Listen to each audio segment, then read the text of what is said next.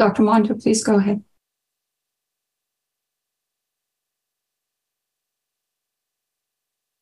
This is Arnold Monto from the University of Michigan.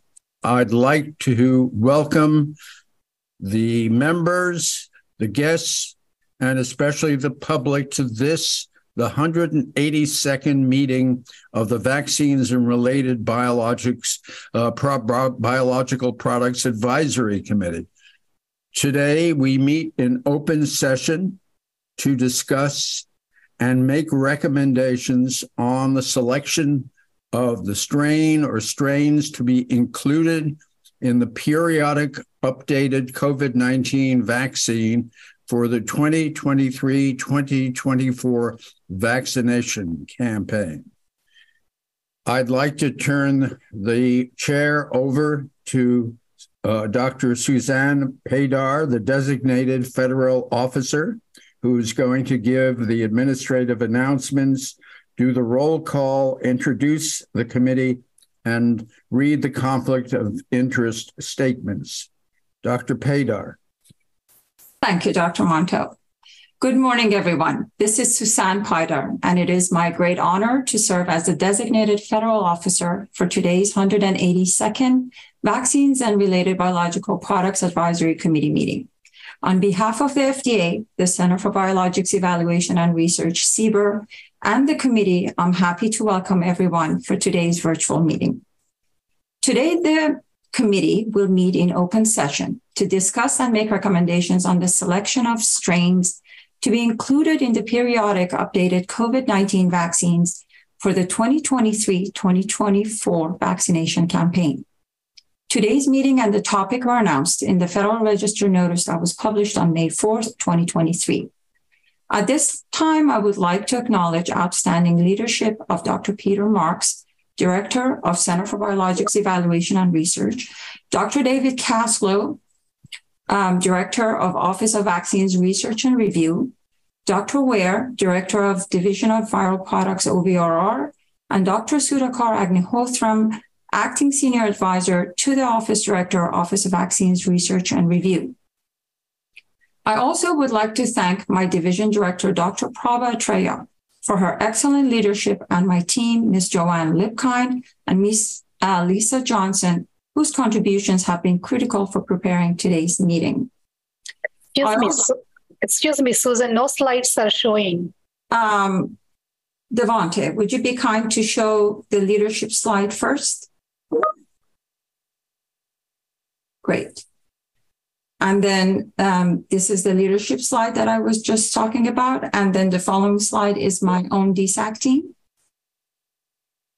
Great. That's Dr. Atreya with the team. Um, I would also like to express our sincere appreciation to our AV team, Dr. Devante Stephenson, Mr. Christopher Sweat, and Mr. Derek Bonner in facilitating the meeting today. Also, our sincere gratitude goes to many CBER and FDA staff working very hard behind the scenes, trying to ensure that today's virtual meeting will also be a successful one, like all the previous VRBPAC meetings. Please direct any press media questions for today's meeting to FDA's Office of the Media Affairs at FDAOMA at fda.hhs.gov. The transcriptionists for today's meeting are Catherine Diaz and Deborah de la Croce from Translation Excellence. We will begin today's meeting by taking a formal roll call for the committee members and temporary voting members. When it is your turn, please turn on your video camera, unmute your phone, and then state your first and last name institution, and areas of expertise. And when finished, you can turn your camera off so we can proceed to the next person. Please see the member roster slides in which we'll begin with the chair, Dr. Arnold Monto. Dr. Monto, can we start, please? Thank you, uh, Suzanne. I'm Arnold Monto. I am uh, at the University of Michigan School of Public Health, where I am an infectious disease epidemiologist, and I've worked on vaccines and uh, occurrence of especially respiratory infection and their prevention. Great. Thank you, Dr. Monto. Next is Dr. Paula Annunziato, non voting member, our industry representative. Dr. Annunziato. Good morning. Mm-hmm. It doesn't look like my video has started. Well, good morning. My name is Paula Annunziato. I lead the infectious diseases and vaccines area at Merck, and I'm here today as the non-voting industry representative.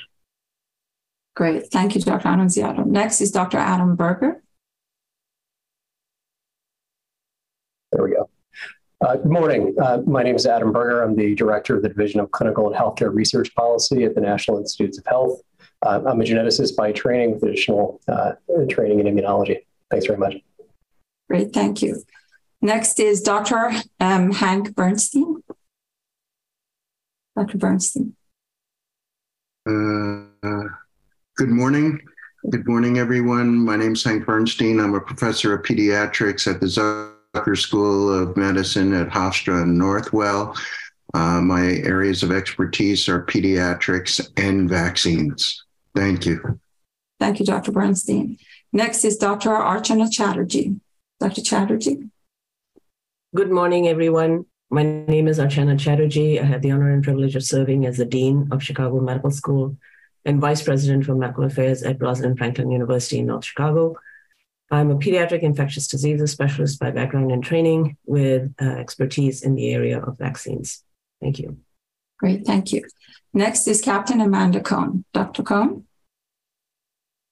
Good morning, everyone. Um, I am uh, a pediatrician and a medical epidemiologist at the Centers for Disease Control and Prevention uh, with expertise in um, vaccines and vaccine preventable diseases. Thank you. Next is Captain David Kim. Dr. Kim. Good morning. Uh, David Kim with the National Vaccine Program representing the Office of the Assistant Secretary for Health at HHS. And my interest is in uh, is in uh, immunization and uh, and vaccine policy. Great, thank you so much. Next is Dr. Paul Offit. Dr. Offit. Yeah, uh, good morning. Um, my name is Paul Offit. I am an attending physician in the Division of Infectious Diseases at the Children's Hospital of Philadelphia, a professor of pediatrics at the University of Pennsylvania School of Medicine, and my area of interest is vaccines, specifically mucosal vaccines. Thank you. Thank you, Dr. Offit. Next is Dr. Stephen Pergam. Um, thanks, uh, Dr. Paydar. Um, I'm Steve Pergam. I'm a professor at Fred Hutchinson uh, Cancer Center, um, an adult infectious disease physician with an interest in um, infections in immunocompromised hosts. Great, thank you, Dr. Pergam. Uh, next is Dr. Stanley Perlman. Dr. Perlman.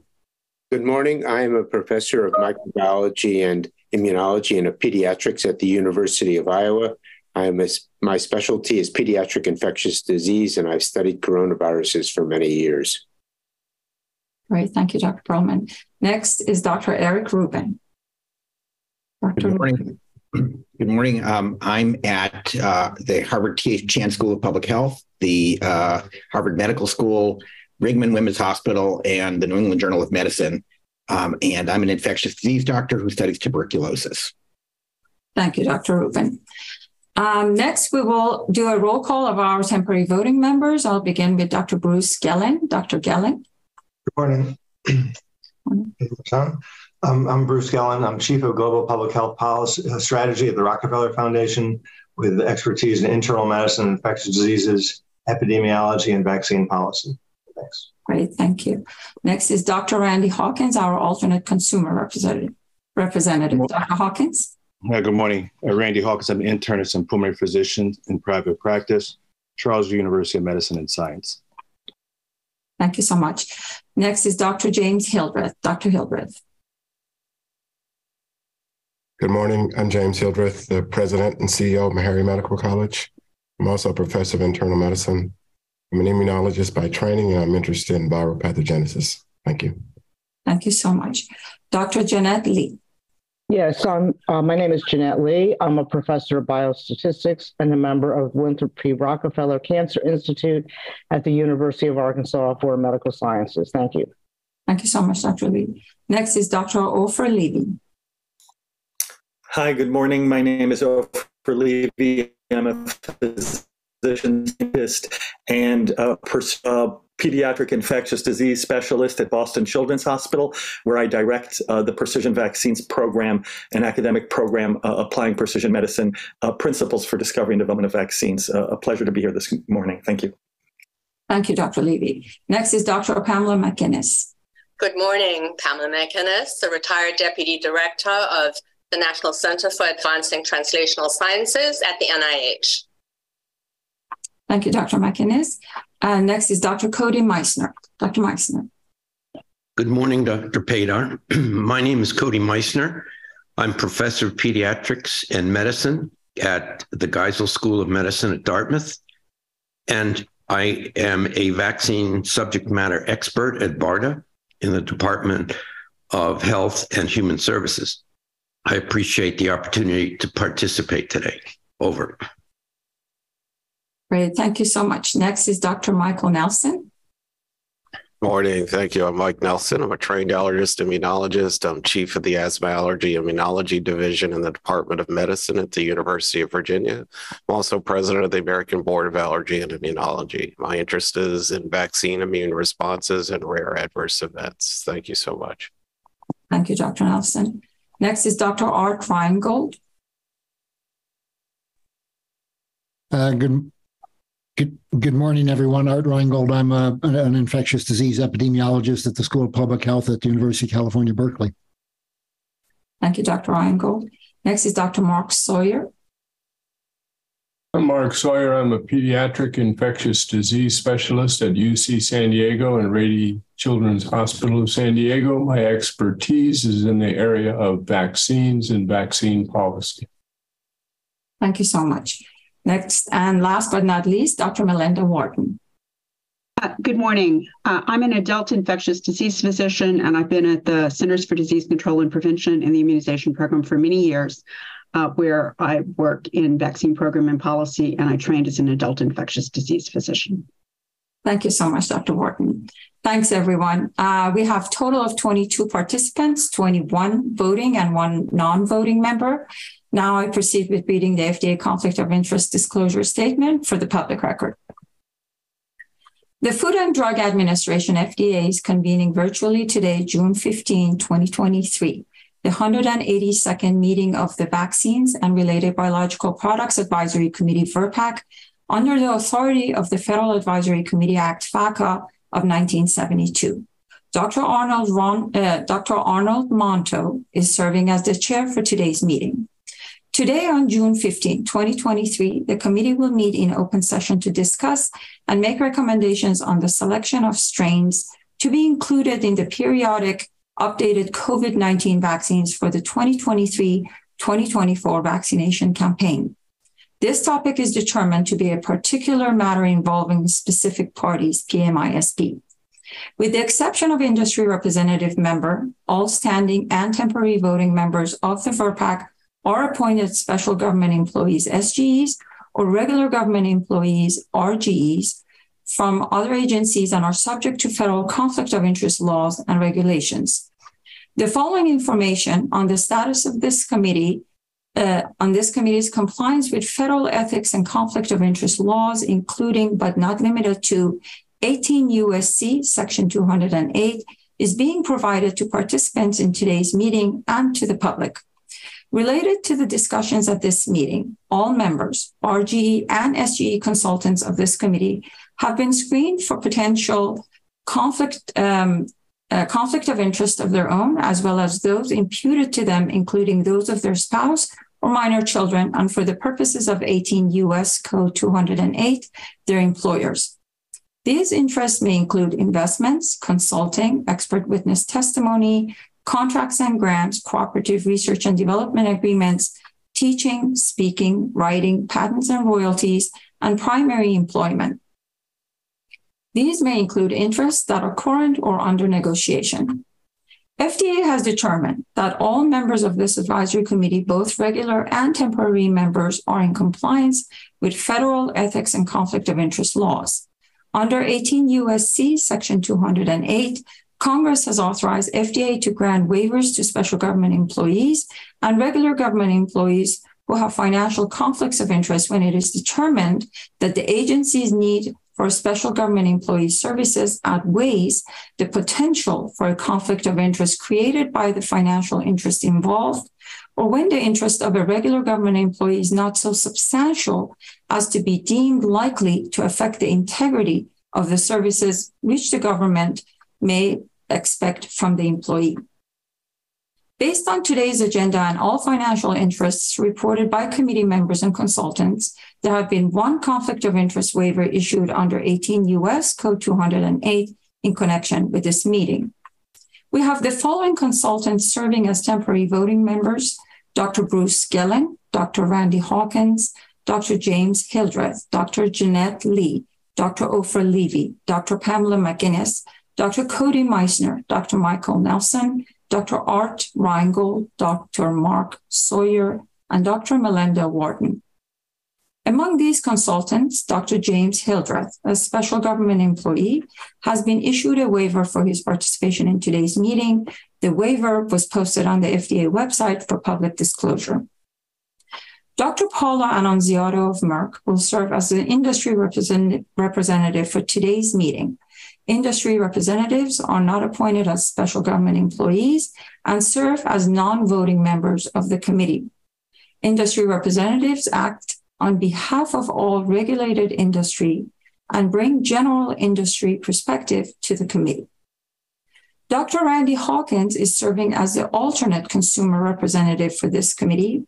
Consumer representatives are appointed as special government employees and are screened and cleared prior to their participation in the meeting. They are voting members of the committee. We have several federal and non federal speakers as well as some guest speakers today making various presentations on timely and relevant topics.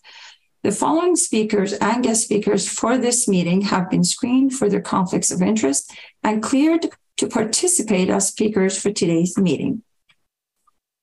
Dr. Rituparna Das, Vice President, Clinical Development, COVID 19 Vaccines, Moderna Incorporated, Cambridge, Massachusetts.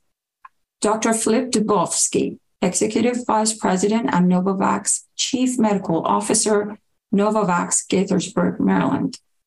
Dr. Darine Edwards, Executive Director, COVID 19 Lead, Moderna Incorporated, Cambridge, Massachusetts.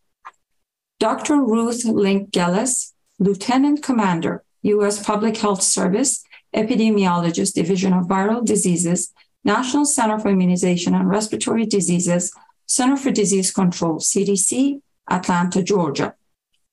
Dr. Kanta Subbarao, Director, WHO, Collaborating Center for Research and Reference on Influenza, the Peter Doherty Institute for Infection and Immunity, Professor, Department of Microbiology and Immunology, the University of Melbourne, Victoria, Australia.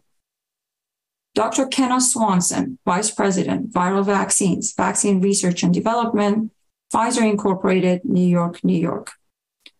Dr. Natalie Thornburg, Acting Chief Laboratory Branch, Coronavirus and Other Respiratory Viruses Division, National Center for Immunizations and Respiratory Diseases, Center for Disease Control and Prevention, CDC, Atlanta, Georgia.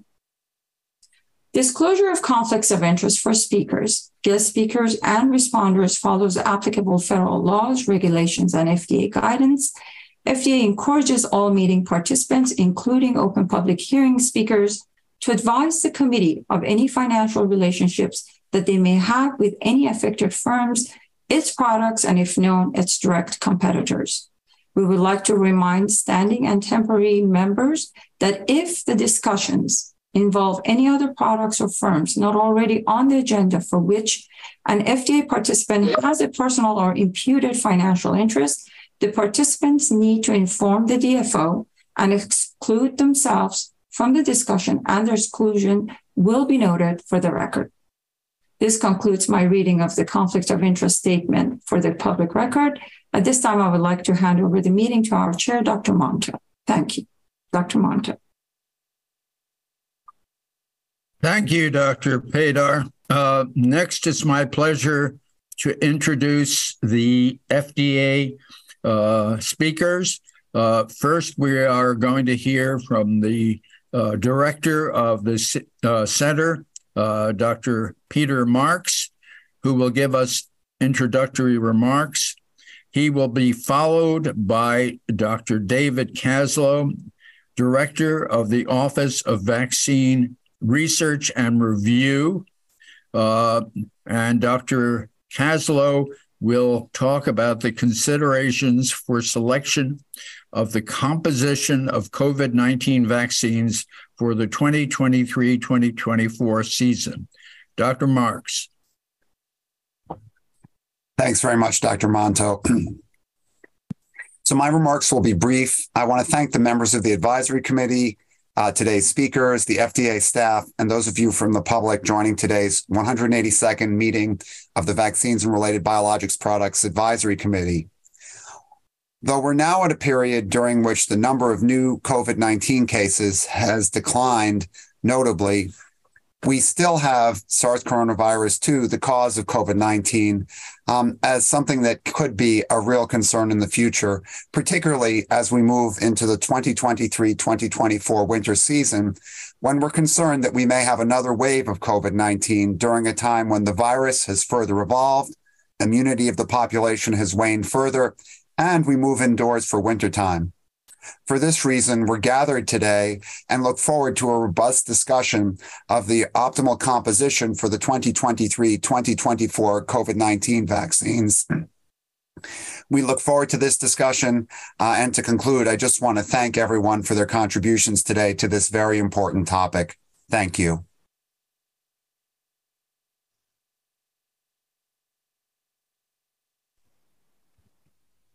Good morning. Um, and from the Office of Vaccines Research and Review, let me add my welcome to the 182nd meeting of VRBPAC and my thanks to the committee, the presenters, and the center and office staff for their preparation for this meeting.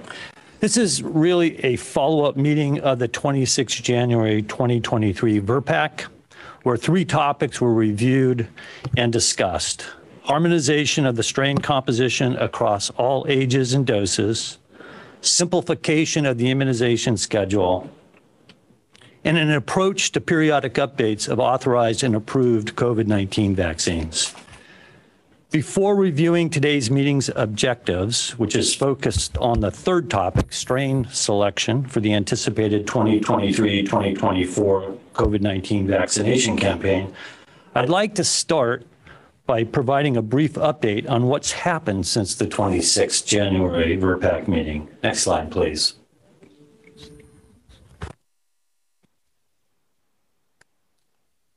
Thank you. Two noteworthy actions were taken both in April. First was the consolidation of emergency use authorizations to harmonize the strain composition from monovalent original strain to bivalent original plus Omicron BA45 for all ages and all doses of mRNA vaccines authorized in the United States. And also in that EUA consolidation, an initial simplification of the immunization schedule, which I will, which I will review briefly. And secondly, a workshop on recombinant protein based COVID 19 vaccines. Next slide, please. With the consolidation of EUAs in April, an initial step was taken towards a simplified age and risk based immunization schedule for future periodic vaccination campaigns, where a single dose of a periodic updated COVID 19 vaccine would be approved for most of the U.S. population, including most adults, adolescents, and older children, and young children previously vaccinated with the COVID 19 vaccine. And one or more additional doses would be approved for older adults and persons with compromised immunity, as well as young children not previously vaccinated with a COVID 19 vaccine. Next slide, please.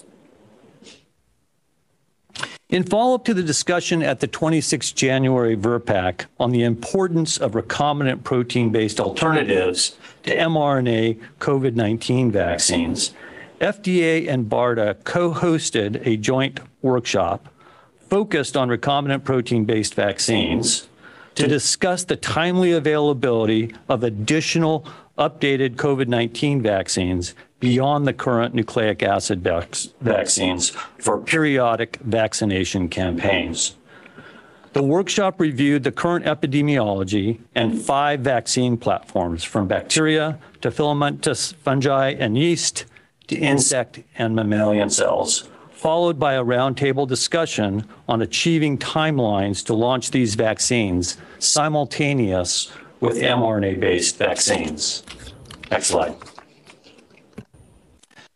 So, on to today's meeting, the objective of which is to discuss and make recommendations on the selection of a strain or strains to be included in periodic updated COVID 19 vaccines for the 2023 2024 vaccination campaign. FDA requests that VRBPAC consider and focus on three topics today. First, the need for a periodic update. Second, a change from the current bivalent to a monovalent composition. And third, selection of strain or strains if there's a need for a periodic update. Next slide, please. Thank you. To ensure we start today's review and discussion on the same page, I will briefly review the approach to periodic updates of current COVID 19 vaccines that was proposed at the 26 January VRBPAC meeting. As you will hear again in several presentations today, the virus continues to evolve rapidly and immunity wanes, such that restoration of a protective immunity will require vaccination with a periodically updated COVID 19 vaccine. In response, FDA envisions an evidence driven approach to monitor and update as needed the composition used in all COVID 19 vaccines with the goal to induce or restore protective immunity through periodic vaccination campaigns. Next slide, please. As reviewed in January, this slide attempts to capture at a very high level the proposed continuous and iterative three step process in which integrated epidemiologic, clinical, and viral surveillance, viral characterization at the gene, phenotype, and antigen level, and vaccine effectiveness are integrated and reviewed to determine the need for an updated composition recommendation. While in parallel and at risk, updated vaccine candidates are evaluated so that if and when a recommendation is made, manufacturers can, in a second step, submit to FDA a timely data package of their periodic updated vaccines for regulatory review. In the third step, real world evidence of the effectiveness of newly updated vaccines is collected and analyzed, which also starts the next three step process. In essence, the review and discussion of the integrated data in step one and the vaccine candidate data generated at risk by manufacturers in step two are the core of today's agenda, which is shown in the next couple of slides. Next slide, please. So we'll start the morning session with two presentations, both from our colleagues at CDC. The first presentation provides an update on bivalent vaccine effectiveness. The second CDC presentation, an update on the current epidemiology and circulating variants. We'll end that session with a presentation by the chair of the World Health Organization's Technical Advisory Group on COVID 19 vaccine composition to review the TAG-COVAC 18 May 2023 recommendation on the antigen composition of COVID 19 vaccines. After a short break, we'll next hear from the three currently authorized vaccine manufacturers, starting with Moderna. Next slide.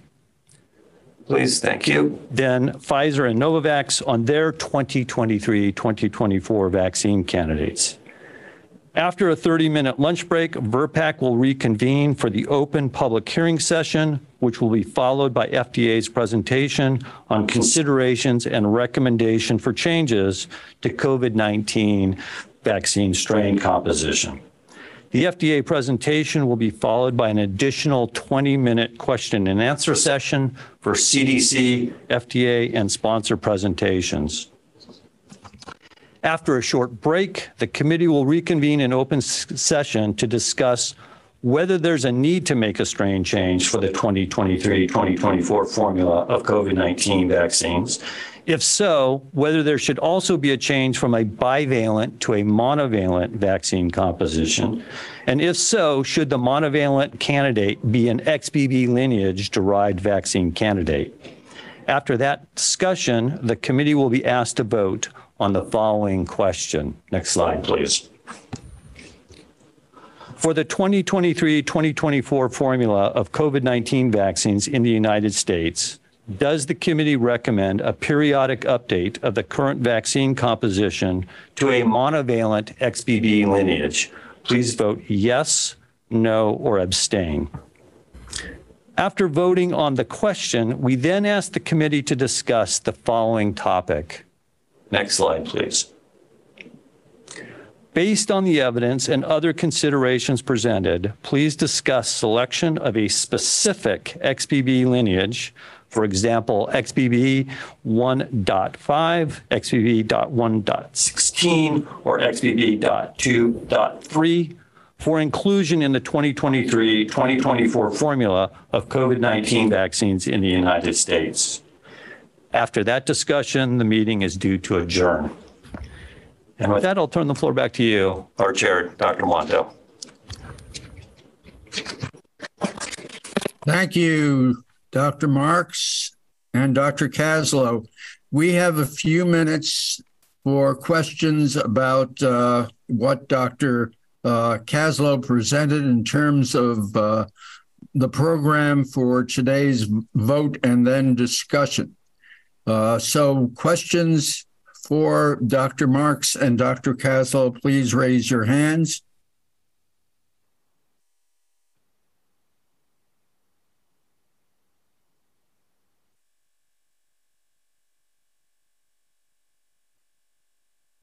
I don't see any hands raised as yet.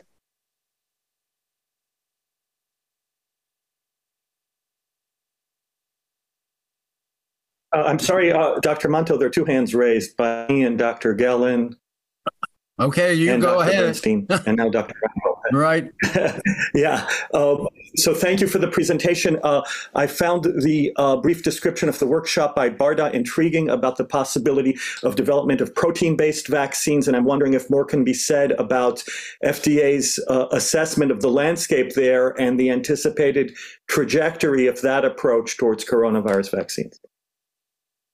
Uh, thank you for that question. Maybe what I can do is just very briefly um, give a couple of key takeaways from that from that workshop. Um, first, we heard from BARDA on Project Next uh, Next Gen and their strategy for that, and the, the work that's involved in COVID-19 um, vaccines, which includes a centralized immunogenicity assay, harmonized clinical trial support, and support for early phase clinical trial manufacturing.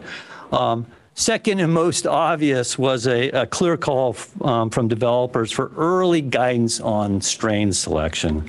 While many of the recombinant protein-based technologies can work with a 100, 100 day window, it doesn't leave a lot of time for overcoming manufacturing technical problems that might arise, uh, nor for generating preclinical and certainly clinical um, immunogenicity data to inform strain selection.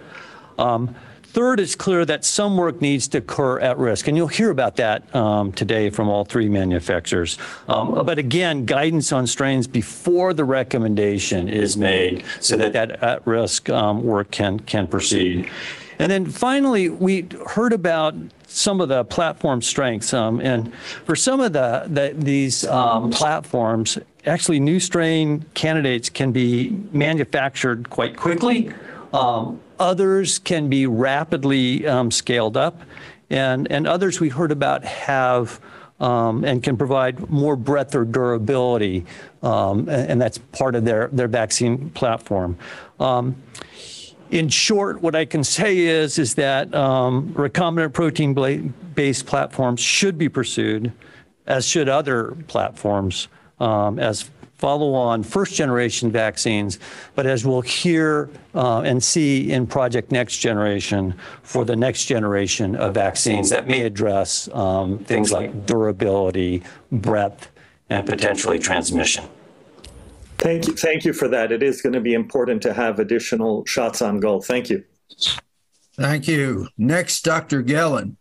Yeah, David, thank you. Some of this may come up in the further discussions, but be interesting to get some definitions on what, what quote campaign means and what periodic means. But David, for you, it looks like step one is some, some, what what triggers the review that would then lead to some consideration of an update. Thanks. Thank you, Bruce, for that. And we'll go into we will go into detail on, on some of those, those those topics. What I think we envision is actually a continuous iterative process. So this is constantly looking at vaccine effectiveness, um, evaluating that, and looking at the viral evolution and integrating that data to, together to decide is there a need for a periodic for a periodic update. So in essence, this is very similar, although it's different than um, what we do for, uh, for influenza. Thank you. Dr. Bernstein. Uh, yeah, I, I, had a similar thought as uh, Dr. Gellin. I really, you know, was thinking that hybrid immunity uh, seems to be holding up quite well versus severe di- uh, disease disease and death, but less so as far as protection against infection. So I was trying to better understand when you use the word 20 the words 2023 2024 campaign because i think that could uh, create confusion uh, in the in the public as far as how we're uh, handling this or managing it and uh, i don't think it's exactly the same as what we do with influenza. So I think it's a bit in flux. Agreed. Thank you, Dr. Reingold. Yeah, hi, thanks. Uh, so, uh, going along with the parallel to influenza, I'm just curious if you'll be able to say anything about uh, attempts to coordinate with other countries and the international setting with regard to consistency of of uh, reformulation of COVID vaccines as we go forward. Thank you for that question, Dr. Engel. Uh, absolutely. And I think that is one of the considerations that we're asking the committee to discuss as we talk about the, the strain selection. And so you will hear um, from the WHO um, the um, their what their strain recommendation is, and you um, will also hear um, from Dr. Weir what the um, what the readouts are from various other uh, global entities. Thank you. Dr. Hildreth, last question. Thank you, Dr. Monto. My question is for um, the director. Both the WHO and the president have declared the public health emergency to be over.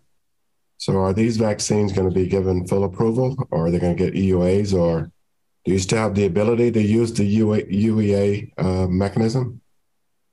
Yeah, thank you, Dr. Hildreth. It's it's actually a great question. It turns out that the public health emergency declaration, which is a Section 319 declaration, which is over, is separate from uh, the declaration of the secretary that allows us to make uh, medical products available under our emergency use authorization, which is a Section 564 declaration. so uh, we can still make products available under emergency use authorization. It is our intent, though, for adults as we move into uh, this fall to the extent possible to move as many of these over to licensed products um, through biologics licensed supplements. Whether we'll make it there for everything uh, and for all age ranges, probably not for every age range, but certainly for adults, we're going to be looking to try to work in that direction um, uh, for uh, as many products as we can. Um, uh, we do we do understand that um, having licensed products will help increase confidence. Um, and I just want to take this opportunity to say that although I, I think we all certainly agree that COVID 19 is not influenza, from a public health vaccination campaign standpoint, in which you need to make tens upon tens of millions of vaccine doses, get them deployed and get them into people's arms. And from the standpoint that people go inside in the United States uh, during, uh, at least in many states in the United States, during the months of November through March, um, it reduces to a similar type of campaign, barring some exceptional development of a resistant uh, uh, virus uh, for us. So I think we're, what we're seeing here is I think we're, uh, though it's not influenza, for practical purposes, I think we have really a one chance uh, uh, this fall to get vaccines into arms. Um, barring some, again, some need to update further, which we will do um, if, if need be. Um, but that's, I think, what what today's discussion is about: how to um, try to best come up with uh, what goes into uh, people's arms uh, to uh, offer the best protection during a period when I, I think we do believe we will have waning immunity, uh, at least in uh, particularly in the older population, but probably throughout the population, as well as potential further evolution of the virus. Thanks. Thank you, Dr. Mark. Thank you. And thanks to Dr. Marks and Dr. Kaslow.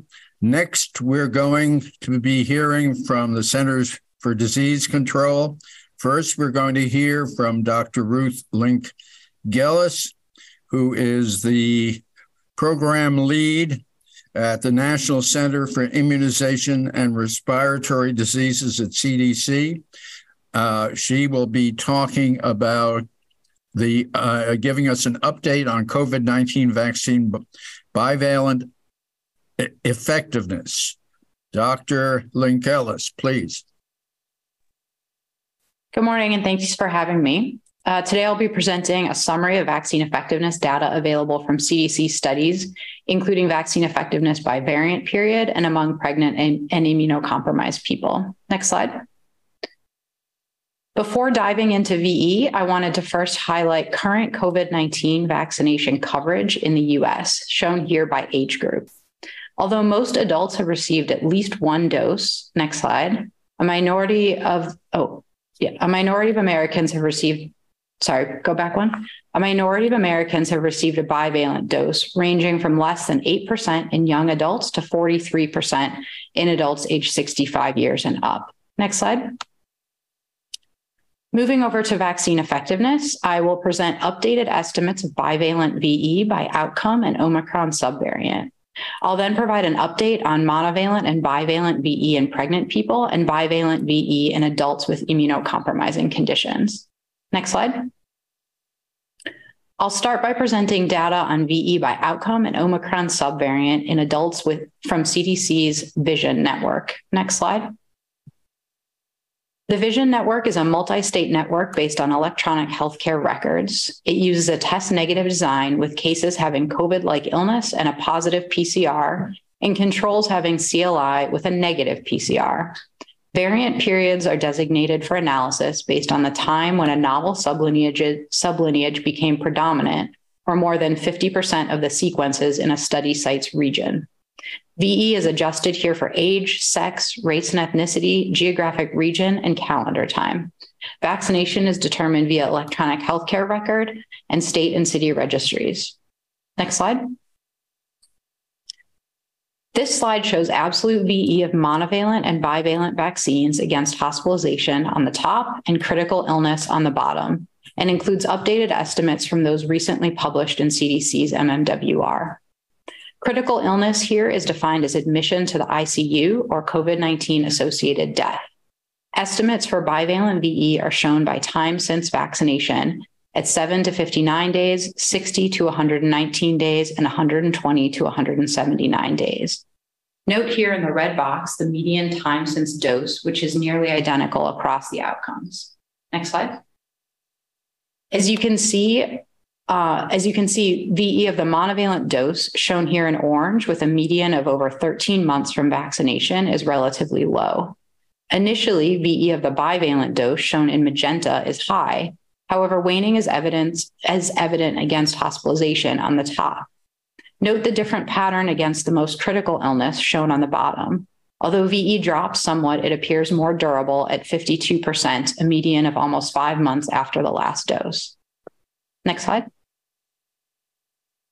This slide shows the same information as the previous slide, but, but now looking specifically at the Omicron at the period of Omicron BA4-5 sublineage predominance.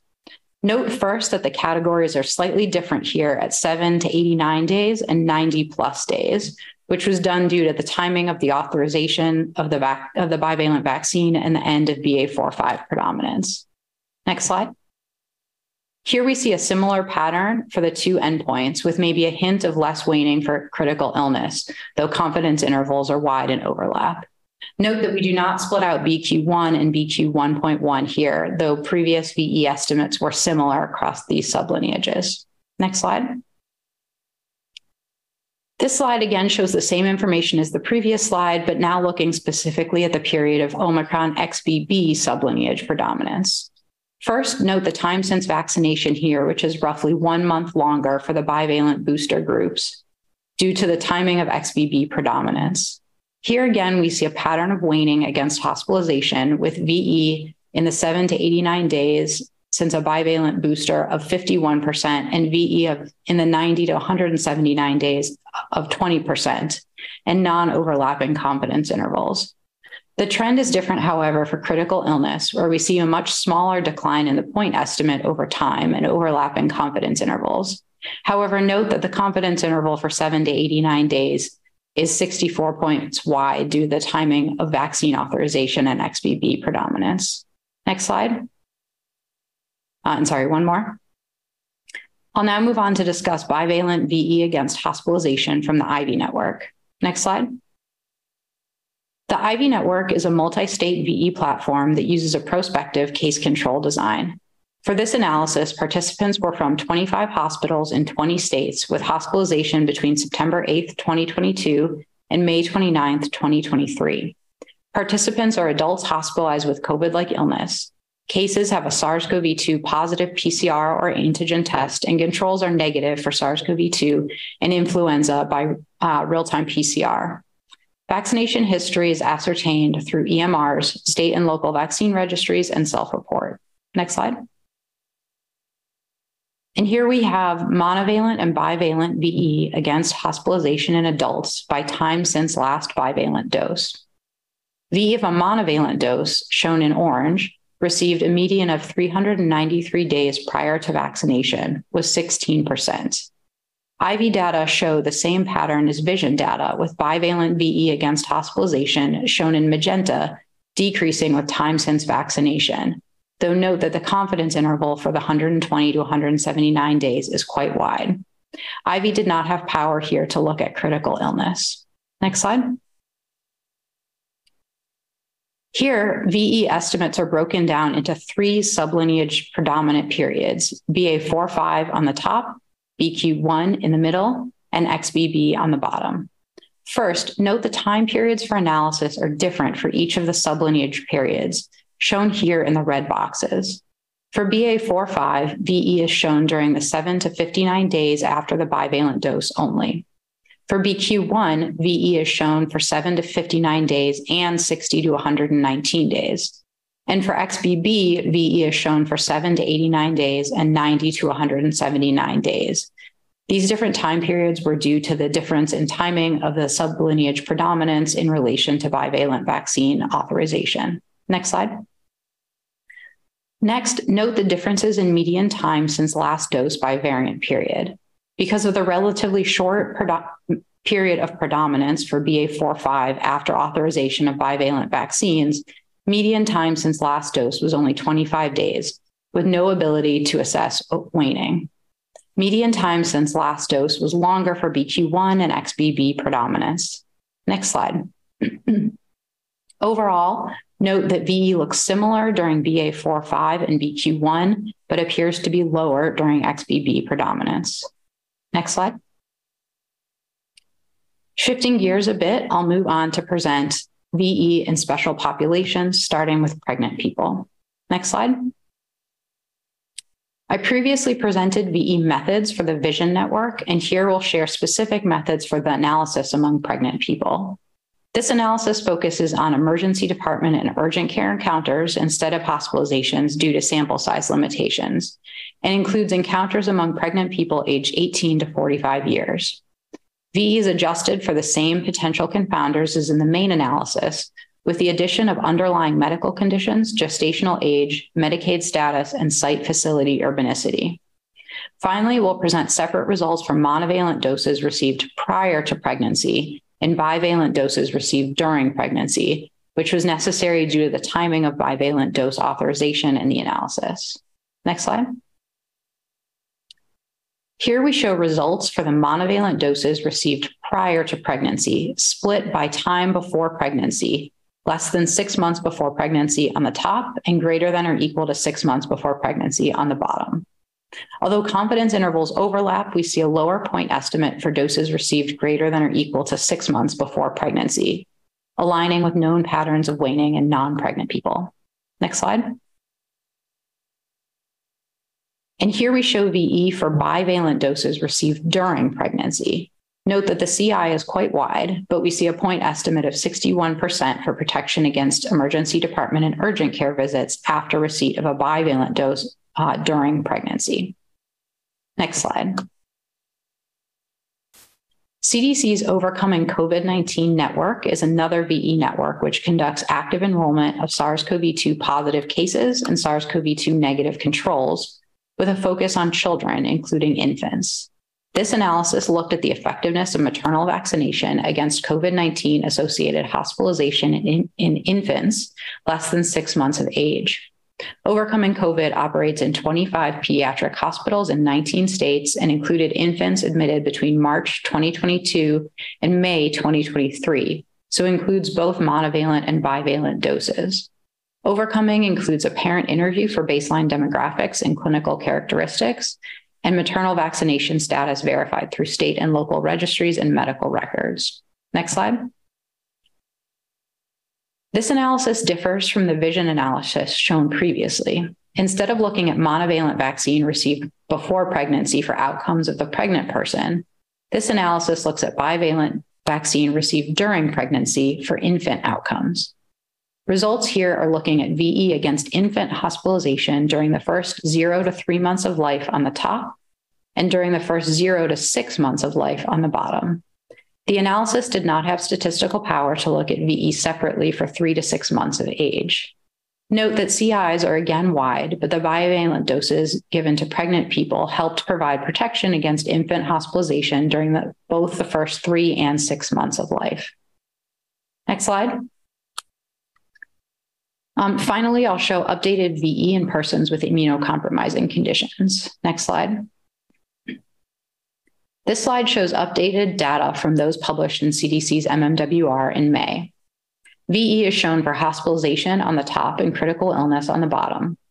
VE point estimates are generally lower for those with immunocompromising conditions due, compared to the data showed earlier in the presentation for persons without immunocompromising conditions. Waning is not evident in this group, though this may be because of heterogeneity in immune response among those with immunocompromising conditions, um, or because of limited statistical power to detect differences over time. There were not enough cases to estimate VE specifically for different types of immunocompromising conditions, though VE has been shown in the past to vary based on type of condition. Next slide. Uh, moving on to summary and conclusions. Next slide. The results today uh, have several limitations. First, for estimates of absolute vaccine effectiveness, if unvaccinated individuals are meaningfully different than vaccinated individuals, estimates may be biased. For interpretation of estimates of relative vaccine effectiveness, uh, residual protection from prior doses is an important consideration and likely varies by severity of outcome studied. Therefore, since absolute VE is somewhat easier to interpret and conclusions for relative and absolute VE for these analyses were the same, we've shared only absolute estimates today. We have limited information on prior infection in all platforms, although we know from seroprevalence studies that rates of prior infection in adults are high. VE estimates presented today are therefore a snapshot of how well the vaccine is working under current conditions. Lastly, VE against COVID 19 associated hospitalization from the platforms presented today represent individuals hospitalized with COVID 19 disease, but may underestimate protection against critical illness. Uh, and thus, we've tried wherever possible to present estimates specifically for critical illness. Next slide. In summary, current data from CDC VE platforms demonstrate that the bivalent booster doses helped provide protection against hospitalization and critical illness in adults, though we are seeing evidence of waning protection for hospitalization. For most adults, both in the platform shown today and in the general population, more than a year has passed since they last received a monovalent COVID 19 vaccine. These individuals may have limited residual protection against hospitalization and should receive a bivalent booster dose. However, results from the vision analysis show more sustained protection against the most critical COVID 19 disease. Data shown today appear to indicate that VE during XBB predominance may wane more quickly against hospitalization compared to earlier variant predominant periods, though this did not appear to be the case for critical illness.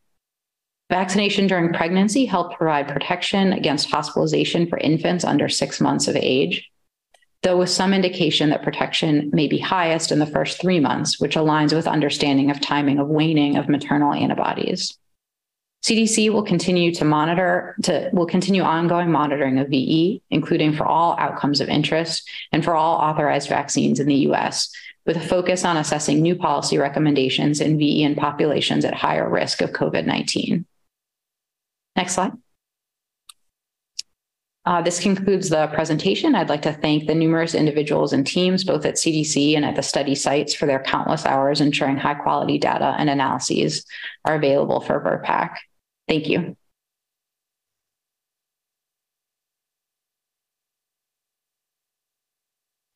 Thank you, Dr. Link-Gelles. Uh, this is an important presentation, and we have time for a few questions.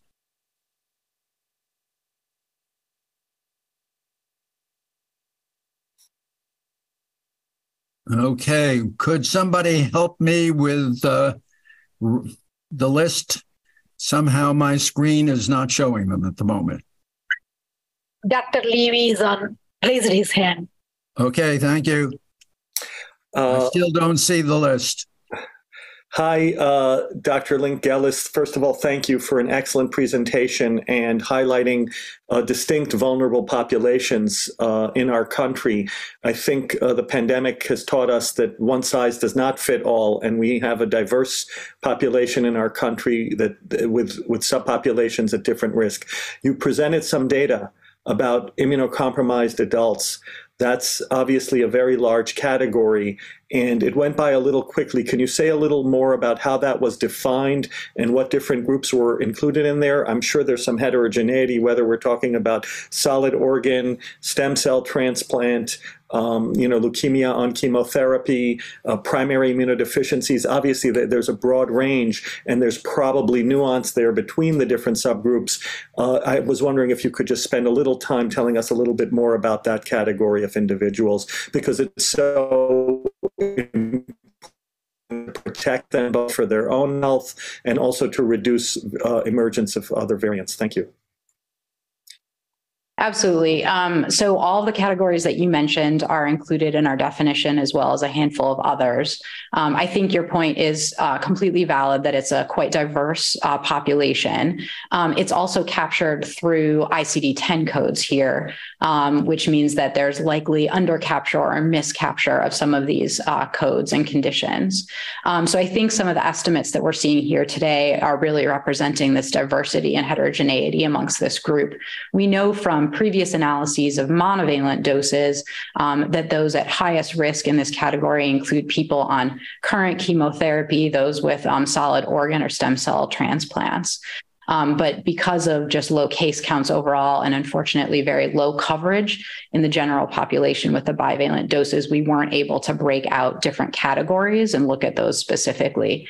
Um, I think what we've seen over time is that patterns of vaccine effectiveness for the bivalent vaccine have been very similar to what we knew um, from the monovalent vaccine. So I think it's probably appropriate um, to conclude that we would see uh, quite a bit of heterogeneity if we could break out VE by these different categories, and likely also that the that those most at risk continue to be um, sort of the most severely immunocompromised. Thank you. Thank you, Dr. Perlman.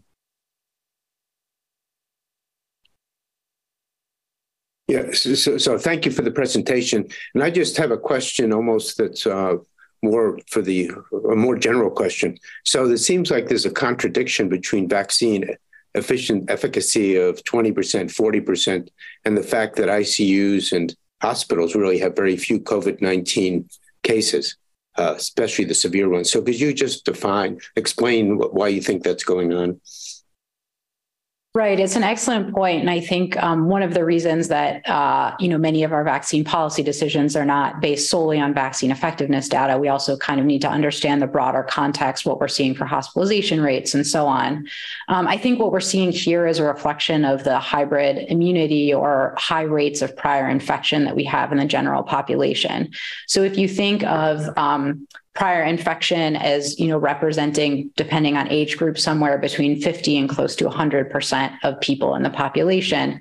That means that that the majority of the population has some underlying level of uh, sort of baseline protection against covid-19 the bivalent vaccine then is giving them protection above and beyond what they have from their prior immunity due to prior monovalent vaccine or prior infection or both.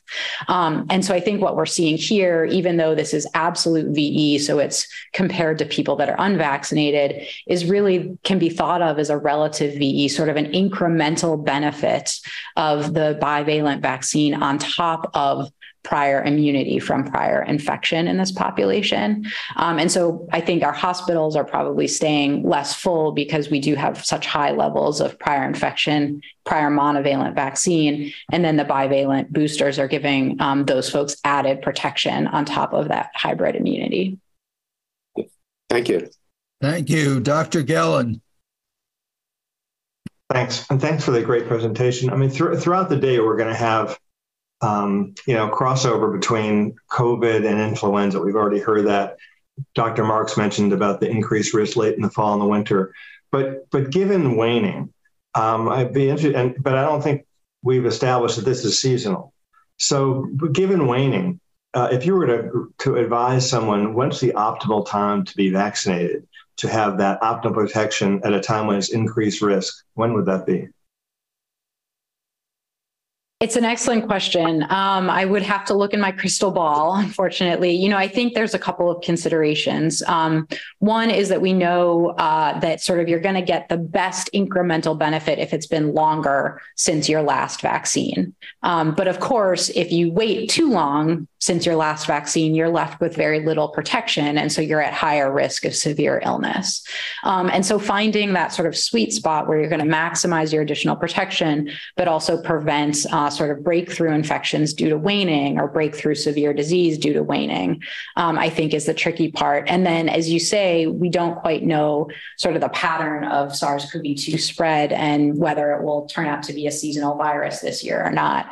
Um, and I think we know from sort of past waves of uh, COVID and vaccination that the very best time to get your dose is sort of right at the beginning of an uptick in disease. Of course, predicting that has been uh, extremely difficult difficult. I think this season will be telling to see if uh, COVID sort of settles into a seasonal pattern or not. Um, and so I think right now what we know is that the the vaccines do wane. They wane against hospitalization, maybe a little bit less so against critical illness, which is reassuring. Um, but it but most Americans uh, at this point haven't even received the bivalent, and so are a year or more out from their monovalent dose, and so have relatively little protection left. Thank you. And last question in this group from Dr. Offit. Yes. Uh, oh, Dr. You. Reingold has a as well. we'll go to you afterwards, Art. Dr. Okay. Offit. Yes, thank you, Arnold, um, and thank you, uh, Dr. Link-Gelles. I, I, just think what, what um, one thing we don't be we don't seem to be talking about um, is is the value of T cells. I mean, we we know that although clearly this virus evolves in terms of evolves away from recognition by antibodies at the receptor binding domain, the, the T cell recognition, whether it's cytotoxic T cells or T helper cells, has not really evolved. I mean, you still have 80 85 percent conservation, and T cells are important in protection against severe disease. It's been shown redundantly both in experimental animals and in people. So I think the reason, and I guess in part an answer to Dr. Perlman's question is the reason that we're not seeing this wave of, of uh, serious illness as this virus evolves away from antibody recognition is because T cells are important. So I, I do worry when we try and make this similar to the influenza model, where it is a strain specific phenomenon. I mean, if we miss with an influenza strain, as has been true twice in the last 10 years, a miss is a mile. That's not true here because these T cell recognition sites remain conserved. So I, I do think we do jump with the net here. And I do worry that in this kind of meeting, when we talk about a seasonal flu vaccine, that this, if the CDC then follows that up with a similar recommendation as we have for flu, which is everybody over six months uh, needs a vaccine, I just don't think that's true. So I, I agree with your, your assessment that it, it is those highest risk groups that may benefit then from, from a booster dose, but we need to define, continue to define who those high risk groups are and not make this a, a recommendation for everybody every season. Thanks. Thank you, Dr. Reingold. Uh, thanks, uh, Arnold. Uh, again, Dr. Link Gelles, thanks for your usual great presentation. Um, uh, so, so, I probably missed this, but again, making the parallel to flu, uh, where we worry that old people like Arnold and me need a different vaccine because we, you know we don't respond as well immunologically. Um, could could you just summarize for me where you think what what we know about VE and waning in in the older population over sixty five, whatever? Whatever, uh, specifically compared to younger uh, adults? Thanks. Yeah, absolutely. Um, I'm not sure if the backup slides are available, but if slide 28 could be shown, um, I've actually broken out here VE against hospitalization from the Vision Network uh, amongst those 18 to 64 and 65 plus. Thank you. Yes. Um, so these are updates from what was shared in, in the MMWR in May. Um, and you can see here, I think, generally pretty similar patterns across older and younger groups. We've seen this phenomenon before with COVID, where um, sort of uh, unexpectedly, VE appears to be higher, more sustained in elderly individuals, which is not the same pattern that we see in other diseases. I think this is likely due to some behavioral factors. We know from other studies that uh, older adults have been more likely to continue masking, continue social distancing. Um, so that's going to play into VE. We also know that older individuals have lower rates of prior infection, which means the vaccine sort of has more room to provide additional additional protection. And so I think we're picking that up here. Um, but for the most part here, we're not seeing um, sort of more severe waning in uh, those 65 plus. I will say we are not powered, uh, we don't have statistical power here to break out the, the most elderly age groups. And what we saw back in the era of monovalent vaccines when we had uh, higher rates of both vaccination and hospitalization and could break out um, sort of 65 plus uh, 75 plus and 85 plus, that it was really the 85 plus that had uh, the quickest waning. Um, which which I think makes sense from from literature from other vaccines as well. Um, again, we weren't able to do that here, but if you sort of take that uh, data from the monovalent era combined with what we know about immunocompromising conditions and so on, uh, it makes sense that sort of the oldest uh, individuals are probably at the higher risk, but we just aren't powered here to pick that up. Thanks very much. Thank you. And thank you to Dr. Link Gelles for a very clear presentation. Uh, now we're going to hear from Dr. Natalie Thornburg, Acting Chief of the Laboratory Branch in the Coronavirus and Other Respiratory Virus Divisions at CDC, who will give us an update on current epidemiology of the COVID 19 pandemic and SARS CoV 2 variants. Great, thank you. Um, so, in the first half of my presentation, I'm going to speak um, about SARS CoV 2 variants and lineages, what's circulating currently, um, how they relate to each other genomically, and touch a little bit on how they relate to each other antigenically. And then in the second half of the presentation, I'll touch on the current epidemiology of COVID 19. Next slide, please. Uh, next slide. All right, so this is a graph of lineages, pango lineages of viruses that have been circulating in the United States since January 2022. If you think back to prior to 2022, um, we had other variants circulating, such as alpha and Delta, which were getting uh, Greek letter designations by WHO. This graph captures the very, very tail end of the Delta surge um, in the top upper left-hand corner in, in violet um, with the Pango lineage B.1.617.2. So that is Delta. But since the beginning of 2022, end of 2021, when Omicron emerged, all lineages that have been circulating are Omicron. And so it is the virus has continued to evolve from Omicron into other Omicrons.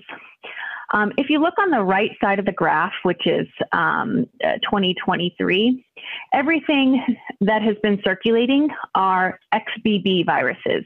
So XBB viruses, as I've just said, are Omicron viruses, and they are descended from BA.2 viruses, um, which is a uh, a common a common progenitor of BA4 and BA5 viruses. They're named XBB viruses because they are they emerged from a recombination event um, from two different BA.2 viruses.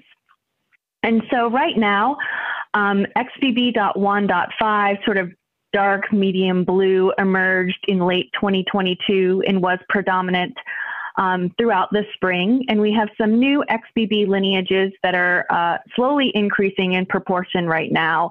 Some XBB.1.9 viruses as well as XBB.1.16 viruses. And just some patterns that I want you to, to notice here is that the virus has continued to evolve uh, continuously um, really since the beginning of the pandemic. Some lineages do reach predominance. So if you look at sort of the aqua color there in the middle, that's BA.5, and that was a very dominant lineage that emerged, reached predominance, and then slowly uh, contracted. But there are other lineages that do emerge that never reach predominance. So if you look at the yellow colors, BA.4, BA.4.6, um, did emerge, circulated at a significant proportion, but never really reached predominance.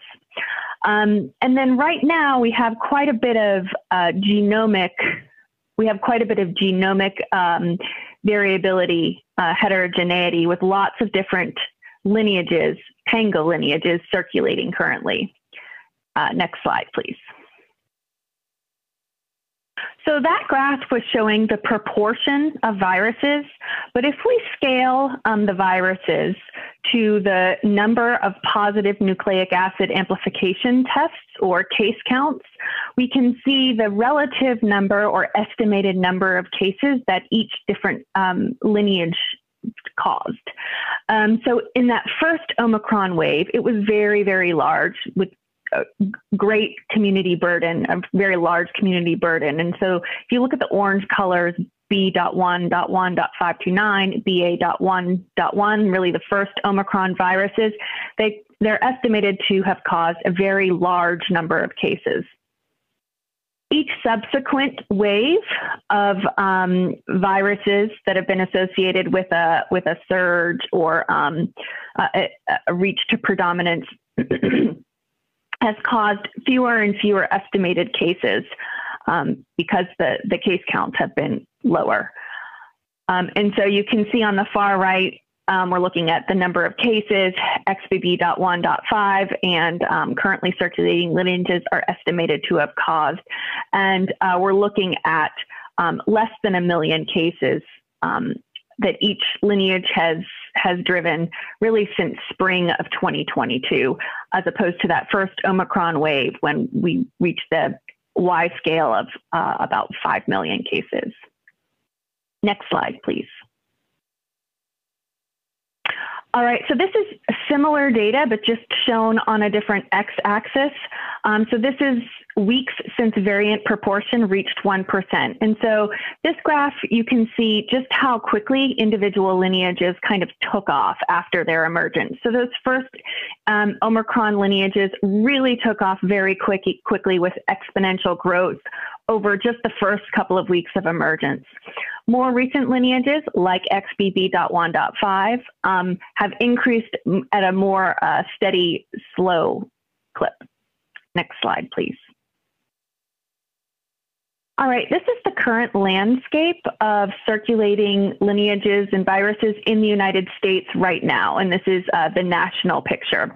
So the left half of the graph is actual data. So those are weighted, weighted estimates of variant proportion based on genomic sequencing results.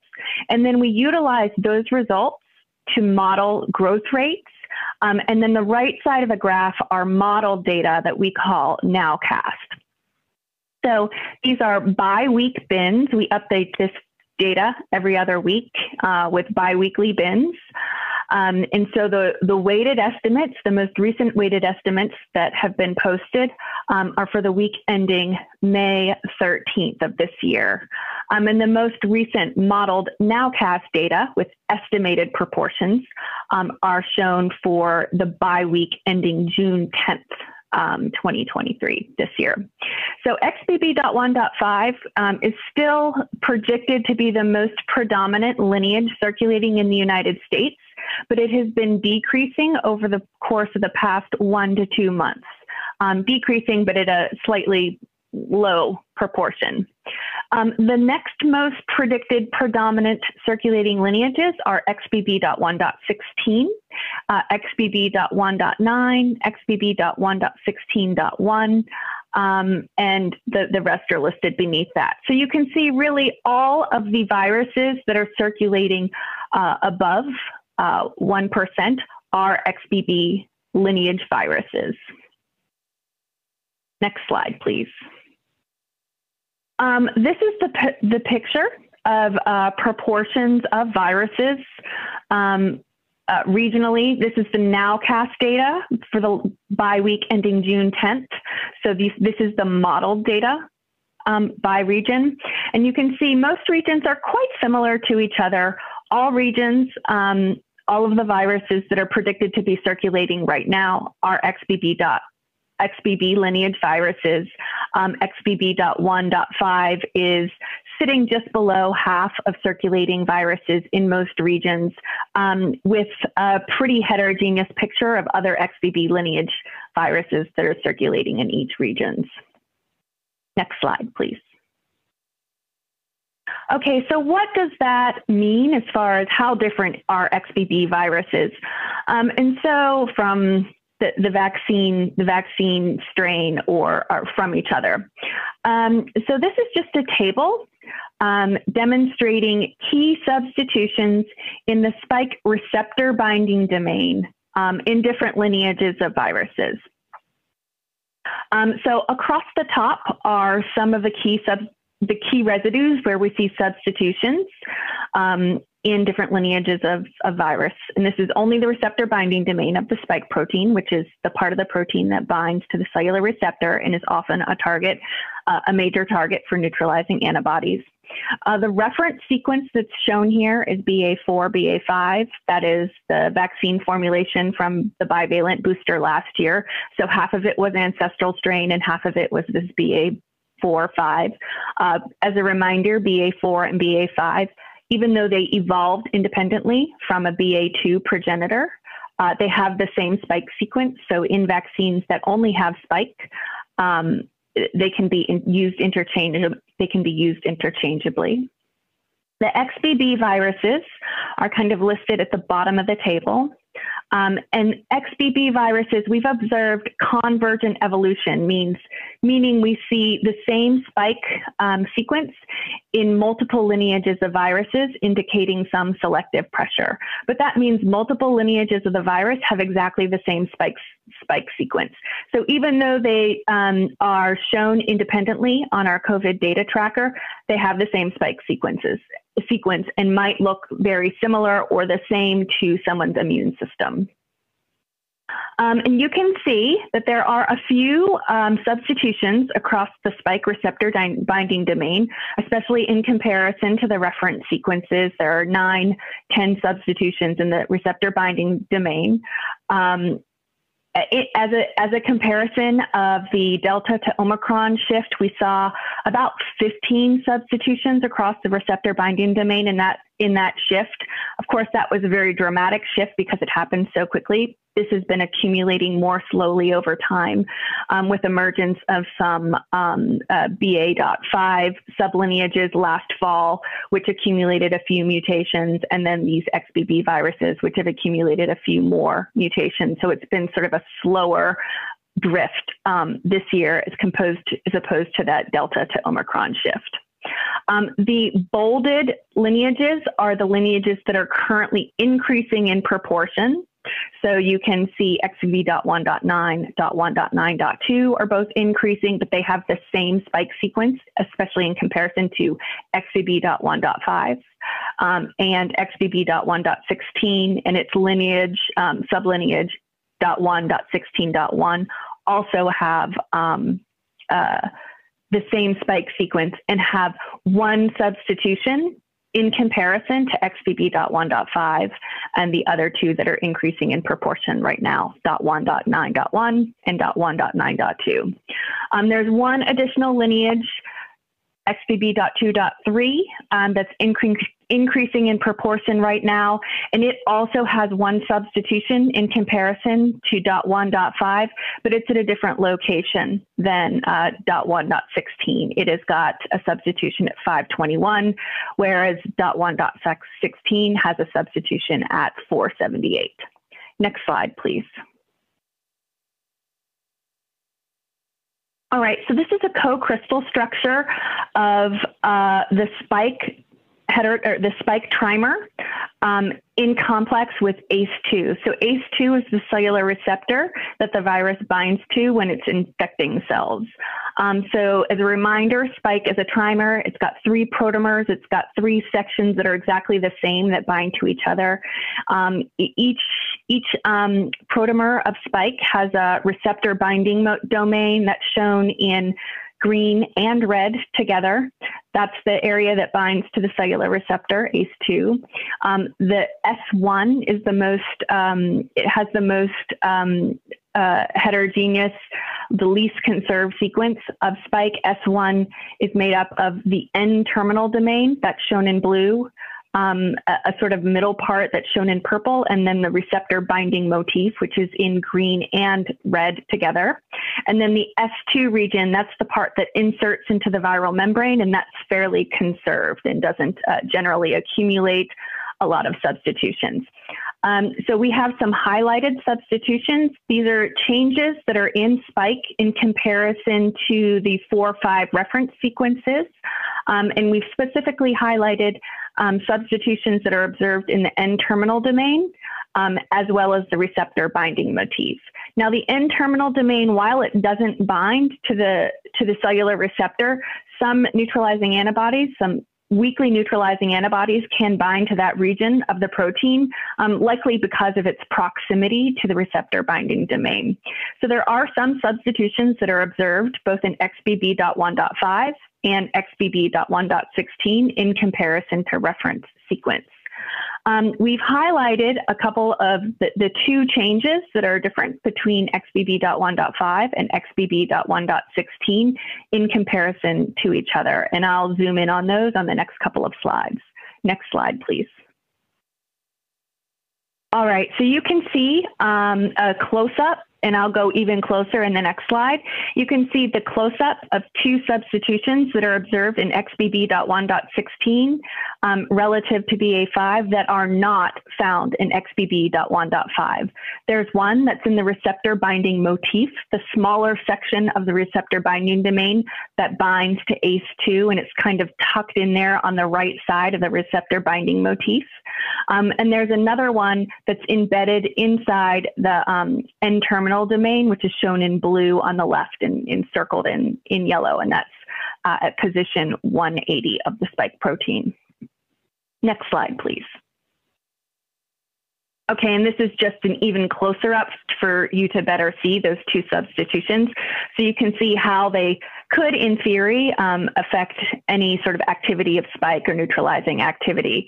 Um, really, that 180 that 180 substitution is kind of tucked deep into the receptor or in, in the N-terminal domain, where that um, change at 478 is is more likely to um, play a role in either receptor binding or neutralization because of how close it is to um, the ACE2 binding site. Next slide, please.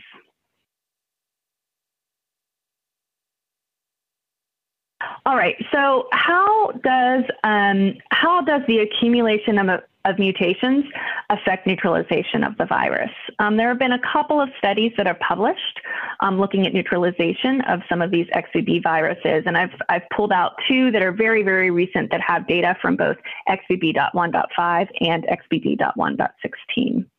So um, when the immune history of the population was similar um, back when most folks were naive or vaccinated, unvaccinated, or just previously infected, it was pretty simple to interpret um, neutralization. Um, that's become more complicated as our immune history has become more complicated, and we now have combinations of receiving different vaccines, different timing of vaccines, um, as well as um, uh, infection with different lineages of viruses. So this is one example of a neutralization, um, a neutralization assays that were published in uh, Lancet ID. This is using pseudovirus neutralization assays um, with uh, sera from humans who um, were infected or were vaccinated and then infected with BA2 virus that's shown in the left panel G, um, vaccinated and then had um, a BA5 infection that's shown in the middle panel, or animal sera, specifically hamster sera, um, uh, from hamsters that were infected with XBB viruses. So what you can see here, um, they've done neutralization assays with one of the uh, original lineages of Omicron, B.1.1, a BA.2, BA.5, and then uh, different iterations of XBB viruses. Um, and you can see um, from persons who were infected with BA2 or BA5, you saw you see uh, reduced uh, neutralization of BA2 and then even more reduced neutralization of BA5 in comparison to the original um, Omicron virus. Um, and that is statistically significant. Um, those those um, red stars indicate um, statistically different from B, the titers of B.1.1. Um, and then the XBB lineage viruses, you see a more dramatic decrease in neutralization titers in comparison to um, uh, the, one of the original Omicron viruses, B.1.1. Um, note, and the um, Notably, that, that difference is more dramatic in persons who were infected with BA2 um, than BA5 viruses. So there are still some individuals who retained, who had been infected with BA5, who retain um, some neutralization activity against um, the XBB viruses. Um, when you look at the blue, the blue hatched, um, the blue hash marks, that indicates statistical significance um, of whatever virus they're testing against uh, XBB.1.5. Um, and so there is um, a statistical difference with XBB.1.5 with neutralization against BA5 and BA2. Um, uh, with in the BA2 breakthrough infections, um, just against BA2 and BA5, and after BA5 breakthrough infections against XBB.1.16, um, as well as BA2 and BA5. But the actual titers are listed in, in the parentheses, kind of just above the XBB lineage.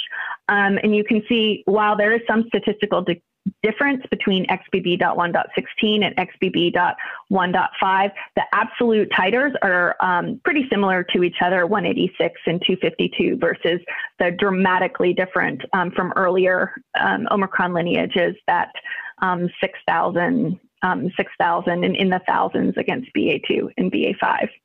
Um, when you look at hamster sera, so a little bit easier to interpret because you know the immune the immune history of, of those, um, uh, vaccinating hamsters um, with XBB.1 um, XBB.1 virus, or sorry, infecting hamsters with XBB.1 virus and then using their sera for neutralization um, against other viruses. Um, there is very similar neutralization um, against all of the XBB viruses, indicating um, that they're antigenically similar in these um, more simpler, uh, these, these simpler um, immune histories. Next slide, please. All right, so this is another study um, that was published in Cell and Molecular Immunology. They look at fewer um, they look at fewer viruses in this study. Um, this is all in um, using human sera for neutralization um, using pseudoviruses. These are neutralization titer of XBB pseudoviruses, um, looking at B1, one of the original Omicron lineages, XBB.1.1 1.5 and .1.16. Um, there are sera collected from persons who were vaccinated with a breakthrough infection. That's what BTI means, breakthrough infection. Um, persons who received four doses of monovalent booster vaccines and persons who received four um, four doses of vaccine that include a bivalent booster. The absolute titers, the geometric mean titers, are listed across the top of, top of the graphs. Um, in the reactivity, the number of reactivities, um, you can see the number of donors that were used in each group. So it's about 14 or 15 in each group. And then statistical significance is shown with the um, asterisks. So in all of the groups, um, the, X, the titers against the XBB viruses um, were lower than they were against the original Omicron, but they were not statistically different from each other. Um, next slide, please. All right, so this is an antigenic um, uh, cartographic map um, from David Ho's laboratory, um, looking at uh, how similar um, uh, different Omicrons are to each other. And just a reminder of what an antigenic uh, cartographic mind is. It's a way to visually represent neutralization data that clusters similar viral virus groups together just for easier interpretation of how similar viruses might be to each other. So to do this, scientists do a matrix um, where you take different kinds of sera, sera from vaccinated persons, vaccinated animals, um, and different viruses, collect neutralization titers, and then just do some math to um, generate proportional distances um, according to whatever the titers were. And in this case, and in this particular um, this particular map, um, one AU or arbitrary unit equals a two-fold change in neutralization. And you can see they use different types of sera. They've used um, sera collected from persons with three shots of the original formulation of vaccine, um, those with some BA2 breakthrough infections, uh, persons with BA4 or 5 breakthrough infections, um, persons who had four shots of the original formulation of vaccine, um, as well as some sera collected from persons with three shots plus bivalent vaccines. And um, what I'd like you to see is that um, BA4, BA5, and BA2 viruses cluster together. Some of the BA5 evolved lineages, which are BQ.1 and BQ.1.1, um, cluster pretty close together up there in the top. And then these two XBB viruses that they've tested, XBB and XBB.1, um, also cluster together. So this was a manuscript that they had published um, in Cell.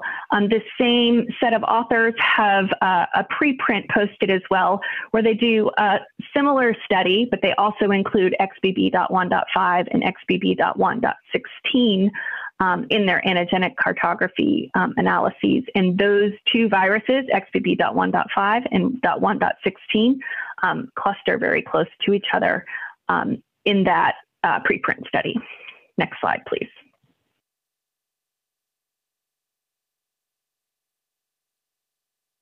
Thank you. Okay, so I'm going to pause here and change and talk a little bit about um, the epidemiology of COVID-19 right now. Next slide. Um, so this is data that we um, gathered last week. Um, as of June 3rd of this year, there have been 6.2 million um, reported hospitalizations and 1.1 million reported deaths associated with COVID-19. Next slide, please. These are the weekly trends of SARS-CoV-2 test percent positivity, positivity um, in the United States. Uh, that was um, March 14th, 2020 through um, last week, June 3rd. Um, because of different testing habits, um, different data reporting requirements since, since the expiration of the public health emergency, percent positivity is our best indicator of community transmission at any um, currently. So on the far right of the graph, you can see we're, we're sitting at just below 5% test positivity um, for, for the week ending June 3rd. Um, you can see that really, really big Omicron wave in the winter of 2021, early 2022, where test positivity um, went above 30%. Uh, there was that BA5 wave that we observed late last um, summer into early fall, um, where test positivity peaked at just below 15%.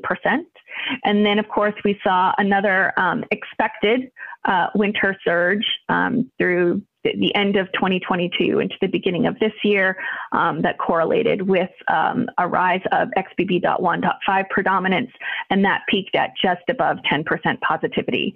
Since then, we've been uh, decreasing in percent positivity and um, are still sitting at kind of right around 5%, which we have been for uh, about a month. Next slide, please. All right, so this is um, th this the x-axis is a little bit different here. This is just since um, for one year since June of 2022. These are patients diagnosed with COVID-19 as a percent of all emergency department visits by age groups in the United States. Um, and so in this, we can capture the BA5 wave kind of there on the left, um, as well as the winter surge that was associated with XBB.1.5 coming into predominance um, December, January. Um, of this year. And you can see um, that uh, hospital visits to ER do correlate with community transmission, and that the older adults, um, 75 and older, um, continue to be um, the, the, highest, um, the group with the highest rate of emergency department visits. Um, although across all age groups, you can see um, bumps in ER visits with each wave of community transmission. Next slide, please. All right, so this is looking at um, hospital admissions since uh, the beginning of the pandemic. Hospital admissions per 100,000 population by age group. So this is the same age groups I showed in the previous slide. So you can see um, really since April of 22, which was after the first Omicron wave, um, even during the, the BA5 wave, um, I've, I've kind of highlighted since April 2022 in this blue blue box. The BA5 wave you can see in the um, uh, bump on the left in the blue box and the XBB.1.5 wave on the, the bump on the right. Um, and you can see since April 2022, um, we've observed much lower hospital admissions among younger persons relative to older age groups. Um, and so uh, older age groups, 75 years and older, um, continue to have hospital, hospital admissions um, sort of bump with each um, increase, each wave of community transmission. But lower, lower um, age groups, including 74 and younger, we've seen a dramatic decrease in hospital admissions. Next slide, please. All right, and so this is uh, similar data, but COVID-19 associated deaths. Um, and really similarly, since April 22, we have a much lower death rate among younger um, younger adults and, and, younger persons relative to older age groups. But we do still have um, some COVID 19 associated mortality, especially with bumps with community transmission, especially in adults that are 75 years and older. Next slide, please. All right. So I mentioned earlier that the, that you know we've really seen a changing landscape in sort of the immune history of our population, um, and this is some seroprevalence data that was generated um, from blood donors that was just published in MMWR um, a couple of weeks ago. And so this has um, in in this study they've collected um, uh, residual sera from blood donors and collected vaccine information from surveys um, and determined using antibodies against the nucleocapsid protein, which should only be generated after infection, and spike protein, along with survey data to identify proportion or prevalence of uh, persons with previous vaccination and infection, that's dark blue, previous infection without vaccination, that's sort of the medium blue, previous vaccination without infection is also a lighter medium blue, and then no previous infection or vaccination. And you can see a dramatic increase over the course of this um, year, 20 April 2021 through sort of September 2022, a dramatic increase of persons who um, have uh, hybrid immunity, and so that's been accumulating down from below 10% um, in April to June 2021 to almost half of the population who have um, both vaccination and infection more recently. Next slide, please.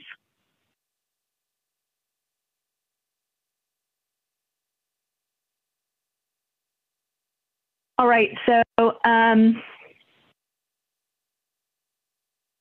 so who? So, I apologize. That's wrong slide. Okay, so what does this very complex landscape mean in terms of protection against mortality? Um, and what can we glean from um, uh, mortality um, of vaccinated persons and, vac- and persons um, who've received uh, who haven't been vaccinated. So this is an M, some data from MMWR that was released today that is examining the mortality rate ratios in adults 65 or older, comparing unvaccinated adults to those who received bivalent booster by time since vaccination. Um, a very similar analysis has been uh, published recently, but this updated one um, encompasses um, XBB.1.5 time frame, uh, the frame since that's been predominant, um, as well as looking at durability. Um, so this is divided by time since vaccination, the lighter blue, two weeks to two months, um, versus three three to six months in the darker blue, and then during times of BA5 predominance on the far left, um, BQ1 and BQ.1.1, which is um, a BA5 sublineage in the middle, um, versus XBB.1.5 here on the right. And at two weeks to two months post vaccination, the mortality rate ratio declined from 16.3 during that BA5 period to 8.4 during uh, XBB.1.5 predominance, which represents a reduction in the crude vaccine effectiveness of 94 to 88 percent. Um, similar mortality rate ratios were observed among people between the two weeks and two month time period compared to the three month, three to six month um, post vaccination period, indicating good durability of vaccination, of bivalent booster vaccination um, against mortality. Next slide, please. So, of these persons who are still getting um, severe disease um, and and uh, mortality with COVID-19 infection, um, we have extensive data describing um, describing risk factors of persons um, who are still at risk for severe illness. Um, and those include unvaccinated persons. Um, they continue to be at higher risk for severe illness compared to vaccinated persons. Most, um, at least 75% of vaccinated people who develop severe COVID 19 illness have multiple risk factors, including older age. Um, most are at least 65 years or greater, but the risk increases with age incrementally um, as well as underlying medical conditions, with risk increasing with the number of underlying medical conditions, including immunosuppression, diabetes, chronic kidney disease, lung disease, cardiovascular disease, and chronic neurological diseases.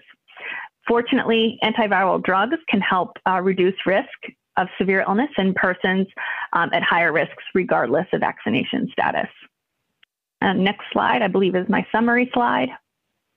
So Omicron XBB lineage viruses have predominated since early 2023 and continue to predominate. XBB lineage viruses have reduced neutralization if you compare them to earlier Omicron lineages, um, but have similar neutralization profiles to each other, indicating they are antigenically similar. Declining rates of severe illness since January 2023 have been observed, but older adults, especially those 75 years and older, experience greater relative burden of severe illness since April of 2022. And although there's some evidence of immune evasion observed for Omicron XBB.1.5, bivalent boosters provide robust protection against COVID 19 associated death without evidence of waning for at least six months post vaccination. Um, and next slide. That is the um, conclusion of my presentation. I would like to thank um, all of the CDC contributors um, to this presentation. Thank you.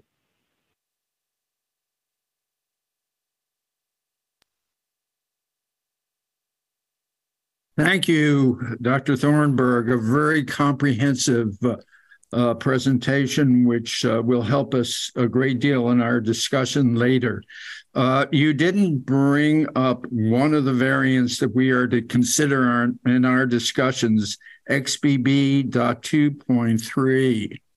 Uh, do you have any information about uh, where it would sit in the antigenic cartography. I think it's very important the fact that what we're going to be considering, they all are mu- much closer than what we've had to consider before.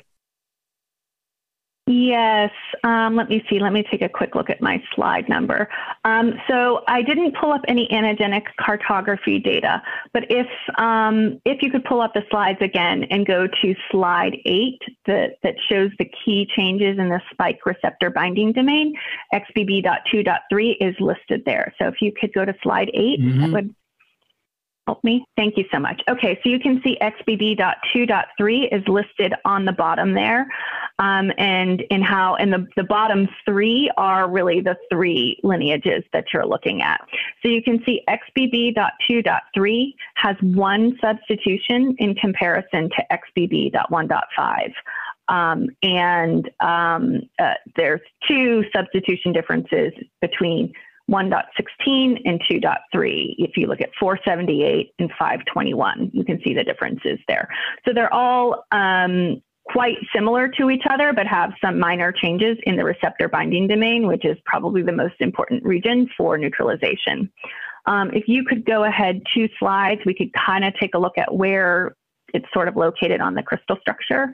Um, maybe go ahead one more. Okay, so it's not highlighted here, but you can kind of see the numbers where it might be located. So you can see the closest residue that is listed there is um, 490. So it would be, you know, 30 away from, from that. Um, so it would be near the interface of XBB or of um, Spike and ACE2. Um, it would be near the interface so, you know, a similar difference to um, XBB.1.16 um, to XBB.1.5. But it's close. Yes, they're all there. Yeah, if you go back to that, if you want to go back to slide eight, and everyone would like to no, study we, the, we the, don't the need slides, to do they're that. very close. The point Okay. is that this, these these are all relatively close compared to what we've Very been dealing with in the past. Yes. Okay, Dr. Levy. Thank you, uh, Dr. Thornburg, for a very illuminating uh, presentation. Uh, the British statistician George Box once said, all models are wrong, but some are useful. Uh, you alluded to some of the models that, that you folks are looking at.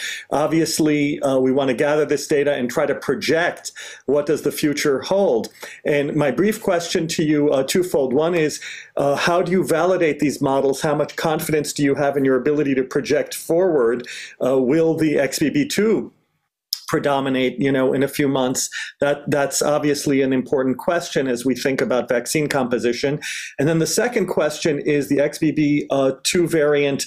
Uh, the list of amino acids that you listed there showed a switch of a serine instead of a proline. As you know, prolines are very important to introduce disruption in secondary structures of proteins. So it, does that uh, S protein then have a very different structure uh, because the X-ray crystallography modeling you showed us was off the one variant?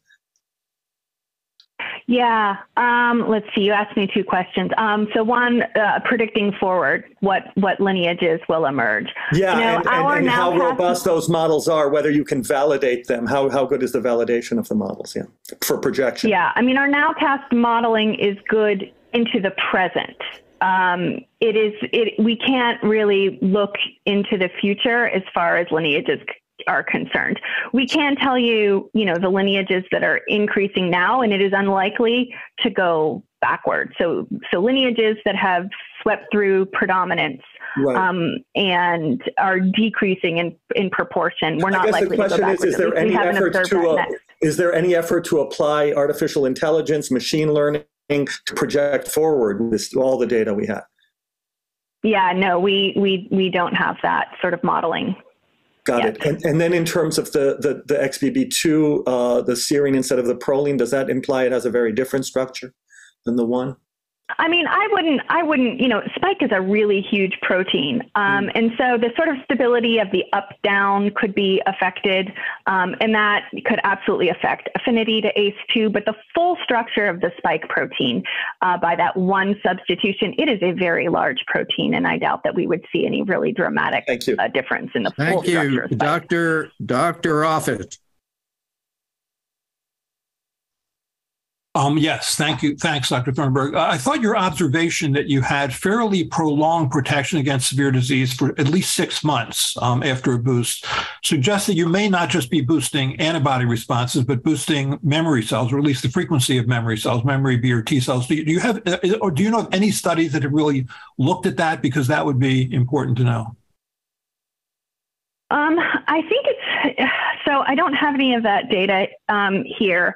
Um, I do think, um, you know, we, we likely get a boost of anamnestic response when we get um, bivalent booster doses. And um, that does induce a germinal center reaction and fur- further affinity maturation of antibodies and, and memory B cells. And that we get the, that boost in antibodies, but that also gets us to um, higher quality antibodies. Now that function is dependent upon T cell help, and T, the ability to generate that T cell help is very different in different populations. So, of course, in older adults um, who are experiencing immunosenescence, their ability to, to mount a really robust germinal center reaction is going to be abrogated in comparison to younger adults. No, it's important to know only because if you really do have a higher frequencies of memory B and T helper cytotoxic T cells, you may not yeah. need to then boost the following year or the year after that. I mean, so that would be interesting to know. Yeah. Thank Thanks. you, Dr. Meisner, uh, for the last question. Okay, thank you, uh, Dr. Monto and uh, Dr. Thornburg. Uh, what what fascinating presentation. Um, you're really uh, taking taking this virus apart on a molecular level. The question I'd like to ask you, since we're trying to anticipate a little bit where things might go, is um, the evolution of XBB. And XBB, I think, has been described as a recombination of two viruses, which is different than the other mutations, which are uh, point mutations, additions or deletions or substitutions. And I don't usually, I don't think of linear RNA viruses as undergoing recombination. I think more of segmented viruses as being able to do that. Um, so, does that surprise you? Isn't that an unusual event? What do others, uh, linear single stranded RNA viruses do this? It's pretty unique to coronavirus. Coronaviruses are buggers. Um, they have very, you know, they have very huge genomes, really at the upper limit of stability for RNA genomes. And as part of that, they have this very complex replication cycle that involves um, discontinuous transcription. And it's through that really complex generation of mRNAs during transcription and in the translation replication process um, that probably uh, it's got these um, these these motifs throughout the genome that are repeated in the same and it's probably this complex replication cycle along with this very com- this repeated motif that allows um, recombination. So this is unusual to coronaviruses specifically. So is there is a risk then that this could happen again with this coronavirus um, absolutely. Recombination events happen periodically with coronaviruses. Um, they generally have to happen with viruses that are uh, co circulating. So, you know, there were probably two B, two BA5 virus, BA2 viruses that were co-circulating. So I wouldn't imagine we would go XBB to ancestral because there is no ancestral virus that is circulating. Um, so it would have to be during co-circulation. And that's what makes this prediction, pushing prediction models uh, so difficult. Uh, thank you so much, uh, Dr. Thornburg. We're now going to switch over to Dr. Kanta Subbarao, Director of the WHO Collaborating Center in Melbourne, and also uh, the director of the Peter Doherty, also associated with the Peter Doherty Institute for Infection and Immunity in Melbourne, who fortunately is in Canada and who will report to us on the WHO TAG uh, committee, the technical advisory committee recommendations on the composition of COVID 19 uh, vaccines going forward. Dr. Subbarao, please. Thank you very much, um, Dr. Monteau. Um, I'm going to share my screen so I can control my slides from here. Um, so hopefully that works for you. Can you just tell me if you can see my slides, Arnold?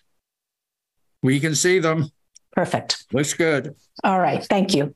So um, I was asked to talk about the deliberations of the TAG COVAC, which is the Technical Advisory Group on COVID 19 vaccine composition. Um, and this is from a meeting that we held in May. Um, so, the functions of the TAG COVAC, and I know I've spoken to VRBPAC before, uh, but the key element of uh, what we are tasked to do is to recommend to the WHO for each of the COVID 19 vaccine platforms whether adaptations are needed so that the vaccines continue to safely provide protection against variants as they emerge. So, before I go on to what's going on this year, I do want to set the stage a little bit with what was happening a year ago. So, in June of 2022, um, I will remind you that we were in the midst of the early Omicron lineages. So Omicron BA1 and BA2 had emerged. Omicron BA2 remained the predominant lineage globally, and BA4 and 5 had started increasing in proportion. And at the time, we did antigenic carto- we looked at the antigenic cartography data, which I um, came in at the tail end of Natalie Tornberg's um, presentation. So you know, I know she's explained how antigenic cartography works. And the original cluster of viruses is up here in the top left. Um, the Delta variant is within fourfold of the original, and BA1 and BA2 were further out. Um, and this is another um, um aggregated antigenic map of the variants at the time. So what we had is a situation where Omicron lineage viruses had emerged and they were antigenically quite distinct. We had a lot of uncertainties back a year ago. We didn't know what the trajectory of SARS CoV 2 evolution would be. We didn't know whether future variants would evolve from the previously circulating variants or whether evolution would continue from Omicron we didn't know very much about the performance of monovalent Omicron vaccines. We didn't know whether an Omicron monovalent vaccine would offer the same, uh, a similar cross reactive immunity and cross protection from severe illness caused by other variants in unprimed individuals, as the index based vaccine had done so well. We, it wasn't clear to us at the time whether an Omicron containing bi or multivalent product would elicit cross reactive responses in humans that would be equivalent to those elicited with sequential vaccine approaches. And we assumed that the safety and reactogenicity of the variant specific vaccines would be similar to the currently licensed vaccine. So there was a lot of uncertainty, um, as a result of which we recommended um, that a um, that the effort be to try to improve the breadth of protection that certainly the existing ancestral vaccine produced provided very good protection against severe illness and death. But if you wanted to extend that protection beyond to cover new variants that we could in, recommend including uh, ba1 or ba an um, omicron variant Um, and at the time, of course, we also recommended that the ancestral strain be kept in play because we had a lot of confidence about the protection it provided from severe illness and death. And we had a lot of uncertainty as to where the trajectory of evolution would go. So if you fast forward to May of 2023, we're now looking at the current the situation in May of 2023, cases on the left y-axis, deaths on the right y-axis. The solid line is the deaths. The color coded bars represent the different um, WHO regions. And these are COVID 19 cases and deaths reported to the WHO from January of 2020 to May of 2023. And so, as you heard before, these are some of the um, surges that have occurred. Another thing that has really changed significantly over the past period of time is seroprevalence. And so these are series of seroprevalence studies conducted in different regions of the world, going down on the on the left and going across over time. And at the very bottom, circled in green here, are the global data, which indicate that seroprevalence has increased all across all regions and is now sitting at about 90% in most regions. And so we really have a very different um, um, situation of, of population immunity than we did earlier in the pandemic. So, what is the protective effectiveness of such hybrid immunity?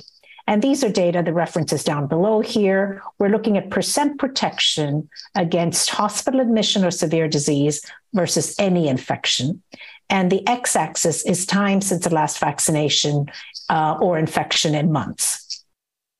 So these lighter color, the, the red spectrum colors are the primary series of vaccination and a booster dose. And you could see that they provide protection against severe illness and, and, and um, hospital admission that wanes gradually sometime after about six months.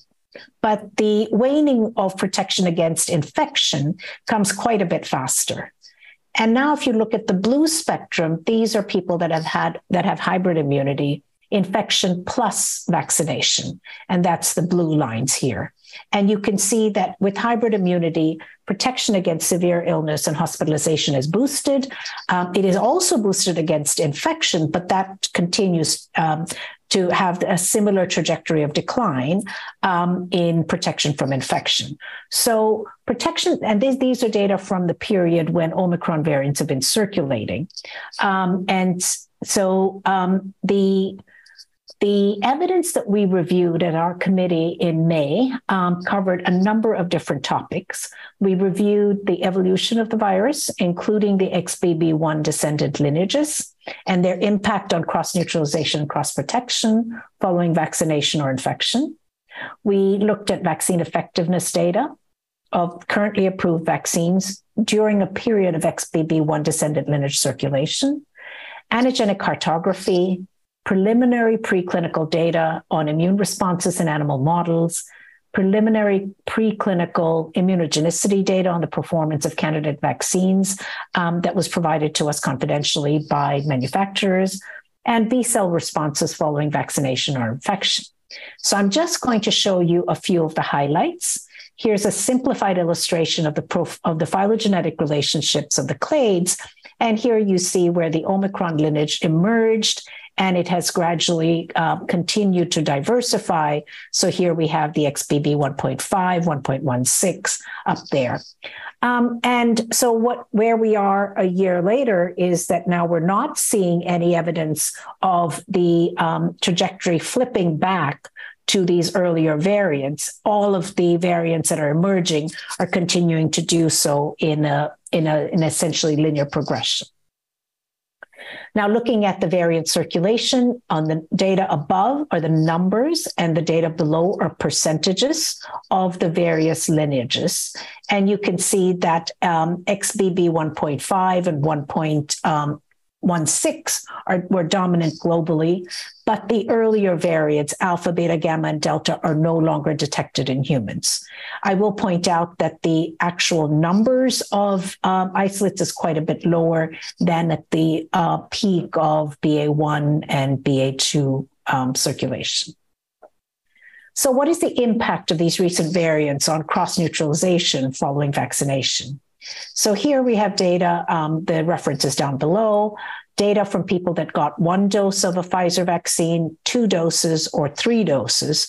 And I'll draw your attention to this tail end of the x axis, which is XBB.1. So these are neutralizing antibody titers tested against different variant viruses. And you could see that we essentially don't get uh, cross reactive anti- neutralizing antibody against the XBB1 until we've had multiple doses of the vaccine. And even there, many are, many of the data points are at or below the limit of detection. In this study, looking at a number of different cohorts, uh, and you may have seen some of these data presented um, differently by um, Natalie, um, we're looking at cohorts that got three doses of the ancestral vaccine, four doses of ancestral vaccine, three doses of ancestral plus a bivalent BA45 lineage vaccine, vaccinated people who had a BA2 breakthrough, and vaccinated people that had a BA45 breakthrough infection.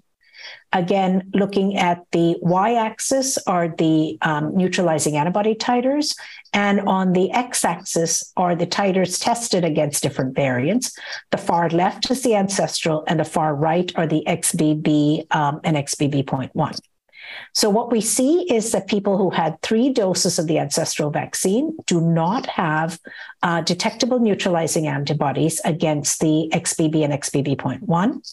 People that had four doses of the ancestral vaccine, you have just a few exceptions. But as we've given, as we look at sera from people that had um, three doses of the um, ancestral vaccine with the bivalent, the the fold reduction from the neutralizing titer against the original ancestral strain is reduced down from 155 fold to 85 fold. With breakthrough infections with BA4-5, again, you see that. Um, here, another set of data from a different um, um, uh, citation. Here, we're looking at the top panel at people that got the BA1 bivalent vaccine, and below are people that got the BA4-5 bivalent vaccine. On the left hand side are people that did not have prior infection, and this is um, in ter- this is tested in terms of nucleocapsid antibody. And on the right hand side are people with hybrid immunity, so they've had prior infection in addition to vaccination. And so what we see is in that people that were owned, that have their protection mediated by vaccination alone, we see relatively poor cross reactivity against the XBB1 um, lineage descendants. It's a bit better in people that got the BA4-5 bivalent vaccine, and it is a bit better in people that had hybrid immunity. One more study looking at people that got a BA5 bivalent booster. These are sera 14 to 32 days post infection comparing people who had no infection history on the left and people with an infection history on the right. Again, reiterating that a, a lot of people that were vaccinated with the BA4-5 bivalent vaccine have lower undetectable antibody titers against XBB.1. Some have low titers with a 35-fold um, reduction from the um, ancestral. But in contrast, people that have um, uh, hybrid immunity have some cross reactivity. Now, we really struggled to find the correlation between these neutralizing antibody data and vaccine effectiveness data. There, the studies are summarized um, going down the left are the studies, and we're looking at relative vaccine effectiveness because, of course, there are no longer any placebo controlled studies. So we're looking at relative vaccine effectiveness. The red spectrum are um, from people that got BA1 bivalent vaccines, and the blue spectrum colors are people that got BA4-5 bivalent vaccines. And we're looking at VE against death, severe disease, symptomatic disease, and any infection.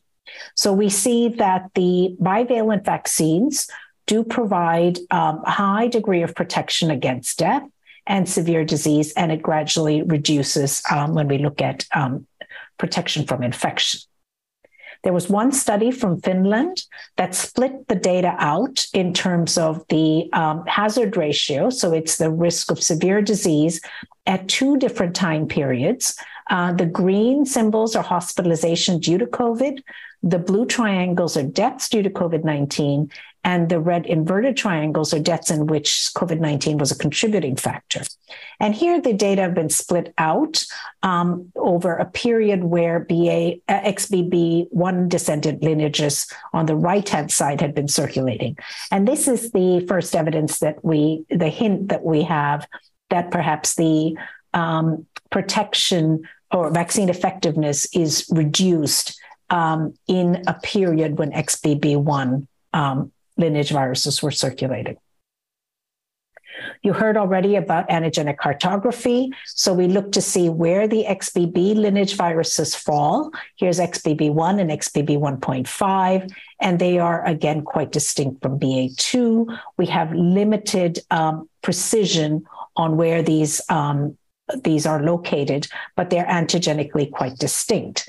And now we're looking at the antigenic cartography of the variants using hamster sera. And you can see that XBB.1 is up here, um, and it's quite distant from BA4-5 and BA1 and 2. So, what about um, animal data from uh, infection with an XBB1 descendant lineage virus? And so, here on the left hand side are sera from hamsters that were infected with an XBB.1, and on the right hand side with um, hamsters that were infected with XBB. And you could see that these sera cross react well with the different variants. And there's relatively um, poor cross reactivity going back towards the older um, lineage viruses. There was a, there has been a lot of concern about this phenomenon of immune, immunologic imprinting, and so this is a phenomenon where um, if you have people that have a memory response to the um, prior vaccination or prior infection, and you then vaccinate with a new antigen, whether you boost primarily boost the um, and the memory response, or whether you make new memory B cells. So here's a, a lot of information, and I will talk you through it um, slowly. Um, so these are neutralizing antibody titers, and we're looking at the top panel. So these are people, these are different cohorts in China from people that received three doses of the inactivated coronavac vaccine. And then they had a BA1 breakthrough infection, or a BA2 breakthrough, or a BA5 breakthrough, or BF7 breakthrough infection. And in all of these people who were vaccinated with the ancestral inactivated vaccine, and then had breakthrough infections, they all had higher neutralizing antibody titers against the ancestral strain than they did against the new vaccine, the, the new variant that they were infected with. However, when people had two breakthrough infections in a row, you then lost this evidence of immunologic imprinting. Uh, so these are uh, people that had a BA1 breakthrough followed by BA5 or BA7, a BA2 breakthrough followed by a BA5 and BA7. So repeated exposure to Omicron lineage viruses. Um, with, with the repeated exposure uh, to these new antigens, you lose the evidence of immunologic imprinting. And this last panel here are people that were not vaccinated, but they had a BA1 or BA2 infection followed by a BA5, BA7. And here you do not see the preferential boosting of the response to the ancestral strain. Now, if you go to the lower panel, um, we're now looking at how these sera from these last three groups perform in testing against the XBB lineage viruses. So now you're focused on the um, right hand um, four columns of these neutralizing antibody titers. And you can see that there is cross reactivity in people that had breakthrough or serial breakthrough infections um, in, in both instances. So, to summarize the data that we reviewed in our um, committee meeting, that in the fourth year of the pandemic, there's high seroprevalence in the global population following infection or vaccination, and the immunologic profiles against SARS-CoV-2 are highly heterogeneous. Um, there are people who have been infected with different variants or vaccinated using different platforms. But there continues to be a substantial genetic and antigenic evolution of the spike protein of SARS CoV 2, and the evolutionary trajectory continues to diverge from the index virus. even though there's some there are increasing gaps in genomic surveillance globally, the available data indicates that the index virus and the early variants are no longer detected in humans. As of May of 2023, the XBB1 descendant lineages currently predominate globally. These XBB descendant lineages, including XBB 1.5 and 1.16, are highly immune um, escape um, um, have immune uh, uh, have escaped immune detection. XBB 1.5 being one of the variants with the greatest magnitude of immune escape from neutralizing antibodies to date. The estimates of VE against currently circulating variants, including the XBB1 descendant lineages, are very limited in terms of numbers of studies, vaccine products evaluated, and populations assessed. Some studies showed similar VE against BA5 descendant and XBB1 descendant lineages, while others suggest reduced VE during periods of performance of XBB1 descendant lineages. Sera from people who had received two, three, or four doses of index virus based vaccines or a booster dose of a bivalent, either BA1 or BA4-5 mRNA vaccines, showed substantially lower neutralizing antibody titers against XBB descendant lineages as compared to titers specific for the antigens included in the vaccines.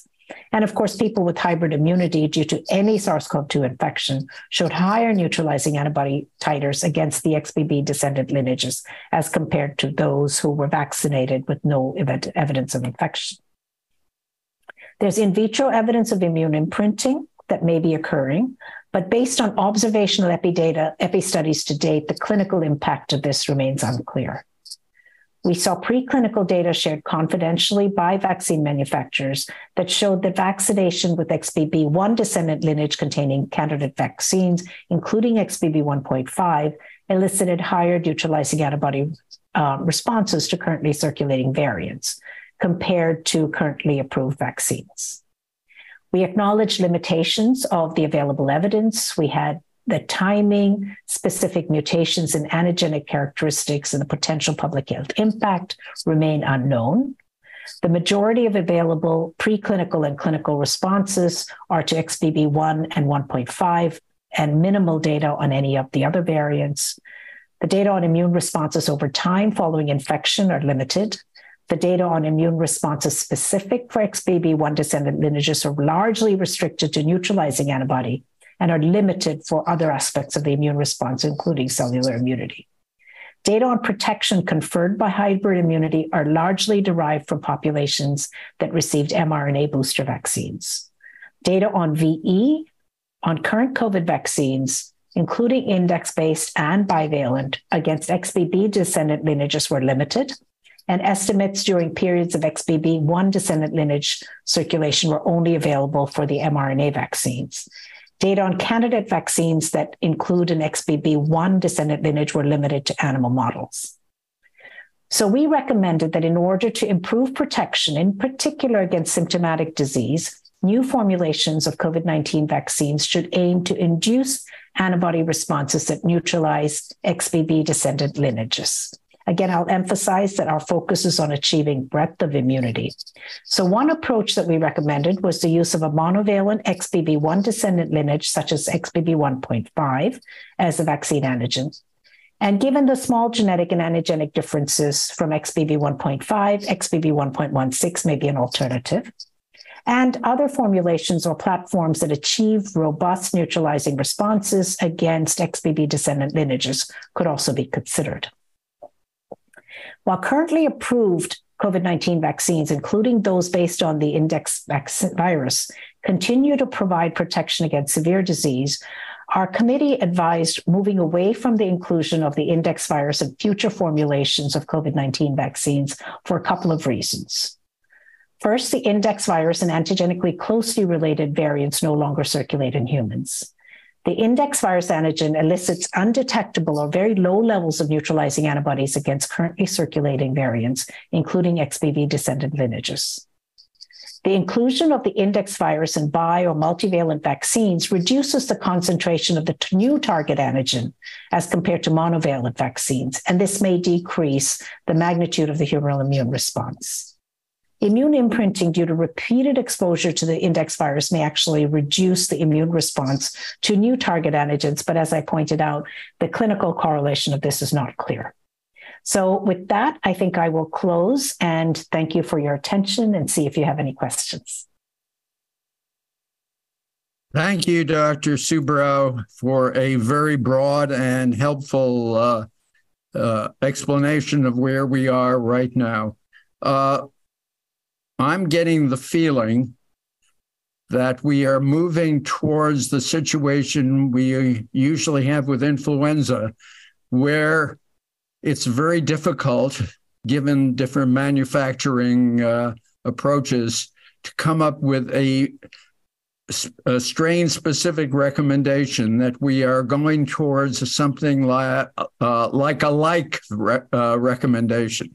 Giving a the manufacturers a bit of a choice. Are is that where we are going now so one difference from what we do in influenza is with in the case of influenza we actually name strains and we will att- we've attempted to do so um, because we want to make sure that if we say xbb 1.5 that people know which um, what that consensus sequence should look like. Um, we don't really i don't have a huge amount of confidence that we have really understood the cadence of or the, of this evolution. And so our committee is planning to meet twice a year, about six months apart, um, to review the data and to see whether, in fact, uh, an update is needed or not needed. So I think it's it's. I'm still not sure we're exactly where we are with flu, um, but we certainly um, there there's there are some commonalities. Thank you, Dr. Perlman.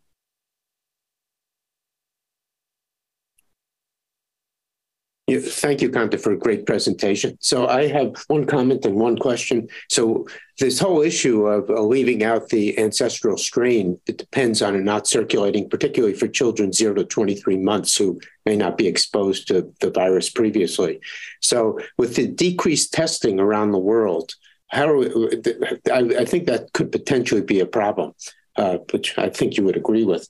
But the question I had was looking at these different uh, variants the one point the XBB 0.1.5 and 0.16 and the and XBB 0.2.3. Uh, one of our questions is which one should be in the formulary. And you you WHO is addressing the same question, but it looks to me like they're so close that it may be an unanswerable question because the differences could be out of the spike protein completely, even if you have less efficacy. It may be because of ORF9b or some other protein. So how, how are you guys approaching that? Right. So, so I'll take your comment first, and that is about how confident are we that the um, ancestral strain and its related early variants are truly uh, not circulating. I think we are quite confident that they are not circulating. Certainly, surveillance has changed over time, but we are not um, seeing any evidence of those viruses circulating. Um, and the only um, age group in which that would be a problem would be the very young, um, because almost everybody else, because of you know the evidence I've shown you on seroprevalence, would have a memory response to the older strains. Um, the second question is about how related these are. So I think I'd really want to emphasize that that um, unlike the way we, people think we do this for flu, we really want to achieve the breadth of immunity that would cover these strains. And you could see that they are quite related. And so we're trying to achieve breadth that would cover um, the XBB1 descendant lineages. And I think um, that to me is more important than sort of saying exactly which. So we're not trying to match exactly what's going to circulate. We want to provide the breadth of immunity that covers that class of viruses. Thank you. And uh, I just want to point out to the committee that Dr. Subbarao is not going to be available this afternoon when we get into our general discussion. So if you have any additional questions that you'd like to ask her, uh, please uh, do so now in the next couple of minutes. Dr. Levy. Uh, thank you, uh, Dr. Subaru, for a great presentation. You elegantly reviewed WHO's uh, assessment of the uh, variants and the antibody response uh, to the different variants and, and how those do or do not match up. Um, my question to you relates to correlates of protection. This has been an ongoing issue. How well do we know those correlates? Obviously, antibodies are important and are well worth measuring. They're not the whole story. Dr. Offit uh, made a comment earlier today, which I agree to uh, as well. Has WHO considered any T cell based immunologic data in uh, analyzing uh, the situation? And what do you learn? What do we learn from that? Yeah, no, I think that's and, a, and, and, I'm sorry, and specifically around the issue of any potential value of including the uh, original index strain. You're very clear in your recommendation that you don't think that's indicated at this point, but does the T cell data speak to that point as well? Thank you. Thanks. Um, so I think that we all acknowledge that um, neutralizing antibody is a very important correlate of protection, but it doesn't tell the whole story because, as we see um, in repeated data sets, that there's very poor neutralizing activity against um, the XBB descendant lineages um, induced by the ancestral vaccine, and yet there's good protection against severe illness and death. So clearly, um, other arms of the immune system are playing a role there. We do not have a um, a lot of data on understanding the mechanisms for that protection. Um, and we're not, I, and I really can't point to a lot of information that provides that. I got it. There is a gap. Is, is WHO advocating that for the future to to capture more of this T cell data? Absolutely. Is Absolutely. WHO on record uh, with that? Um, so there are different parts of the WHO um, committees, including yeah. the technical advisory group on virus evolution as well as TAG-COVAC, but we would certainly encourage ongoing studies to try to understand this. Thank, Thank you. you. Dr. Chatterjee. Thank you, Dr. Monto. Um, Dr. Subbarao, thank you very much for your presentation. I have a comment and a question. Um, the comment is um, regarding um, chasing variants, if you will. Um, so we know that um, this virus continues to evolve. Uh, and it doesn't seem to be reverting towards the ancestral strain and, and evolving from its current status. Uh, obviously, where we are today is most likely not going to be where we will be a few months from now when um, the vaccines will be deployed. And so um, we've talked in the past about not trying to to chase variants, but it seems like that's where we find ourselves now. Um, my question related to that is about um, the conserved areas on the virus um, that don't appear to be undergoing so much change, and if any work is being done to uh, prepare vaccine candidates based on those. Could you address that? Sure. Um, so I think that is an area of great interest to find um, conserved portions of the spike protein or conserved um, that would elicit more broadly cross reactive um, immunity. Um, and there certainly are elements of the spike that are conserved. Um, there's a lot of effort I see more in the space of the monoclonal antibodies, for instance. and so, but I think in terms of I don't see them coming into uh, focus, particularly yet for um, vaccines that are in current use. So it's still in a research space. Um, and I think that that is something, you know, we have a parallel of this in influenza as well, looking at the HA stem, for instance. Um, so there are conserved portions of the spike that are, um, are being explored by people with monoclonal antibodies and in the research space.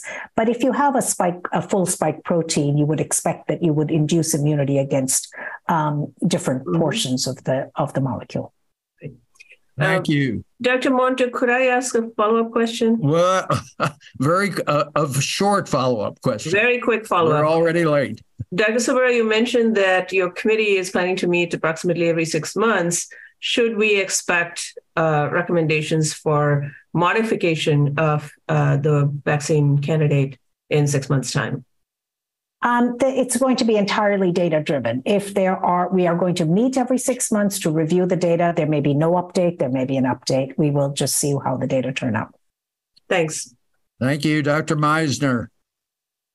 Thank you, uh, Dr. Dr. Monto. And uh, thank you very much for that uh, presentation, uh, Dr. Subbarao.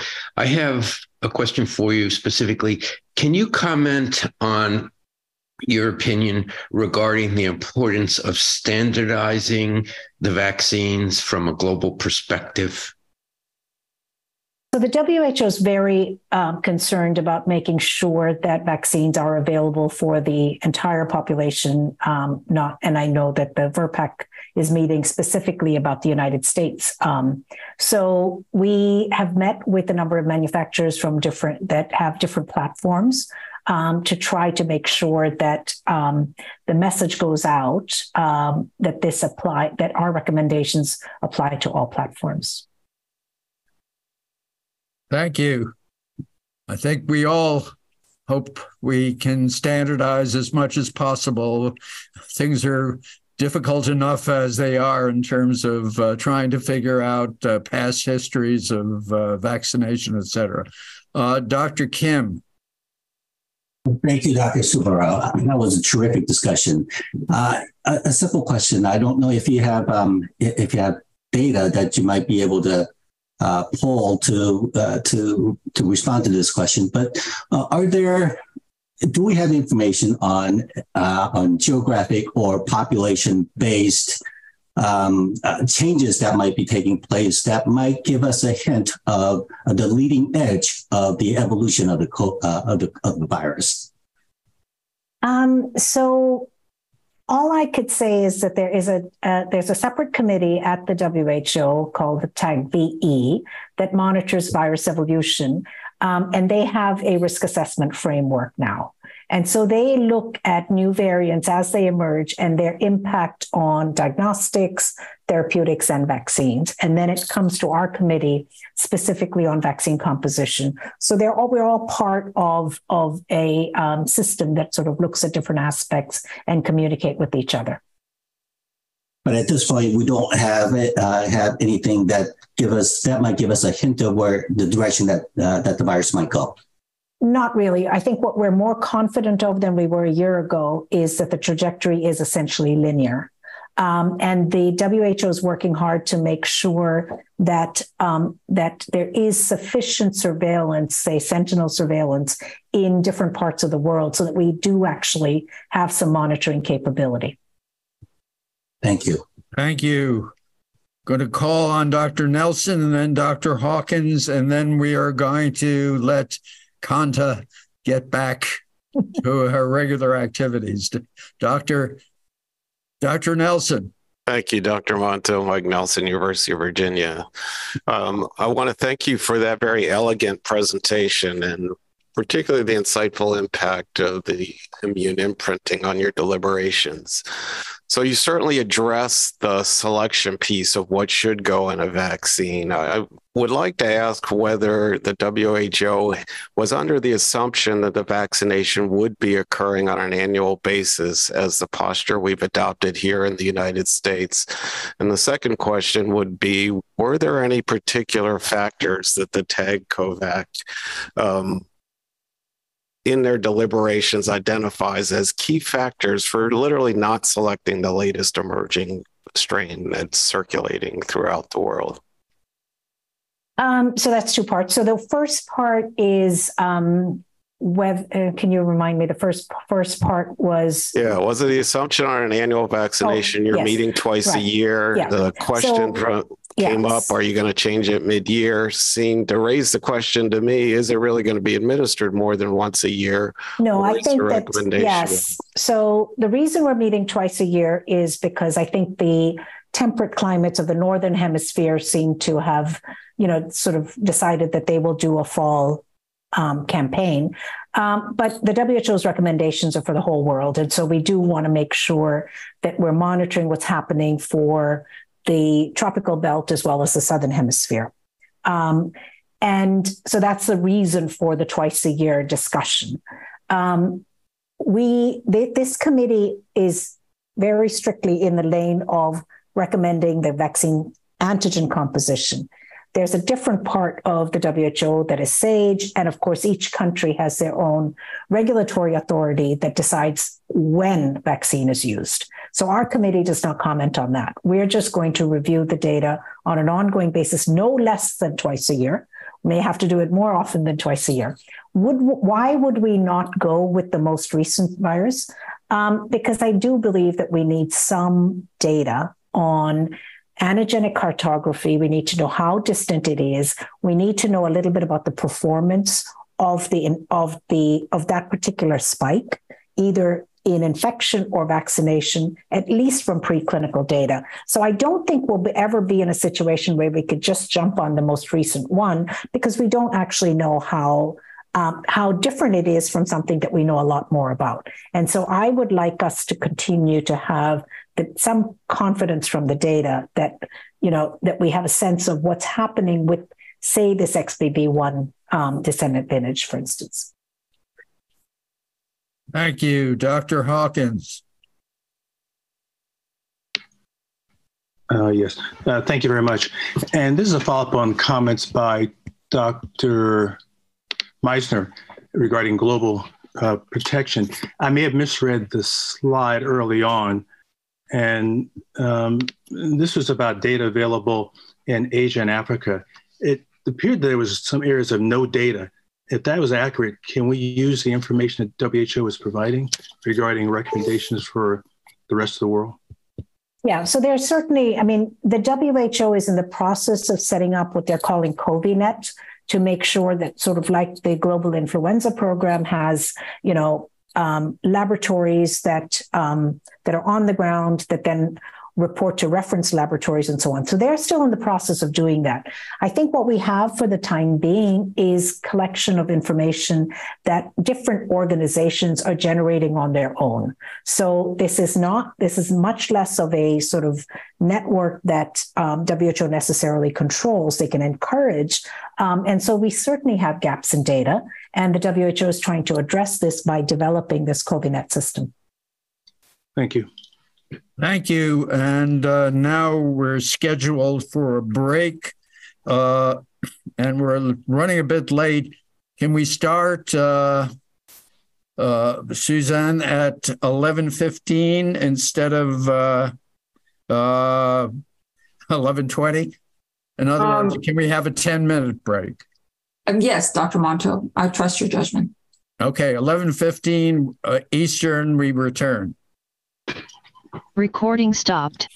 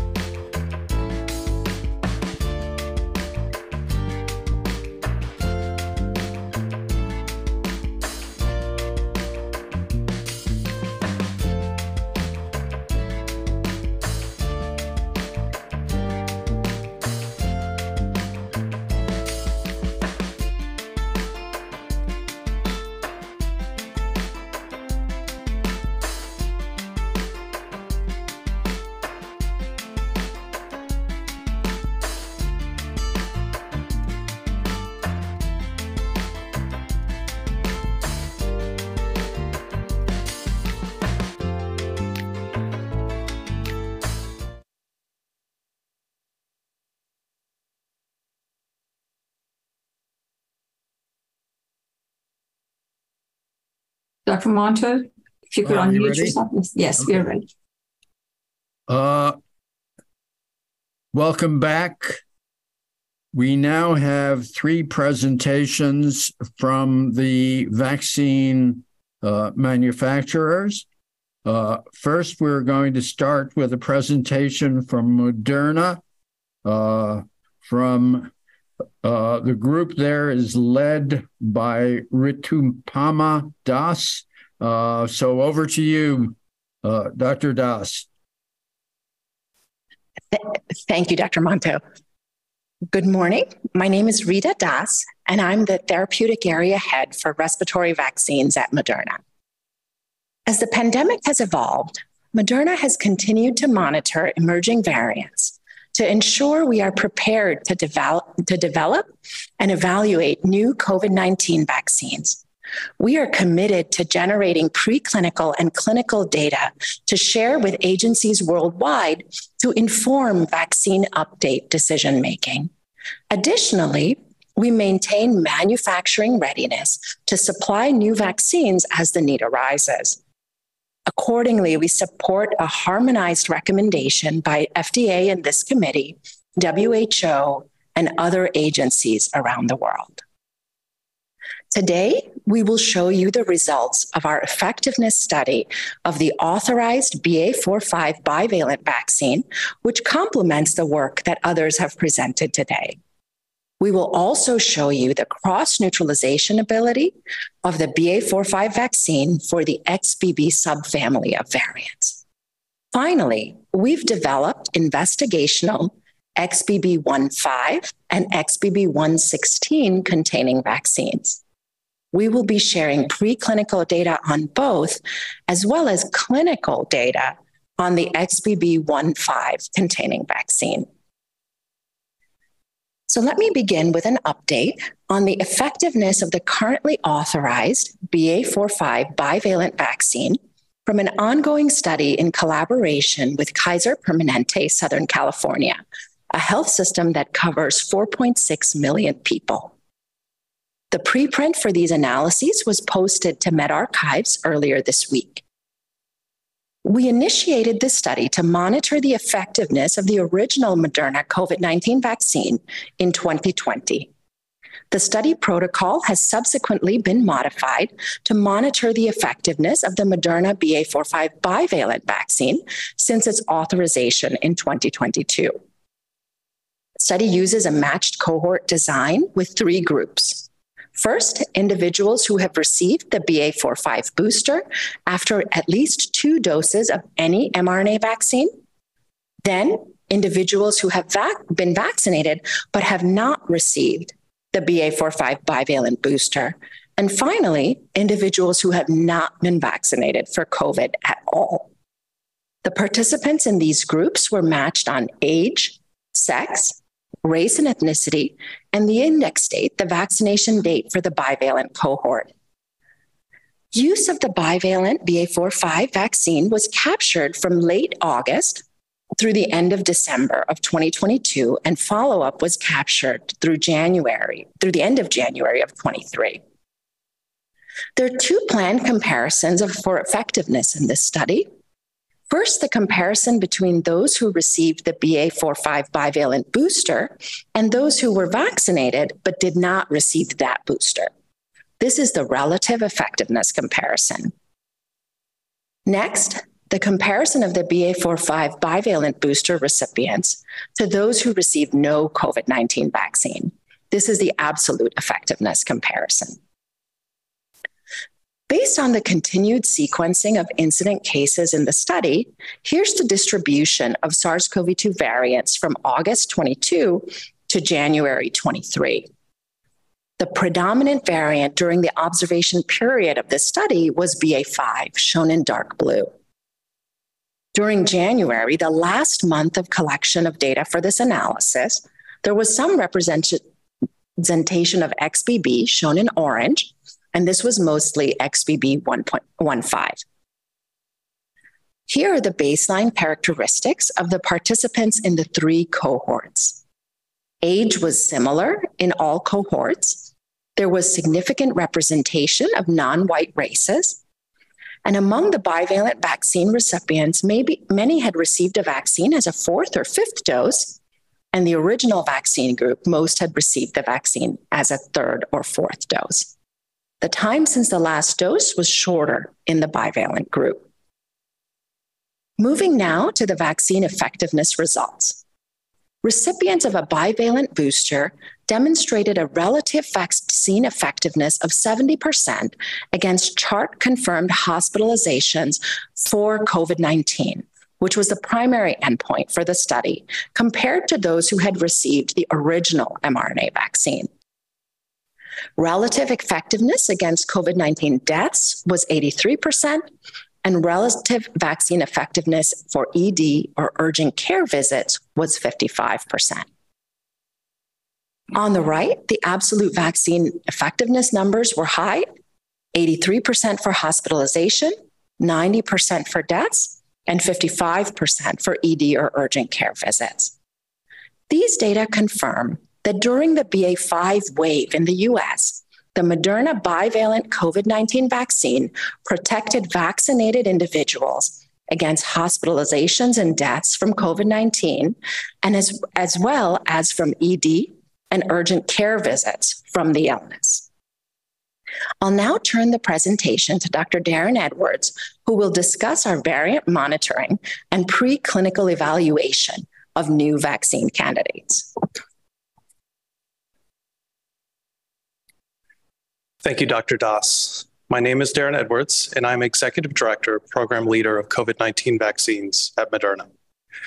We continuously monitor for emerging variants and classify them based on three factors incorporation of immune evading mutations, their measured growth dynamics, and global and region specific coverage. In this process, we group antigenically similar lineages, as antigenic coverage does not always require exact sequence matching. For emerging variants that are growing rapidly, preclinical mRNA materials are prepared and key manufacturing steps are initiated as soon as possible to prepare for the possibility of vaccine update requests from health agencies. These efforts are performed to allow for expedited delivery of new vaccines as they are requested. As was also presented by the CDC earlier today, in most regions, the XBB sublineage is dominating, with XBB.1.5 the most dominant.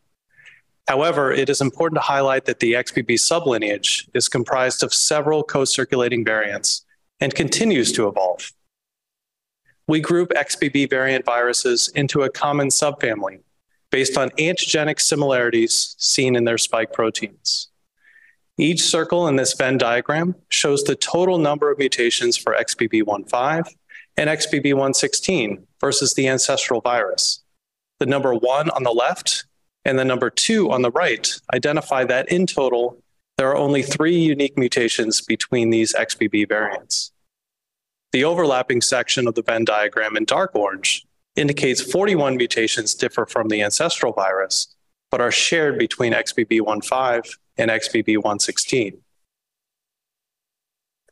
In contrast, the Venn diagram on the right shows there are 15 unique mutations on BA1 and 13 unique mutations on BA5 that are not shared between these two variants. The overlap in the middle highlights that there are only 21 mutations in common between the two variant, these two variants versus the ancestral virus. It is important to highlight that BA1 and BA5 would not have been grouped into a common subfamily based on their antigenic differences. This type of analysis provides the basis for a variant planning strategy. Here is a comparison of the antigenic differences between XBB subvariants and BA5, a component of the currently authorized vaccine. XBB.1.5 is on the left, and XBB.1.16 is on the right.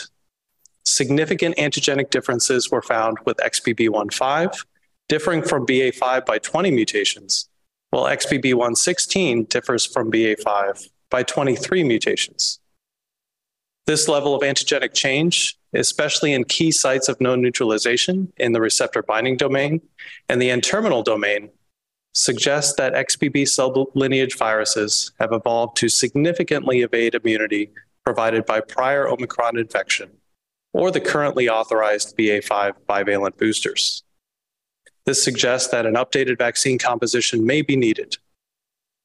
Next, we will show that these antigenic differences may contribute to decreased cross neutralization of XBB variants. In participants without and with prior infection, sera collected after vaccination with the BA45 authorized booster were assessed for neutralization against BA45 and XBB subvariants. As shown in the blue on the left, titers against BA45 were quite robust in both cohorts. While neutralization against XBB15 variant, shown in orange on the right, was detectable but considerably lower. This also may provide a rationale for the real world effectiveness data, which shows reduced protection from BA45 bivalent vaccine when XBB family subvariants predominate. The XBB sublineage continues to evolve over time, with newer subvariants emerging in specific geographical regions, including XBB232, which has now emerged in several countries, including the US. Here we see the antigenic differences between XBB15 and XBB116 on the left. XBB15 versus XBB232 in the middle. And XBB116 versus XBB232 on the right. Again, limited antigenic differences are noted between these three different subvariants of XBB. Of note, XBB191, which is also circulating, and XBB15 have identical spike proteins. This analysis suggests that cross neutralization of the XBB subfamily is not likely to be significantly impacted, regardless of which specific XBB, XBB variant is selected for inclusion in an updated 2023 fall COVID vaccine composition. And now I would like to walk you through preclinical studies of investigational XBB monovalent and bivalent subvariant containing vaccines. These vaccines are developed and evaluated in mice as primary series and boosters to confirm that they are immunogenic in naive and previously vaccinated animals and to evaluate the breadth of immunity across variants. Both primary two dose vaccina- vaccination studies, as well as booster studies, were performed with booster vaccination assessed in mice previously immunized with a two dose series of our original vaccine. Invest- investigational vaccines for monovalent XBB15 or XBB116, as well as bivalent vaccines comprised of BA45 plus XBB15 or X- BA45 plus XBB116 have been developed and are in the process of being evaluated. Now I'll show you neutralization titers in mice vaccinated with a primary two dose series of the BA45 bivalent vaccine versus monovalent XBB15 and, and the BA45 plus X, XBB15 bivalent vaccine. Here are the neutralization titers for the BA45 bivalent vaccine against BA45, XBB15, XBB116, and XBB232 viruses, all listed on the x axis. We saw high levels of neutralization against the BA45 virus, but limited neutralization of the XBB sublineage viruses. In contrast, XBB15 containing vaccines demonstrated high levels of neutralization against XBB sublineage viruses. It is important to highlight that XBB116 and XBB232 were effectively neutralized by both XBB15 containing vaccines. Next, I will describe the neutralization titers from our booster study, comparing the same investigational XBB15 containing vaccines.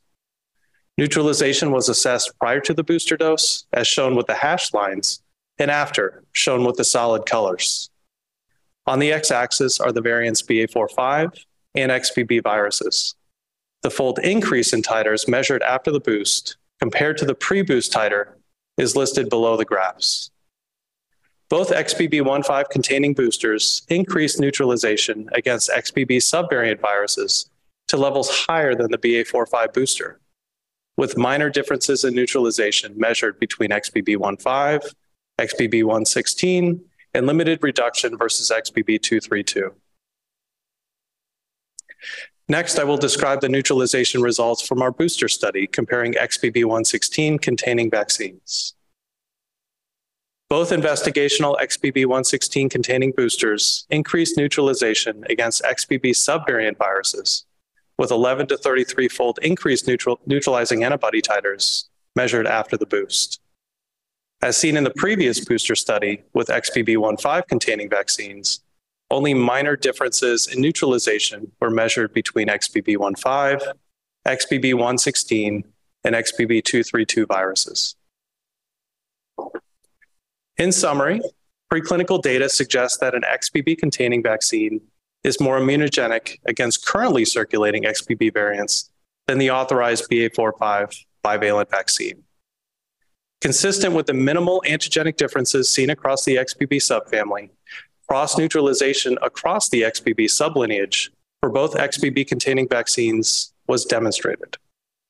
And now I'll turn it back to Dr. Das to describe results from our clinical assessment of the investigational XBB15 variant containing vaccines.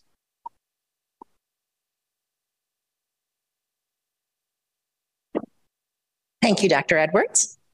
In the interest of providing data for the strain selection process, we performed a clinical study in which 101 participants were randomized to receive either a monovalent XBB15 vaccine or a bivalent BA45 plus XBB15 vaccine. The total dose for each vaccine was 50 micrograms. All of the study participants had previously received four doses of vaccine a two dose primary series and a booster of the original vaccine, plus any BA45 mRNA bivalent booster vaccine three or more months prior to enrollment in the study. All analyses from the study are descriptive. The characteristics of the recipients of the monovalent and the bivalent vaccine were generally balanced. The median age was approximately 50 years, and there was representation of individuals above 65 in both groups. The number of participants with prior SARS CoV 2 infection was approximately 70% in both groups. This slide shows the neutralization titers against XBB15 from the two vaccines. The monovalent XBB15 vaccine is in orange, and the bivalent XBB15 vaccine is in green. Both vaccines induced robust XBB15 neutralizing responses. The GMT and the fold rise for the monovalent vaccine was numerically higher than that seen for the bivalent vaccine. And here on the right are the cross neutralization titers against XBB 116 from both XBB 15 vaccines. Again, both vaccines induced robust XBB 116 neutralizing responses, and the titers were numerically higher for the monovalent vaccine. For each vaccine, the neutralization titers against XBB15 and XBB116 were similar. And this is expected given the antigenic similarity between these two XBB variants. Here are the same data now separated by prior SARS CoV 2 infection status. As we've seen previously, the post boost titers are numerically higher in the SARS CoV 2 positive group. But this an- analysis confirms overall that administration of an XBB15 containing vaccine provides a substantial increase in XBB15 and XBB116 responses, regardless of a history of prior infection.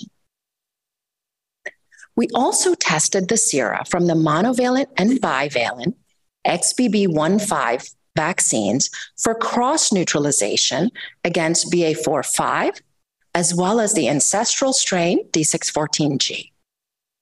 The pre boost titers against BA45 were high since everyone had received a bivalent booster, but there was still a rise after vaccination with the XBB15 containing vaccine.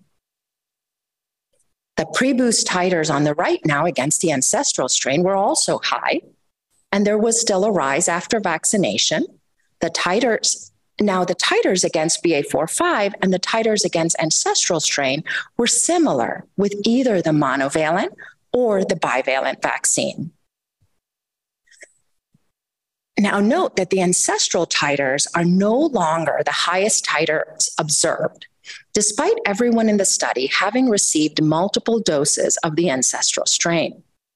This observation is promising because it indicates that it may be possible to retrain immunity with updated vaccines. As has been discussed earlier today, the XBB232 subvariant has recently emerged and is increasing in circulation. Using our research assay, we were able to quickly assess the neutralization titers against XBB232 in a randomly selected subset of 20 participants from the XBB15 monovalent vaccine recipients in our clinical study. The XBB15 monovalent vaccine elicited similar and robust neutralizing antibody titers against XBB15, XBB116, and XBB232, further demonstrating the ability of the XBB15 monovalent vaccine to cross neutralize multiple XBB variants. We are also showing here the breakdown of the random subset analysis by baseline SARS CoV 2 status across the variants in the research assay. The same trend is seen with numerically higher GMTs for baseline positive participants.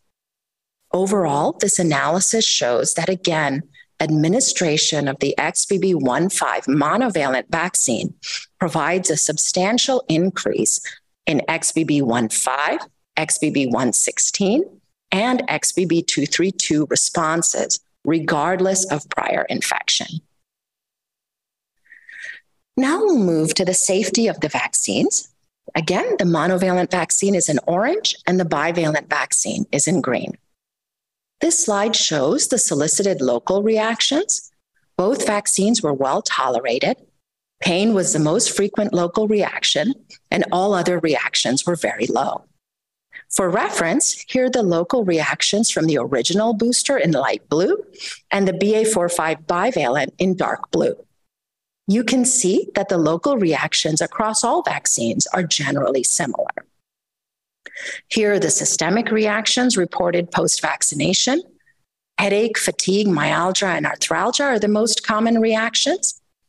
Systemic reactions are also similar for both monovalent and bivalent XBB15 containing vaccines. And there are very few grade three reactions and no grade four reactions. Again, the systemic reactions for the prior vaccines shown in the bottom panel are consistent. There have been no serious AEs, deaths, or AEs leading to discontinuation in our current study.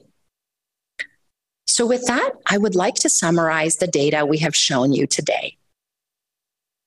The BA45 bivalent vaccine was highly effective against COVID 19 hospitalizations, death, and ED and urgent care visits over the 22 23 period when BA5 was predominant.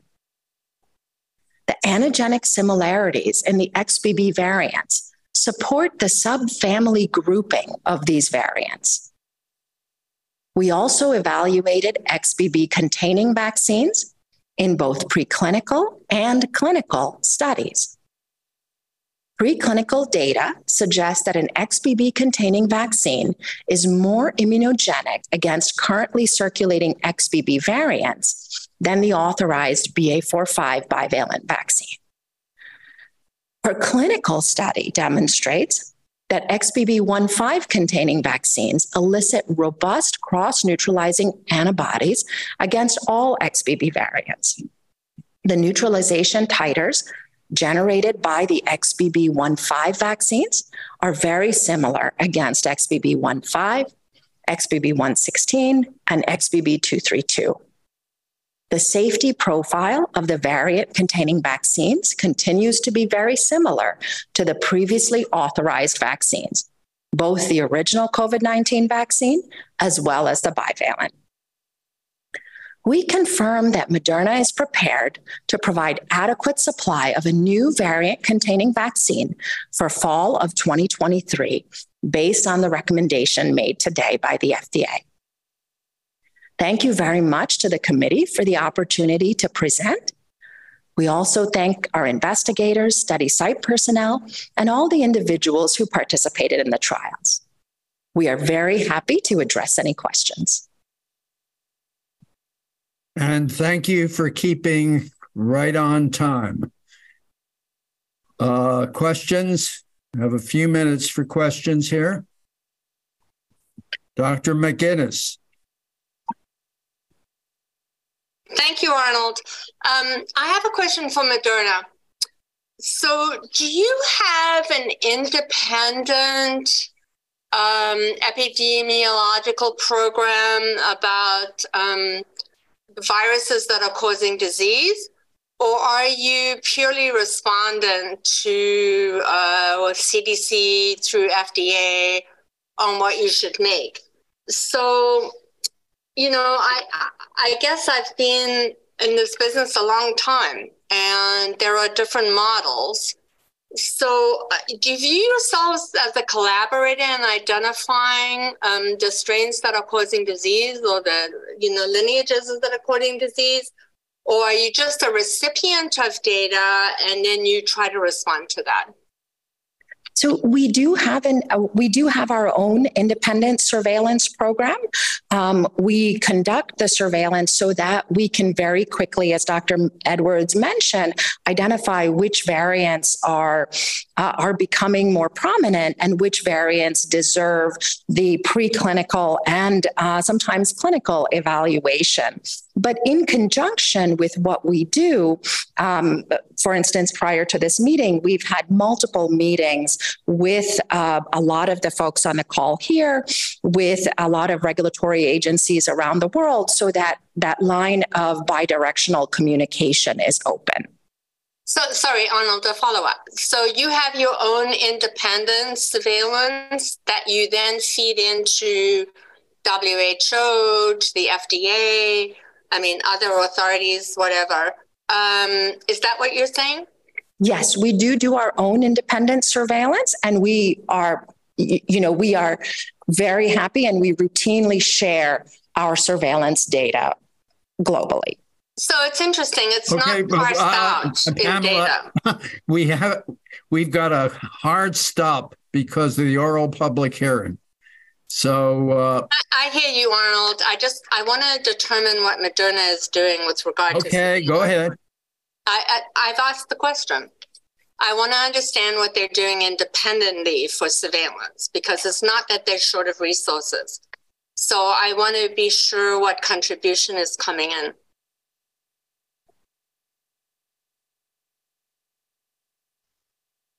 Um, I mean, we we do our we have epidemiologists in Moderna. We have clinical epidemiologists as well as research epidemiologists. They are looking at the tools and doing the surveillance. As I mentioned, we're also doing, um, we're continuing to sequence in our Kaiser study. We are looking at all of those data together. And so we're looking at publicly available data and data that we are also getting from our studies. Thank you. Okay, Dr. Perlman. Yeah, so, so I have a, a, technical question. So when you make these new vaccines, the S proteins from these different viruses are a little different. Some of them seem to enter more at the surface, some at the uh, in the endosome. Do you monitor for levels of uh, S protein expression? And clearly, the res- the responses are very nice, but are there differences? Do you ever have to tweak the dosage that you're using? So not the not the dosage, but we do, uh, you know, because we like to. We, our goal is to keep the dosages very similar because we want this to be a seamless kind of replacement process. And now we've shown that the safety is very consistent. Um, we've had about ten thousand people receive uh, variant vaccines in our clinical trials. We do monitor. We we generate kind of several candidate sequences, and we monitor the expression levels, and then choose a, a final sequence. And are there differences between the variants? Um, not not very much. Not very much that we've seen. Thank you. Thank you. We're going to have to move on. As I said, we've got a hard stop because of the oral um, presenta- uh, uh, the the oral public hearing. So now we're moving to Pfizer. Um, the presentation is going to be led by Dr. Kena Swanson. Dr. Swanson. Thank you, Dr. Monto, and good morning to the committee. My name is Kena Swanson, and I am head of viral vaccines R&D at Pfizer. On behalf of both Pfizer and BioNTech, it is my pleasure to provide an overview of the recent data that aims to support selection of the vaccine composition for the upcoming fall winter season. For today's presentation, I will focus on both humoral and cellular immunity data from our Omicron BA1 and BA45 modified vaccine clinical studies and learnings from preclinical evaluation of updated vaccine compositions representing more contemporary SARS CoV 2 variants. Then I will end the presentation with an update on our plans for supply of the vaccine. As you already heard earlier today, the XBB sublineages of Omicron continue to dominate the SARS CoV 2 variant landscape, with XBB 1.5 being the most dominant in the US since February of this year. Continued monitoring of sublineage proportions has shown an increase in other XBBs, indicated by the chart on the left, with XBB 116 showing potential to be the next variant to displace XBB 1.5. The group categorized as others in this analysis includes a collection of other sublineages that differ slightly in the spike sequence, but individually remain at overall low levels. And as indicated on the right, and as you heard in the prior presentation, the most predominant strains within XBB 1.9 are also increasing, but do not differ from the XBB 1.5 in the spike amino acid sequence. XBB 116 and XBB 2.3 differ from 1.5 by only two or three amino acids amino acid substitutions respectively. Later in the presentation, I will share data to better understand if these sequence differences translate to any immunological differences. Importantly, the antigenic distance of these XBB sublineages from the earlier Omicron BA5 is even more so than the distance of Omicron BA5 was from the original SARS CoV 2.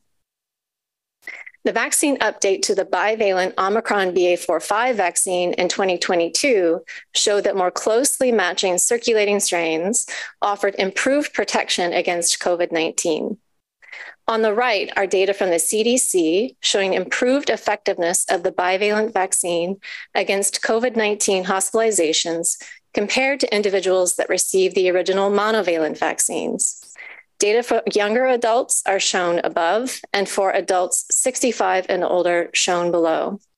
With the emergence of the more antigenically distant XBB sublineages and longer time since the booster dose, the vaccine effectiveness has notably waned from approximately 60% absolute VE to less than 30%.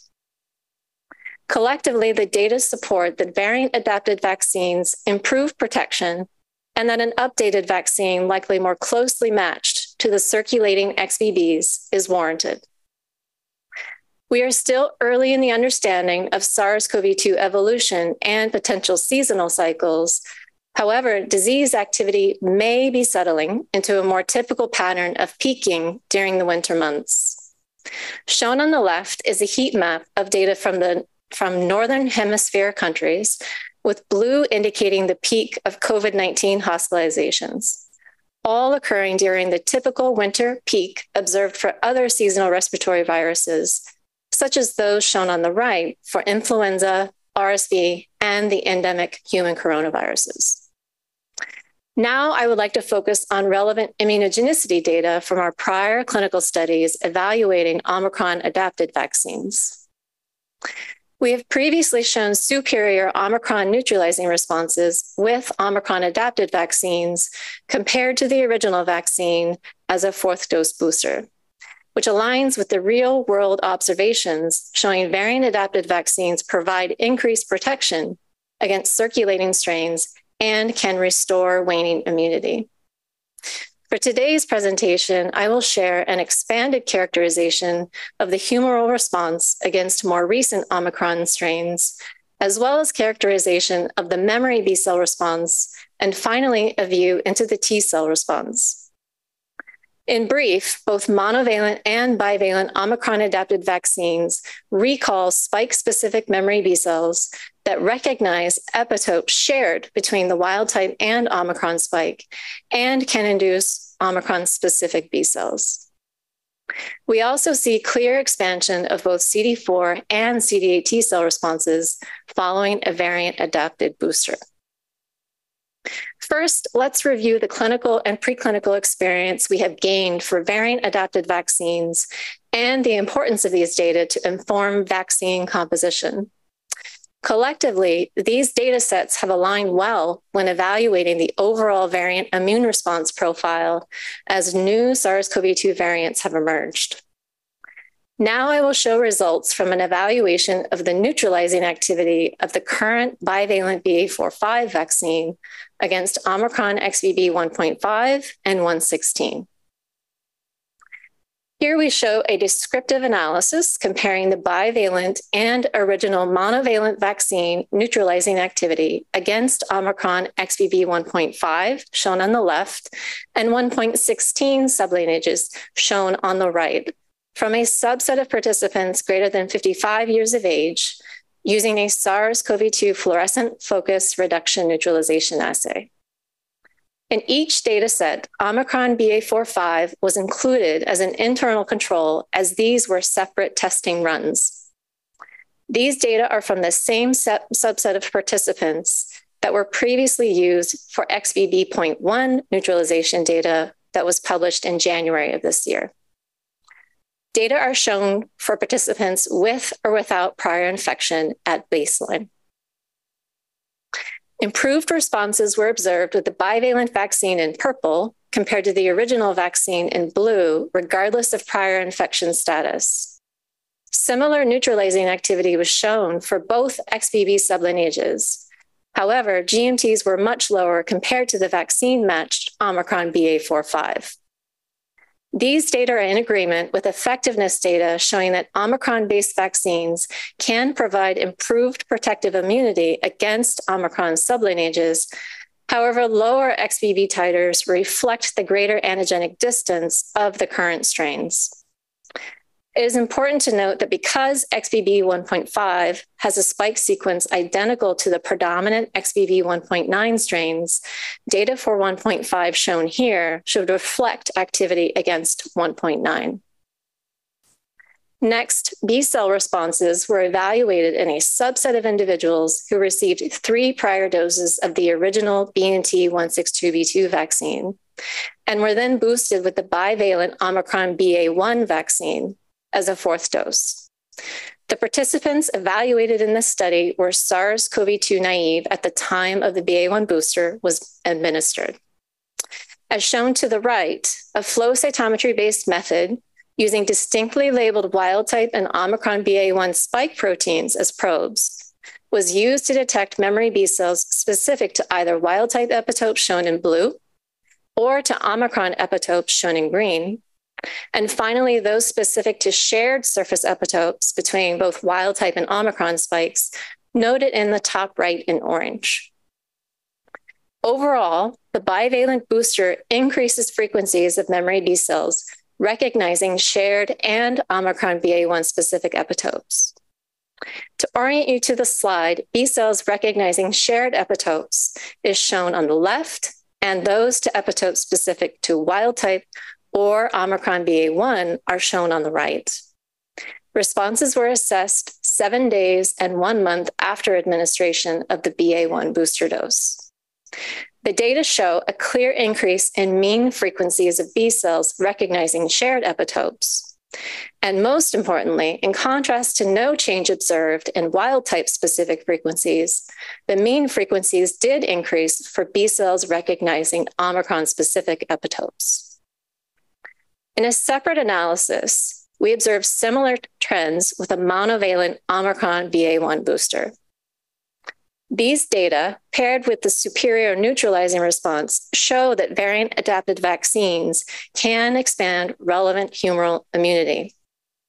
Now, together with B cell immunity, T cell responses, as you heard earlier today, are also important in the control and clearance of SARS CoV 2 infected cells and can provide immunity, particularly against severe COVID 19 outcomes.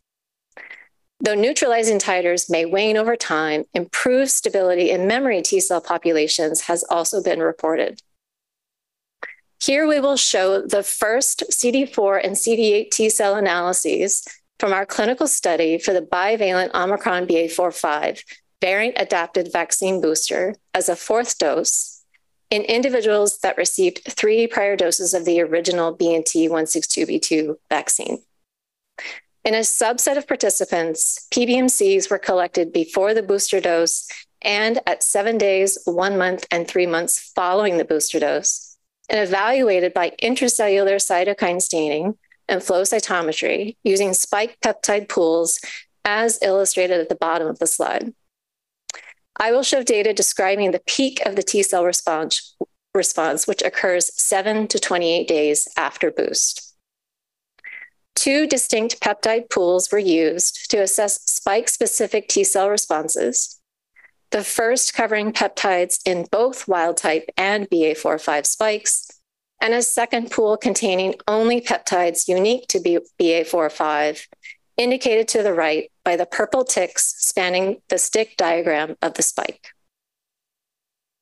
On this slide, geometric mean frequencies of CD4 responses are shown on the left and CD8 responses on the right for individuals 18 to 55 years of age.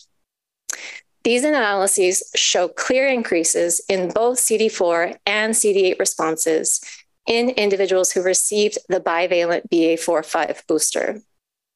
As indicated by the geometric mean fold rises following vaccination, shown below each figure, this increase was observed regardless of prior SARS CoV 2 infection status. T cell responses against BA45 unique peptides were lower compared to the total spike specific T cell response, given much fewer targeted epitopes, but increased after booster administration as well. And these findings are consistent with prior reports. Now, having shown the immunological benefit of prior Omicron adapted vaccines, I'd like to turn your attention to our preclinical evaluation of vaccine candidates representing contemporary SARS CoV 2 strains. Specifically, XBB adapted vaccine candidates were evaluated as both a booster and primary series in BALB/c mice. We assessed the immunogenicity of the current bivalent BA45 vaccine compared to XBB 1.5 adapted vaccines as either monovalent or bivalent formulations in combination with Omicron BA45. The vaccines were administered as a fourth dose booster in mice that had received two doses of the original vaccine, followed by one dose of the current bivalent Omicron BA45 vaccine. Vaccine groups are shown along the x axis and pseudovirus neutralizing responses assessed one month post boost are indicated by the bars. Focusing on the colored bars, indicating the current predominant or emerging XBB strains, a monovalent XBB 1.5 booster elicited the highest neutralizing titers against each of the XBB sublineages, including 116 and 2.3 and the greatest relative increased response compared to the current bivalent BA45 vaccine. In additional ongoing studies, we are also evaluating an XBB 1.16 adapted vaccine as a third or fourth dose booster in mice.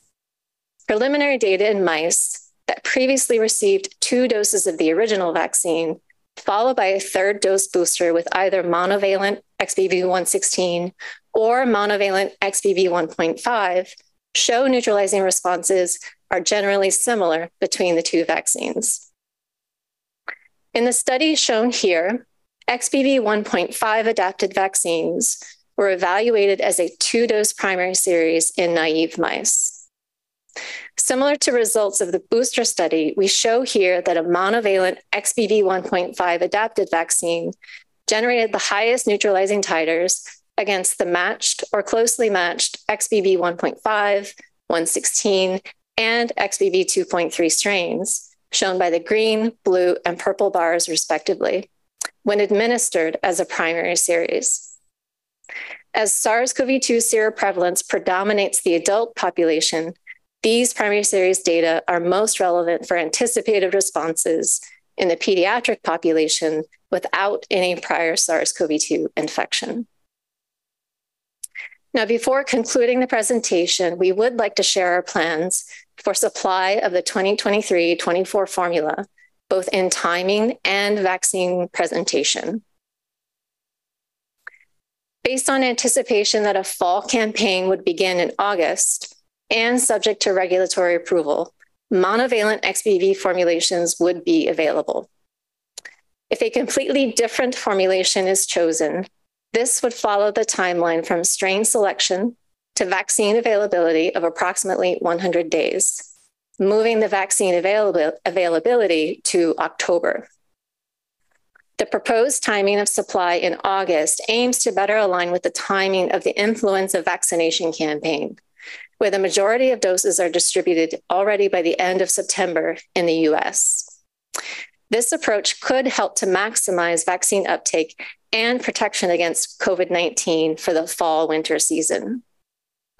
Finally, this fall, we will also be transitioning to a single dose unit as the primary presentation, which should also support improved access and ease of administration.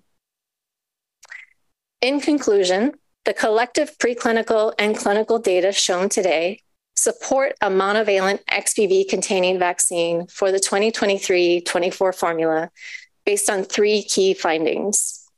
First, the XBB cluster of Omicron sublineages continues to dominate the variant landscape. Improved humoral and cell mediated immunity that aim to protect against the spectrum of COVID 19 outcomes.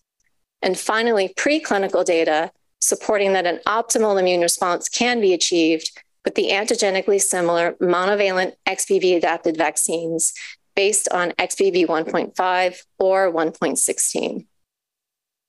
And the current seroepidemiology, together with collective real world evidence, support a single dose for those five years of age and older, regardless of vaccination status. I and my Pfizer and BioNTech colleagues would like to thank all of the participants in our clinical studies and their families, the sites and investigators, our CROs and partners, and especially the FDA and the committee. Thank you for your time today. My colleagues and I would be happy to answer any questions. Thank you, and thanks again to you also for keeping us uh, on schedule. I just want to point out to the committee that the manufacturers will be available for further questions when we get to our general discussion later on. So a few minutes now for specific questions. Dr. Gellin. Yeah, th- thanks for both of these. Um, and I'll ask you, but I'll be interested in, um, in in Moderna as well. So, is what you make for the U.S. what you will supply to the rest of the world, or are you able to make different things for different markets? So we have ha- been having ongoing discussions in um, informal exchange of the data that you've seen here with um, different um, regulatory agencies to help understand what needs to be provided for the upcoming season. So I think that's an ongoing process. Um, and we would be prepared, um, you know, to provide the, the vaccine for the selected formula. But I would go back to say You've seen the overall variant epidemiology. It's very XBB driven within a set of XBBs that are antigenically similar. So I think we are narrowed down to a more limited, um, you know, options of what we're considering for for the selection of the vaccine.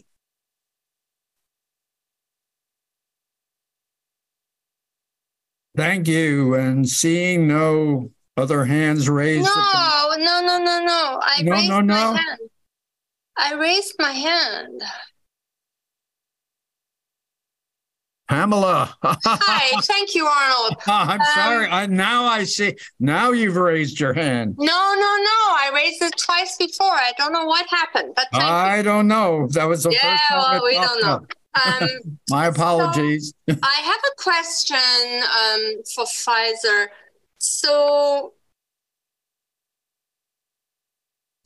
uh, yeah. So you have uh, availability and you will move to October. But I, I just think we're moving into a different kind of framework of thinking about timing. So you spoke about single dose unit, fall campaign, the monovalent would be off what was called back. This seems to me very much going back to the flu model and that we get a one-time call and then we all like march in and we've been manufacturing at risk and you know maybe we're right maybe we're wrong but it seems like we should just have a different way of thinking about this because if if the periodicity of this is so much shorter than we think about flu which i think it is um, then we should stop talking about the 2023 2024 year because maybe there is no such thing. Maybe it's a much shorter period of time that we're looking at for when this virus changes and we're this lineage, we have a new lineage and we have to manufacture. So I, I guess we're being, we're sort of being pushed into thinking about it like flu, but it's not comfortable for me. Well, so, maybe maybe um, it will be because of the rate. So maybe it will be going that? forward. Sorry. Maybe it will be going forward. Right now, we're limited to uh, the situation that we find ourselves in. Yeah, but I don't want to think about it like that because it like blocks me in from all sides, and it seems to me like this change in this virus is much more frequent. I'm going that- to rule this, Pamela. I'm going, this is a very general discussion question. Okay. And I think we can bring this up and talk about it uh, this afternoon when we get back to uh, a more general discussion where a lot of people can have a say. Uh, can, so, can Pfizer respond to this in the meantime? Uh, well, uh, very briefly. I will be very brief. And I think Kanta spoke to this very well this morning. And the surveillance of SARS CoV 2 is truly a continuous process. You know, we don't, you know, we can't predict what will be the true next steps of the virus. Um, but we are seeing enough antigenic drift um, with the XBBs that it would warrant a, an update to the vaccine to optimize protection. But again, it's it will continue to be an, an ongoing process and not um, you know one time a year. Thank but you. I think that will be discussed this afternoon. Thank you, Arnold. Thank, Thank you. Let's move on to uh, Novavax. Uh, Dr. Uh, Philip uh, Dubovsky will speak to us about their plans for the 2023 2024, uh, as it's now written, uh, vaccine season. Thank you. My name is Philip Dubovsky, and I'm the President of Research and Development at Novavax. Today, I'll review our data on emerging variants and provide our suggestion for the vaccine composition for the 23 24 season. Here's an overview of what I plan to cover. I will review clinical data that we previously shared with this committee, showing that neutralizing immune responses generated by currently authorized vaccines drop off significantly for the XBB subvariants, thereby justifying a vaccine composition update. Then I'll share some non-clinical primary vaccination data for XBB.1.5 and XBB.1.16 that shows both vaccines induce cross-neutralizing immune responses and that monovalent vaccines generate antibody levels of greater magnitude compared to bivalent vaccines. When we boost previously primed animals with XBB.1.5 or 1.16, the vaccines induce cross-neutralizing responses of comparable magnitude. And as discussed earlier today by the CDC and WHO, XBB 2.3 is becoming more prevalent in some parts of the world. The sequence is very similar to 1.5, and the receptor inhibition responses induced by XBB.1.5 vaccines are similar for 1.5, 1.16, and 2.3. And as far as cellular responses are concerned, vaccinating with XBB.1.5 induces a polyfunctional Th1 bias CD4 response that's comparable for XBB.1.5 and 116. Conservation of these responses is, is expected. It's been demonstrated for a variety of vaccine platforms. So taken together, we believe this data supports the selection of a monovalent XBB.1.5 strain for the 23-24 Northern Hemisphere season, which is consistent with the recommendations from other global regulatory agencies and the World Health Organization. But before I show you our data, I'm going to review our adjuvanted protein-based platform. is distinct from the other platforms discussed in this meeting. Uh, Novavax vaccine includes a full-length recombinant spike protein shown here in red that's presented in its native trimeric conformation. The antigens form particles around a polysorbate core, shown here in blue, which improves antigen uptake and processing. We manufacture the antigen in insect cells, which have truncated glycans, and we hypothesize this improves epitope exposure to the immune system. And finally, the antigen is co-formulated with our saponin-based adjuvant, which is known to facilitate the induction of broad B cell and T cell responses. The combination of these factors resulted in high levels of efficacy in our initial phase three studies against prototype strain, as well as against variants that circulated during our initial phase three studies. So uh, let's look at some clinical data that indicate the immune responses have dropped off for the XBB subvariants. This slide includes prototype and XBB1 neutralizing responses for individuals who are vaccinated with our vaccine using a variety of different dosing regimens. These assays were conducted at the Dr. David Ho lab at the Columbia University and can be compared to responses from different vaccines from his previous publications. First, I'll display anti-prototype neutralizing responses derived from Novavax studies. I'm showing the neutralizing responses in individuals who received three doses of prototype mRNA vaccine and were boosted with our vaccine in dark blue, compared to participants who received four or three doses of Novavax vaccine. Consistent with what has been previously described, the homologous regimens have numerically higher responses. However, because of the small number of participants, the precision of these estimates is relatively low. Added now in speckled pattern are results from previously published from Dr. Ho's lab. On the far left are three doses of mRNA boosted with bivalent mRNA vaccine, and this is displayed adjacent to three doses of mRNA boosted with Novavax. In the middle are four doses of mRNA compared to four doses of Novavax. On the right are three doses of mRNA compared to three doses of Novavax. All these regimens provide high levels of neutralizing responses. So now let's look at XBB1 neutralization responses. Here you can see that for XBB1, the responses are significantly lower, uh, but similar across the different dosing regimens. Irrespective of whether the primary series was mRNA or recombinant protein, and irrespective whether the boost was protein, uh, recombinant protein, prototype, or bivalent mRNA vaccine, the responses were reduced compared to the prototype neutralizing responses displayed on the left. These findings are consistent with the structure function data previously shared with this committee that demonstrate important neutralizing sequences that existed in the prototype strain, the BA5 variant, are not present in XBB subvariants. From this data, we infer that all vaccine regimens tested uh, are performing comparably against the currently circulating XBB subvariants, and all vaccines will benefit from updating to contemporary strain to optimize the neutralizing immune responses. Okay, let's look at some immunization data in mice for XBB subvariants.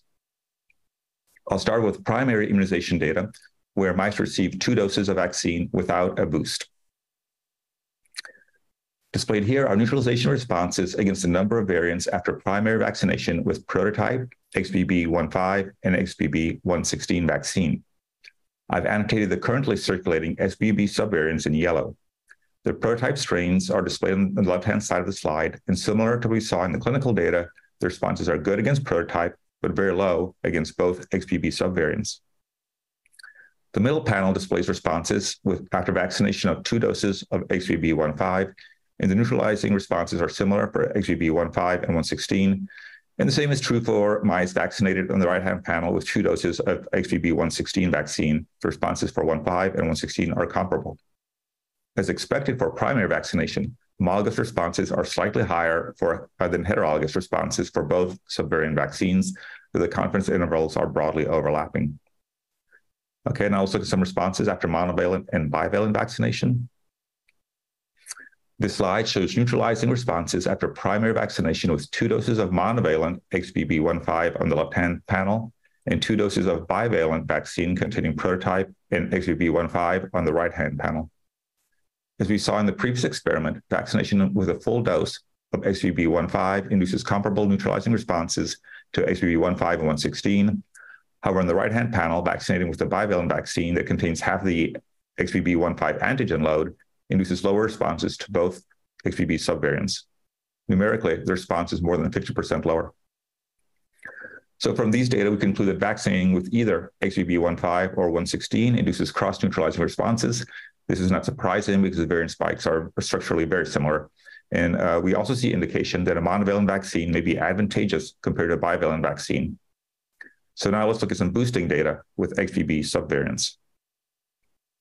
We have boosting data in primed mice as well as in primed rhesus macaques. Boosted responses are important because in general, the US population is well primed with multiple rounds of vaccination and serial infections. The responses seen in these animal models may be more relevant than the primary vaccination data we just reviewed. On this slide, we're showing primary vaccination and boosted neutralizing responses in mice. All animals were primed with a bivalent vaccine containing prototype and BA5. The results after the two-dose priming series are displayed on the left-hand panel.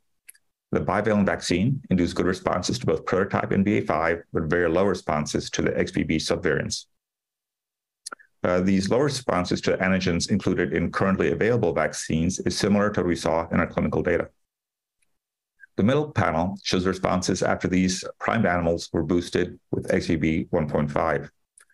XBB 1.5 is a very good immunogen, and responses to both XBB 1.5 and 116 increased more than 35 fold from before boosting and are comparable in magnitude to each other. The levels achieved after boosting with a single dose of XBB.1.5 are also comparable to the levels achieved for both prototype and BA5 after a full two dose uh, priming series on the left. The same is true in boosting with XBB.116 on the right hand panel. We see no specific benefit for boosting with XBB.116 in this experiment. So a common way to visualize the differences in immune responses is through antigenic cartography, as was described earlier.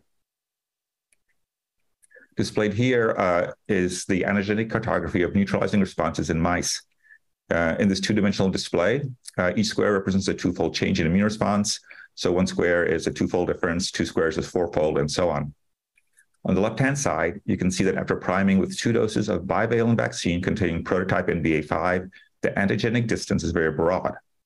This is comparing prototype in green to XBB15 in yellow, and separately comparing prototype in green to XBB116 in blue. Annotated below the graphic, you can see the antigenic distance from prototype to both XBB subvariants is greater than 30-fold following primary vaccination with bivalent vaccine. This antigenic distance isn't surprising because as we've previously discussed with this committee, the neutralizing sequences present on prototype and BA5 are largely not present in the XBB subvariants. The middle panel shows that after boosting with XBB15, the antigenic distance narrows and XBB15 provides good neutralization to XBB16. 116. This is a different analysis from the prior panel and compares the antigenic distance between XBB15 in yellow and 116 in blue. The antigenic distance is less than one, which is considered a matched response. On the right-hand panel, the same is true when boosting with XBB116. The vaccine induces good cross-neutralization responses to 1.5 and once again, the antigenic distance between 116 in blue and XBB15 in yellow is less than one. Okay, let me show you some additional boosting data in non-human primates. In this experiment, we primed uh, groups of five rhesus macaques with two doses of prototype on the left, two doses of BA5 in the middle, or two doses of a bivalent containing prototype plus BA5 on the right-hand panel. Eight months later, they were boosted with XBB 1.5 and when you compare the XBB15 and 116 responses in each priming regimen, you can see they're comparable. So for the prototype primed animals displayed on the left-hand side, XBB15 and 116 responses are similar. In the middle panel, for B5 primed animals, XBB15 and 116 responses are similar. And the same is true for animals primed with bivalent vaccine on the right-hand side. Uh, the magnitude of the XBB subvariant responses was greatest when primed with monovalent BA5 and lowest when primed with prototype alone. This makes sense because we know that XBB is more closely related to BA5 uh, than it is to the prototype. So from this data, we conclude that when used as a booster, XBB.1.5 induces comparable neutralizing responses to XBB.1.5 and 116. Now let's look at some data from XBB 2.3, uh, which, as we've heard, is emerging in some countries. Uh, this slide displays the sequence differences between XBB 1.5, 116, and 2.3. On the left-hand side of the triangle, as we've heard earlier, uh, you can see that XBB 1.5 and 116 differ by two amino acids, only one of which is in the receptor binding domain, and we've indicated this with the asterisk. On the right-hand side of the triangle, XBB.1.5 differs from 2.3 spike by three amino acid residues, once again, only a single change in the receptor binding domain. Therefore, you would predict the immune responses induced uh, by 1.5 would be relevant for both 1.16 and 2.3. Additionally, you can see in the bottom of the triangle, there's greater sequence divergence between XBB 1.16 and 2.3, with a total of five amino acids differences and two changes in the receptor binding domain. This suggests that XBB.1.5 may be the best option to include in the vaccine because there's less divergence from the other two emerging XBB subvariants. Selecting XBB.1.5 hedges our bet uh, because unknown if subsequent variants will arise for 1.5, 1.16, or 2.3, or perhaps all three. Neutralizing data for XBB 2.3 was not available when these slides were submitted. However, we do have human ACE2 receptor inhibition data, uh, which is considered a functional immunoassay, and I'll describe this on the next slide. So uh, ACE2 receptor inhibition uh, assays measure the ability of antibody uh, that has been generated by a vaccine to block the interaction between the variant spike protein and the human ACE2 receptor. This interaction is required for viral entry into human cells. So functionally, it measures the same biological pathway as a neutralizing assay. Displayed in this graph is data from last year's strain change study conducted in Australia that correlates our validated neutralizing assay to our validated receptor binding inhibition assay. And the two assays are very tightly correlated with a Pearson's correlation coefficient of 0.96. This degree of correlation suggests that uh, ACE2 receptor inhibition can be used as a functional surrogate for neutralization assays. Okay, let's look at uh, XBB 2.3 receptor binding inhibition data for mice and non-human primates. In this experiment, uh, we primed mice with bivalent vaccine, which included prototype plus BA5, and they were boosted with XBB.1.5, and the responses were evaluated in the receptor binding inhibition assay. You can see that functional responses were robust for all three subvariants and nearly identical for uh, 116 and 2.3. As we saw in the previous slide, XBB 116 and 2.3 differ from uh, 1.5 by single amino acid uh, in the receptor binding domain, so preservation of receptor inhibition was expected. A couple of days ago, we received uh, Muri neutralization data, which corroborates this receptor binding inhibition data. And in fact, in that data set, XBB.1.5 uh, boosted resulted in numerically higher 2.3 neutralization compared to animals that were boosted with XBB.116. Now let's look at receptor binding inhibition in non-human primates. In this study, we primed uh, groups of five rhesus macaques with prototype BA5 or a bivalent containing prototype plus BA5 and they were boosted eight months later with XBB 1.5. XBB 116 and 2.3 responses were similar, irrespective of which priming regime was used. On the left, when primed with prototype, uh, the 116 and 2.3 responses are similar. In the middle, when primed with BA5, 116 and 2.3 responses are similar. And the same is true when primed with bivalent vaccine on the right-hand panel. From this data, we conclude that XBB.1.5 induces functional immune responses to XBB subvariants, including 2.3, and further supports the selection of XBB.1.5 for the 23 fall season. So now let's briefly look at some cellular immune responses. We have intracytokine staining uh, data for both uh, animal models. Here we've displayed CD4 responses for mice they were either primed with two doses of prototype on the left or two doses of bivalent vaccine containing prototype plus BA5 on the right. And both groups were boosted at one month with XUB 1.5. This data displays CD4 cells that were stained with interferon gamma, TNF, and IL2 for Th1 cytokines, and IL4 as a model Th2 cytokine. The cellular responses are generally maintained across all variants, and boosting with XBB.1.5 results in a comparable signal for 1.5.116. So let's look at some cellular data from non-human primates. Here we've displayed the Th1 and Th2 CD4 responses in rhesus macaques who were primed with two doses of bivalent vaccine containing prototype plus BA5 and boosted with XBB 1.5. Th1 responses, so those for interferon gamma, IL2, and TNF alpha, are shown on the left. In Th2 responses, uh, IL5 and 13 are shown on the right. the Th1 biased cellular responses are maintained across variants, and we observed a very similar response for XBB.1.5 and 1.16. Okay, let's go to the last slide, just summary.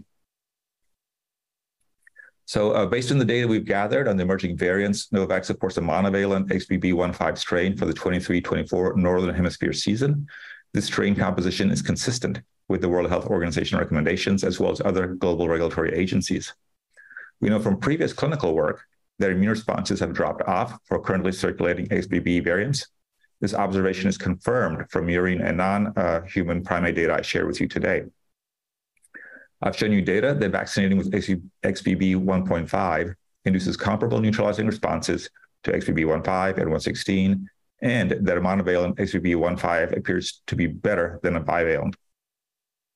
The US population is well primed with serial infections and serial vaccination. So data that monovalent XBB 1.5 boosts well and induces comparable neutralizing responses to other XBB subvariants is relevant. And XBB 1.5 is antigenically similar to XBB 1.16 and importantly to XBB 2.3. And furthermore, XBB 1.5 induces antibodies that block uh, XBB 2.3 from binding to the human ACE2 receptor. And finally, XBB 1.5 induces polyfunctional Th1 biased CD4 cellular response to the other XBB subvariants. Our approach has been to manufacture the vaccine at risk, and we continue to manufacture XBB 1.5 at commercial scale. And uh, we're filling this in single dose vials to support the US fall vaccination campaign. Uh, the selection of a strain other than XBB 1.5 will result in delay to our vaccine's availability. Uh, thank you. I can now take your questions. Thank you, Dr. Dubovsky. Uh, again, keeping us right on time. Questions, Dr. Levy. Yes. Hi, uh, Dr. Dubovsky. Thank you for that excellent presentation. Uh, you presented some data on cellular immune responses to the Novavax vaccine. Has Novavax considered looking also at CD8 cells, and do you view those as potentially relevant to host defense against coronavirus? Thank you. certainly, certainly there, there's data uh, out there that a CD8 response may be relevant. Uh, normally, as a, a protein-based um, you know, they're adjuvant and protein based, you wouldn't think a CD8 would be the strong suit of this platform. Uh, and we, we know from animal uh, studies, we do in fact induce CD8 cells. And there's been some recent work from our collaborators at Scripps, which also have described uh, CD8 response, but it's not as robust as you'd expect from other vaccine platforms. Thank you. Dr. Sawyer. The last thing you mentioned was that a selection of a strain other than 1.5 would delay your production. Can you give us a, what is your window between time of selection and and availability of vaccine? Sure. We, have uh, previously talked um, about for a common protein vaccine like ours, it's much like the flu uh, timeframes. So we need pretty much six months from when a strain is named to when we can have commercially available product.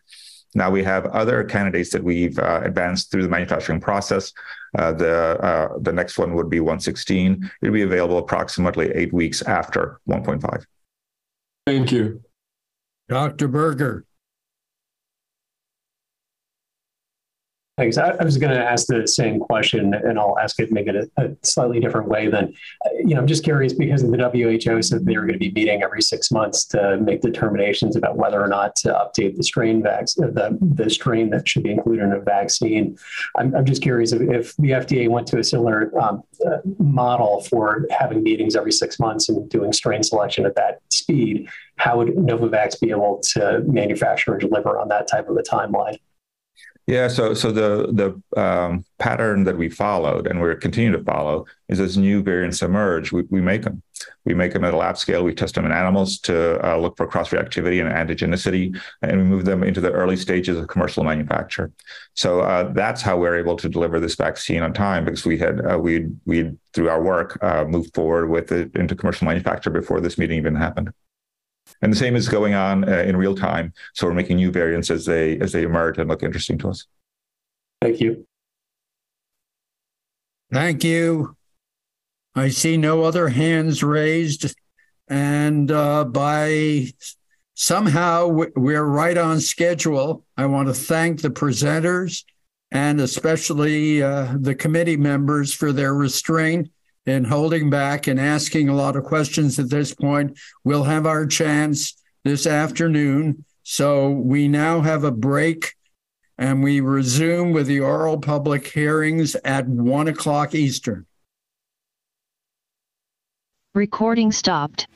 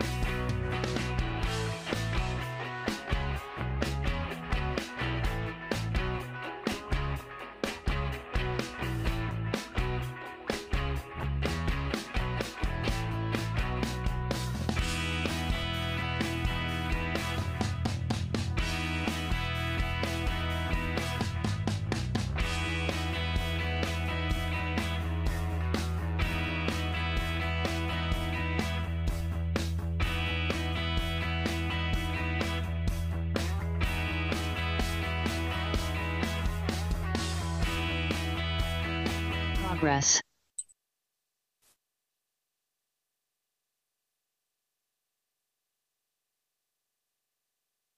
Go ahead, Dr. Monto. Welcome to the open public hearing session. Please note that both the Food and Drug Administration and the public believe in a transparent process for information gathering and decision making. To ensure such transparency at the open public hearing session of the advisory committee, FDA believes that it is important to understand the context of an individual's presentation. For this reason, FDA encourages you, the open public hearing speaker, at the beginning of your written or oral statement to advise the committee of any financial relationships that you may have with a sponsor, its product, and if known, its direct com- competi- uh, competitors. For example, this financial information may include the sponsor's payment of expenses in connection with your participation in this meeting. Likewise, FDA encourages you at the beginning of your statement to advise the committee if you do not have any such financial relationships. If you choose not to address this issue of financial relationships at the beginning of your statement, it will not preclude you from speaking. Over to you, Suzanne. Thank you, Dr. Monto. I would like to pass the meeting to Dr. Marks to make uh, open public hearing remarks. Dr. Dr. Marks. Thanks very much. Uh, thanks very much, Susan and Dr. Monto.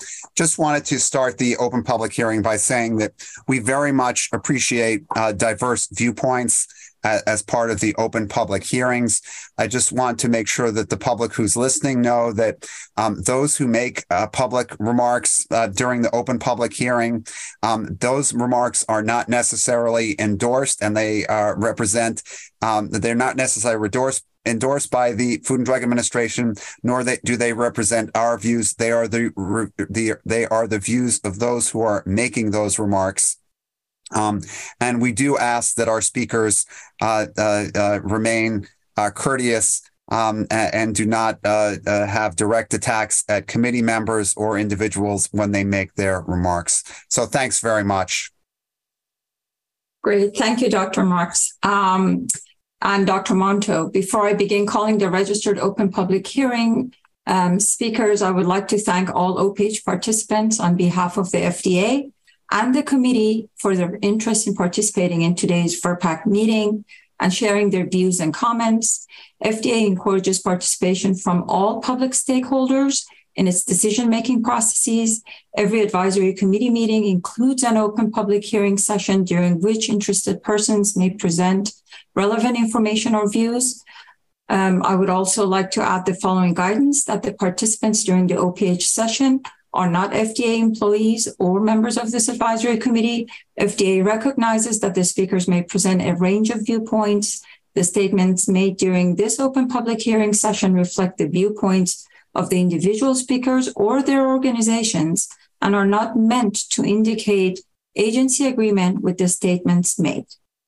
With that guidance, I would like to begin. Every speaker will have four minutes to make their remarks. Let's begin with our first OPH speaker, Ms. Melissa Miller. Ms. Miller. Good afternoon. My name is Melissa Miller, and I have no financial or other conflicts of interest. Next, please. What we know now, it's unwise to vaccinate during a pandemic as it encourages rapid viral, viral evolution, and FDA is already working to pick the strains for yet another vaccine. COVID mutations are too rapid for technology to keep pace with changes and be effective. Therefore, vaccine is not preventive. Any vaccine that does not prevent transmission, infection, and disease only hospitalization is a medical treatment and not a vaccine. Next, please. Other countries fully stopped COVID 19 vaccines, and some countries never went after kids, unlike the US. Next, please. Disability has been increasing since May 2021, a three to four sigma event year on year. What is causing this? Next, please. As evidenced in the Mayo Clinic research on number of doses of vaccinations given, the more you vaccinate, the more infections one has. The yellow line is over three doses. What do you think happens next? Next slide, please. The US is the only country in the world targeting children as young as six months old with COVID 19 vaccines, which are still under EUA. My question is who is profiting at the expense of the children's health? Next, please. Recent MMWR articles showed half of children had systemic reactions after third dose. This is just a small number of children who have received the third dose. Next, please. Based on the uh, slide that uh, CDC's Ruth Link-Gelles presented, parents have wisened up. So 91.1% of children under two, 89.1% of children under four, and 60% of children under 11 remain unvaccinated. Next, please. When chronically underreported VAERS system is showing the numbers below, you have to realize something is off and course correct. Next, please. Here are my recommendations. Stop trying to get ahead of COVID. It's here to stay, just like influenza and influenza like illnesses. There are successful treatment and prevention. No, not remdesivir or remdesivir or Paxlovid, the last one, which was only tested on unvaccinated people. Treatment of secondary pneumonia with antibiotics is what's needed, not vents. Thank you. Great. Thank you, Ms. Miller, for sharing your views. Um, next is Mr. Kermit Kubitz. Uh, do you have my slides? Yes. Uh, I will address three topics in future COVID vaccine development. First, reasons for a monovalent XBB vaccine. Second, need for expedited FDA BLA vaccine approval process. And C, lower cost vaccine approaches. Next slide. Reasons for a monovalent vaccine. First, the XBB1 lineage is the dominant strain circulating now. Second, using a monovalent vaccine will maximize immunity response production. Preclinical data on XBB1 candidate vaccines shows higher neutralizing antibody response. Third, prior variants are not circulating as much.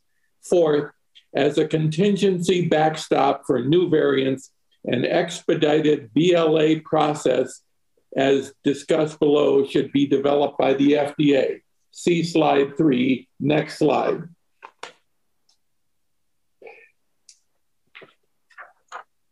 Given extensive vaccine experience now, BLA approval process should be expedited using these criteria.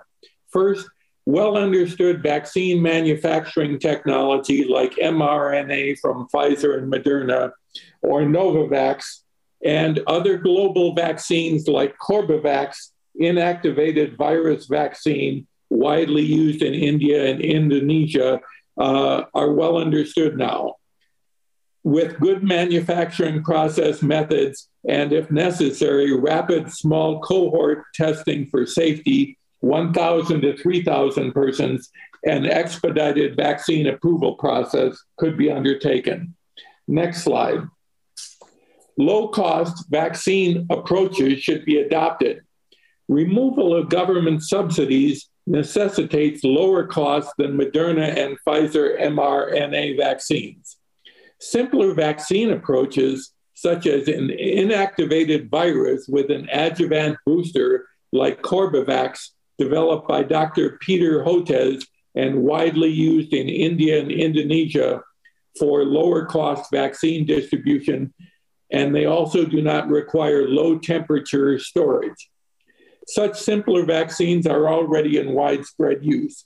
And a simpler uh, inactivated virus vaccine with an adjuvant booster could be deployed faster and more cheaply in the event of or need for a sudden new vaccine response in response to new variants. Finally, I think we should expedite the process of developing a pan coronavirus vaccine. the work by Dr. Saunders and Haynes at the Duke Human Vaccine Institute, instead of uh, targeting the, the entire spike protein, uh, could generate antibodies by targeting the receptor binding domain. And uh, the funding for such a pan coronavirus vaccine should be expedited. Um, thank you very much for the opportunity to speak. I was vaccinated. I had a breakthrough infection, but uh, due to the vaccine, it was mild, and I only had a headache and a temperature for three days. Thank you, Dr. Monto, Dr. Marks, Dr. Kaslow, Dr. Link Gelles, Thornburg, and the staff of the FDA. Thank you very much. Bye. Thank you, Mr. Kubitz. Appreciate your presentation. Um, next is Dr. Mary Elizabeth Christian. Good afternoon. Thank you for the opportunity to speak to the committee. I have no conflicts to disclose. I'm Mary Elizabeth Christian. I live in Baton Rouge, Louisiana. I'm a breast surgeon who's no longer practicing due to a disabling genetic condition. But I am also a mama, a yaya, and an advocate. I was a daughter until August of 2021 when my parents were vaccinated when my parents died. My parents were vaccinated in January of 2021. They believed they were safe, and so they went out to lunch for their 62nd anniversary on July 18th. Three days later, they had COVID, and three weeks later, they were both dead from COVID. They were buried together at the Louisiana National Cemetery with only this grade size service. A week later, on August 18th, boosters were approved. I still must wonder if they had been able to be boosted before they were infected, will one or both of them be alive today? Next slide. My daughter was pregnant when the first vaccine became available. There were limited data for use in pregnancy, but after careful consideration, she was vaccinated.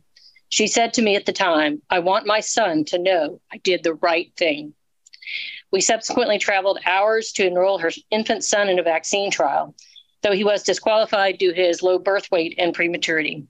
He was vaccinated on the first day it was offered by his local health department in Omaha.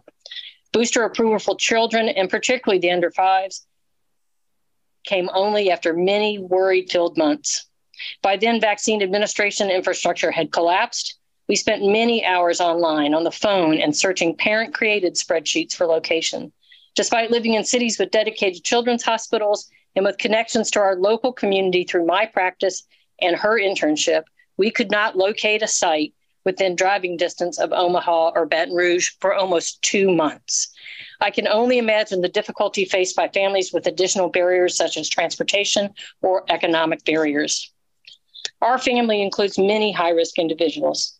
We have family members who are immune compromised, an adult daughter with level three autism and mitochondrial disease. We have our grandson, his one month old preemie sister, a previously healthy husband who now has post COVID hypertension and my octogenarian in laws. We are not unique. Many families include cancer patients, elders, immune compromised, or those with comorbidities. Those families include my former breast cancer patients who, though cured from breast cancer, now must face the risk of COVID infection. We all must now venture into a community which has largely abandoned masking and air quality measures. Even our access of healthcare poses substantial risk as they too have abandoned both air quality and masking. In Omaha, the public schools start in two months. If vaccines are not approved quickly, teachers, staff, and students will return without booster protection or vaccine protection. Children of staff and students' younger siblings will be in the daycare where my grandchildren go. Teachers, staff, and children will go home to their families who may also be at risk. They need the opportunity to protect themselves and others. Next slide. I can wear a mask and I can carry my mini CR box, but I cannot move vaccines into the community. You are tasked with evaluating the excellent science discussed this morning, and I appreciate your work in that regard. We all live in communities with the medically vulnerable. Sequential approval means even the most high risk group must venture into communities which now have waning immunity and a lack of layered protections. Additionally, those who are all willing to be vaccinated may simply give up before finding a site for their family or they may be unable to take off multiple days from work for vaccines to be administered on different schedules. Consider what it might do to update if everyone from Yaya to the baby could get vaccinated on the same day. Next slide. I urge you to approve updated vaccines for all age groups. Urgency and timing matter. It might have saved my parents, and it may well save my daughters and my grandchildren. Thank you. Dear Mary, thank you so very much for sharing your personal story with us. I'm so sorry to hear about your difficulty, loss of parents, and all the other uh, difficulties you've had to endure as a family. Um, thank you so much for taking time to be here with us today. Um, next is Dr. David Wiseman. Um, thank, th th thank you. Please see our written remarks. Uh, I have no conflicts. Next. FDA's brief echoes recent international statements acknowledging natural immunity, rapid waning, and imprinting. Next. The death rate is low despite 17% vax uptake. Do people agree with Dr. Offit that chasing variants is a losing game? Next. Mistrust blights other vaccines. Why? Next. Perhaps they don't work as represented. They are gene therapies. Safety signals are ignored. Next, rather than a safe and effective standard, under EUA, they may be effective. Next, CDC shows waning to zero at three months, then negative VE, suggesting immunocompromise. Next, and consistently by age below FDA's 50% target, going negative. Next, three months after introduction, XBB alarmingly evaded bivalence in studies omitted from FDA's January brief. Next, along with Cleveland Clinic noting that they were not alone in finding a possible association with more vax doses and higher risk of COVID. They pre-printed this week that COVID risk is lower in out-of-date and up-to-date adults. Next, does FDA's brief suggest vaccination drives variants? Next, Excluding these gene therapies from guidance does not change biology or safety concerns. Next, where is FDA's gene therapy group? Why did makers think their vaccines were gene therapies? Next, we respectfully disagree with Dr. Marks. Next, the National Cancer Institute shows reverse transcription is possible. Next, NIH show message and spike enter, and spike into the nucleus. Next, episomal transmission does not need integration. Next, regulators accede to BioNTech. Next, waiving cancer genotox and mutagenicity studies or on gossamer grounds. Next, FDA scientists say DNA can be oncogenic. Next, Kevin McKernan's coming report of possibly replication competent residual plasmid template DNA with antibiotic resistance and undisclosed SV40 promoter sequences suggests adulteration. Next, with minimal comparability testing, Pfizer switched processes for clinical and commercial use. Next, hardly meeting the same process criteria justifying abbreviated testing for variant vaccines. Next, Pfizer's TRIS change affected translation and likely safety and efficacy. Same process? Next, the bivalent process change, change yielded novel heterotrimers with untested toxicology and likely misbranding. Next, there's cancer reports are alarming. Next, CDC finds cancer signals. Next, they said they couldn't find stroke signals outside of VSD. But next, look in CDC's recent FOIA disclosure. Next, our normalized ratios yielded alarming signals. Next, temporal associations between vax coverage and all cause mortality persist.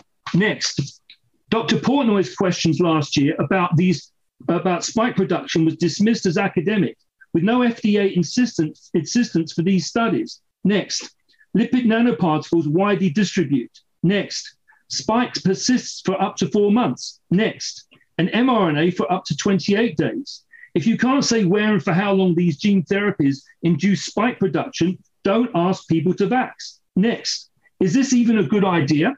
Dr. Fauci writes vaccines have never effectively controlled these sorts of viruses and are not expected to do so. Next, Dr. Marks questions incrementally modifying variant specific vaccines. Next, Pfizer's boast of flying a plane under construction erodes public trust. Next, there's no pandemic anymore. Regulate these products as gene therapies. No free passes to poorly understood platforms. Consider the cumulative toxic- toxicity of these products chase safety, not variants, help the vax injured, and restore public health. And thank you for listening. And thank you, Dr. Paydar and your team, for an excellent job that you do. Thank you. Thank you, Dr. Wiseman, for sharing that PowerPoint with us. Appreciate it. Um, next is Mr. Don Ford. Mr. Uh, Ford. Uh, hello, hello. My name is Don Ford, and I have no conflict of interest. Uh, next slide. Next slide. The main points of this presentation are approving a monovalent based on XBB 1.5, approving Novavax regardless of previous RNA, approving a new primary series to overcome imprinting, and studying Novavax as a treatment for long COVID. Also, altering recruitment criteria for Novavax clinical trials for pediatric vaccines. Next slide. The WHO and the EU both recommend a monovalent based on XBB 1.5. If we go higher, we run into the BA1, BA2, BA5 debacle, with XBB being a BA2 subvariant recombinant, leaving the public without a targeted vaccine. Next slide. The bivalent has been shown to dilute the antigen, weakening the response while suffering from imprinting. The concern is that this will limit vaccine effectiveness and booster uptake. Next slide. Americans are being punished for following the guidance to get RNA first. No data supports that it is unsafe to switch from RNA to Novavax. Many countries already allow people to switch. Gatekeeping Novavax is damaging the perception of public health in America. Next slide. Israel has allowed Novavax access since mid September of last year, and that includes a new primary series of desired. Next slide. New alarming data has come to light. COVID can cause brain cells to fuse. Next slide. Novavax reduces nasal viral replication, which protects our brains. Unfortunately, RNA only offers limited protection in this capacity. Next slide. In a balanced cohort, Novavax was shown to be twice as protective from hospitalization when compared to an equal body of patients who received RNA. Next slide. Internal FDA CDC data shows that RNA only offers protection from hospitalization for 110 to 170 days. This is not sufficient for a virus that can fuse brain cells. RNA once a year is not satisfactory to protect the American people. Next slide. RNA only achieves its best reaction if there are gaps between shots. The gap needed is greater than the window of protection. This leaves Americans vulnerable to hospitalization. Next slide. Novavax can be taken successively to maintain protection with no gaps. This provides consistent protection. Response continues to increase beyond anything RNA has achieved. Next slide.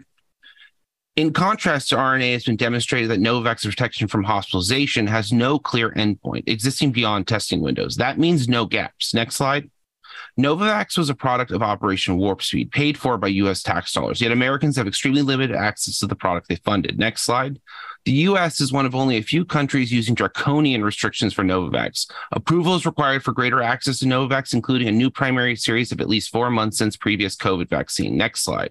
It has been demonstrated that a new primary series is required to overcome imprinting. Not doing this could leave the vaccinated vulnerable to hospitalization, further damaging the public's perception of vaccine effectiveness and public health. The next slide. It has been demonstrated that people who get Novavax see relief from long COVID symptoms. We require studies from the NIH and Novavax for the anecdotal reports showing recovery post vaccination. Next slide. There are many examples, but far too many to mention here. Next slide. Novavax is designed to target conserved epitopes that are common among all variants, including mutated persistent virus. That means it's likely assists the immune system in finding and targeting persistent virus, which is a primary driver of long COVID. Next slide.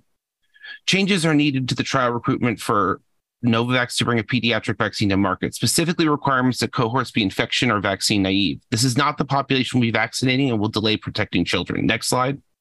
Funding needs to be allocated from Project NextGen to expedite production of Novavax's pediatric vaccine. Spending caps created during the debt ceiling will limit Congress's ability to create investments in treatments and vaccines for at least two years. We cannot wait that long to protect our children from fused brain cells. Next slide.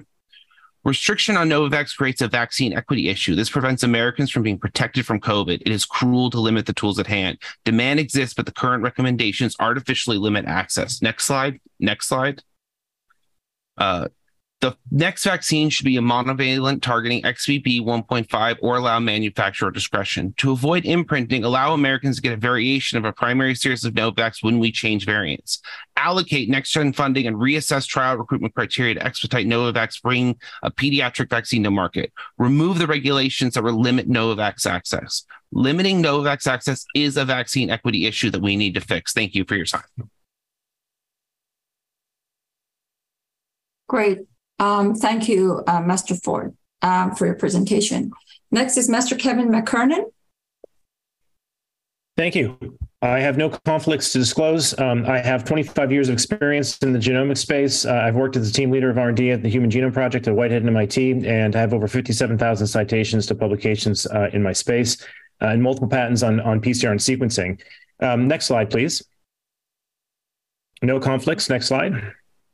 Uh, in February, I used mRNA vaccines as a con- spike in control for some RNA sequencing libraries, and to my shock, discovered that the expression vectors for the vaccines are still in the vials. Uh, I looked at this in over a dozen vials, uh, and it appears that this expression vector is above the EMA guidelines and the FDA guidelines. Uh, you can see this in this preprint that's described here. Next slide as a, as a refresher, there's two different processes that have been discussed in this BMJ article. The clinical trials were run in process one, which uses in vitro transcription off of synthetic DNA, but they switched to process two for a scale up, which used E. coli to amplify plasmids.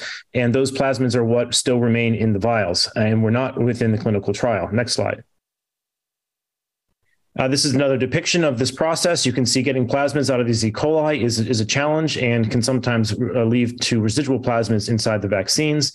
Next slide. Uh, these are the expression vectors that we discovered on the left in the Pfizer vaccines. They also exist in the Moderna vaccines, but they're a little bit different. The Pfizer vaccines specifically have this SV40 promoter, which was not disclosed in the expression vector map that was given to the FDA, uh, or I'm sorry, to the EMA. But the expression uh, vector has a 344 base pair promoter with a nuclear localization signal known as this SV40 promoter. Next slide. Uh, so we went to verify this by designing quantitative PCR assays that target the spike sequence and the vector sequence. Uh, next slide. Uh, and this work demonstrated that uh, with even a 1 to 100 dilutions, you could get CTs of 22 for the DNA that's in these vials for the vector, which is not part of uh, what should be in these vials. Uh, we did this in triplicate across eight vials. It's very consistent, and they are over the EMA and the FDA's limits. Next slide. The EMA has a ratiometric limit that looks at RNA to DNA ratios, and you can measure, you should expect an 11.5 CT offset between the spike and between the vector. What we see is only 5 to, to 7 CT difference, which means there's an 18 to 70 fold over the limit of the 330 nanogram per milligram uh, recommended by the EMA. Next slide. Uh, you can readily uh, assay this in any other lab around the world now. If you put these vaccines directly into quantitative PCR, you can get CTs as low as 17. Uh, this is very important to know because COVID was diagnosed with CTs less than 40, which is over a million fold higher uh, contamination being injected than what you might get from a nasal swab. Next slide.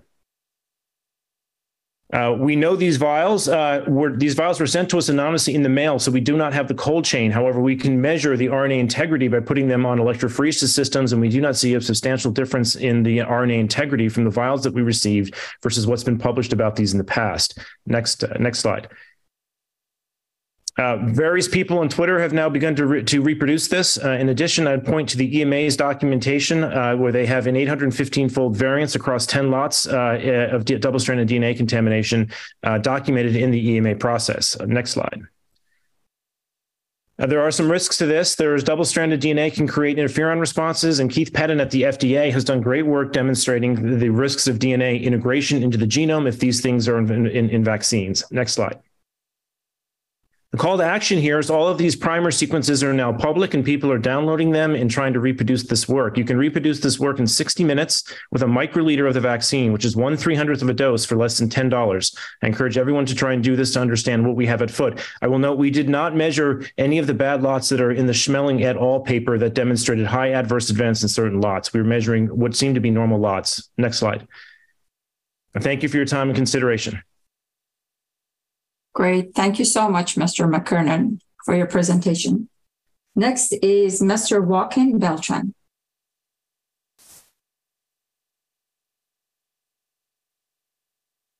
Joaquin? Uh, thank you so much. Uh, full transparency, I was a Biden Harris 2020 regional director, currently a small retail investor of Novavax to support its vaccine's ongoing availability, vaccinated with two Pfizer's, one Novavax, and never had COVID. Thank you so much for having me today. My name is Joaquin Beltran, and today I am urging the FDA to one, approve Novavax's updated XBB booster, two, update booster guidelines for equal access regardless of booster history, and three, expand Novavax access to children under 12. Next. As the public health emergency ends, it's clear we are now in a shadow pandemic with long COVID as its own pandemic, reinfections creating cumulative risk, hospital acquired infections at an all time high in some states, testing and data virtually gone, a need for improved air quality in buildings, healthcare services collapsing, mass transmission outpacing our pharmaceuticals, and economic hardship from all these ongoing challenges. Next. Although we are currently in a lull, we are at the second highest baseline during the last four springs, and the pattern suggests we will have a surge as soon as this summer. As we have as we have reached an upwards estimate of 1.4 million excess deaths in less than 3.5 years, it is clear we have to act. Next. We have to use every tool available to reduce transmission. Next. And that means we have to utilize the life saving tool that is the Novavax COVID 19 vaccine. Next. Recent data shows there is a drop of effectiveness against recent variants, making it clear we need to update vaccines. Next. Early data shows the XBB booster shows increased effectiveness against recent circulating variants. Next. Safety data remains high with a recent study showing decreased reactogenicity upon a fourth dose of Novavax. Next. Recombinant vaccines have a history of high safety profiles like Flucelvax's flu vaccine, which uses the same vaccine dose for everyone six months and up. Next. We also need to urgently update the booster guidelines for equal access to boosters, regardless of prior booster history. In particular, language in the current guidelines has prevented many from obtaining this life saving vaccine. This language is the following quote, but have not previously received a COVID 19 booster, and if they cannot or will not receive mRNA vaccines, end quote. Pharmacies across the country have cited this language as preventing them from giving Novavax to those with prior mRNA boosters. Here are some examples. You can go to social media and look up Novavax, and you'll find countless stories of people being denied Novavax, with people in some cases having to lie uh, next, uh, having to lie or go to another state or country to get this life saving vaccine. Next. Uh, next. Uh, one person shared about the challenge of obtaining this life saving vaccine that was paid for by taxpayer dollars. Quote, it's brutal trying to protect yourself in a DIY pandemic. Next. There's no scientific reason for denying boosters um, of, of Novavax. Next. Next. Lastly, we need to expand Novavax to children under 12 as COVID poses a threat to children's lives and the risk of long COVID. Next. And we need to reduce spread. A recent study shows that 70% of transmission in households were from a pediatric index case. Next. Two studies, one in JAMA, one by the CDC, shows elevated risk of type 1 diabetes for children who had COVID, showing that children remain vulnerable and need further protection. I'm urging next. I'm urging the FDA to approve Novavax's updated XBB booster, update booster guidelines, and expand Novavax access to children under 12. Next, we are still in a pandemic and we need to act with urgency to protect our families and communities. Thank you. Thank you, Joaquin. Um, appreciate your presentation very much. Um, next is Master Tyler Phillips. Hi, my name is Sarah Phillips, and I have no conflicts. I'm the spokesperson for Senior Speak Out, a resource and sounding board for older adults, caregivers, and advocates. Let me just interrupt you for a second. Um, I need Devonte to please correct the slide on the left. Thank you. I want to thank the committee for your time and expertise today and throughout the COVID pandemic. So much has been accomplished, but as we all recognize, there is still urgent work that needs to be done. As I now go about my daily life, like so many of my cohorts who are in their seniority, I have a new appreciation for normal. It is a normal we must assuredly want to preserve I think it's human nature to want to push those difficult pandemic days out of our thoughts as we enjoy the present. And that's a good thing, but only up to a point.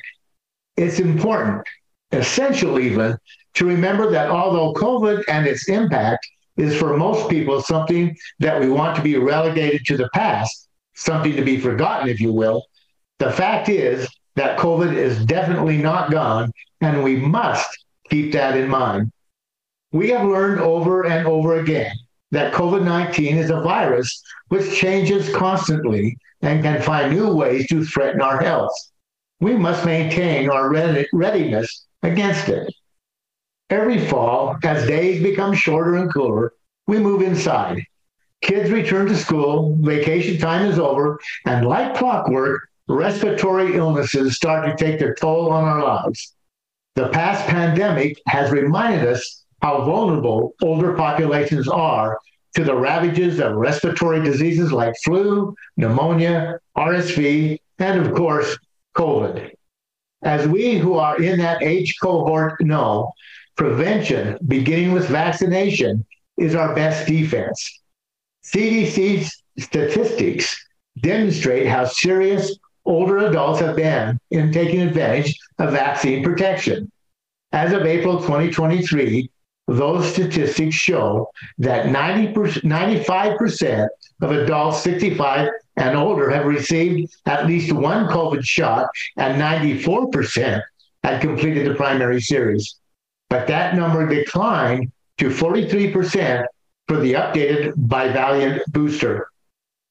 The VRBPAC meeting today is an important step forward in helping older adults understand the importance of getting a shot that offers protection for the current form of the COVID 19 virus. Like our friends and family members of all ages, we know we need to get flu shots every fall because the strains of flu change every year. FDA's work in highlighting the yearly changes in the COVID 19 virus and the necessity of keeping our protection up to date falls into line with the preventive health measures older Americans are used to and regularly rely on. It helps to eliminate confusion and uncertainty and is a potent reminder that we can and need to take action to keep normal life normal. Thank you. Great. Thank you so much, Tyler, for your presentation. We appreciate your participation in today's meeting. Next is Miss Amy Harth. Good afternoon. I do not have any conflicts to disclose. I'm here to ask the committee to relax your language around who can get a second bivalent COVID booster. When I tried to schedule a second bivalent booster, my doctor's office initially told me no. They said they're turning lots of people away because the FDA won't allow it. Restricting a second booster only to those 65 and older or immune compromised left me terrified and wondering why, when the shots are plentiful and broadly safe. I have a PhD in ecology, and I wish to remind the committee that population level statistics don't predict a specific individual's risk. I'm 55 and have multiple medical conditions. None are considered immune compromised. However, I have a tenuous grasp on staying functional enough to work. I fear long COVID because adding one more health problem could leave me permanently disabled. Not only would that devastate me financially, it would force me to file for Social Security disability. I would far prefer staying productive and supporting myself. In August of 2019, a concussion left me temporarily unable to work. I live alone, and my only contact with people became the physical and occupational therapy appointments at my local hospital. That September, a hospital patient sitting next to me sneezed. Three days later, I became severely ill and my epiglottis swelled, completely blocking my esophagus. If it had kept going, it would have shut down my airway and I wouldn't be here talking to you.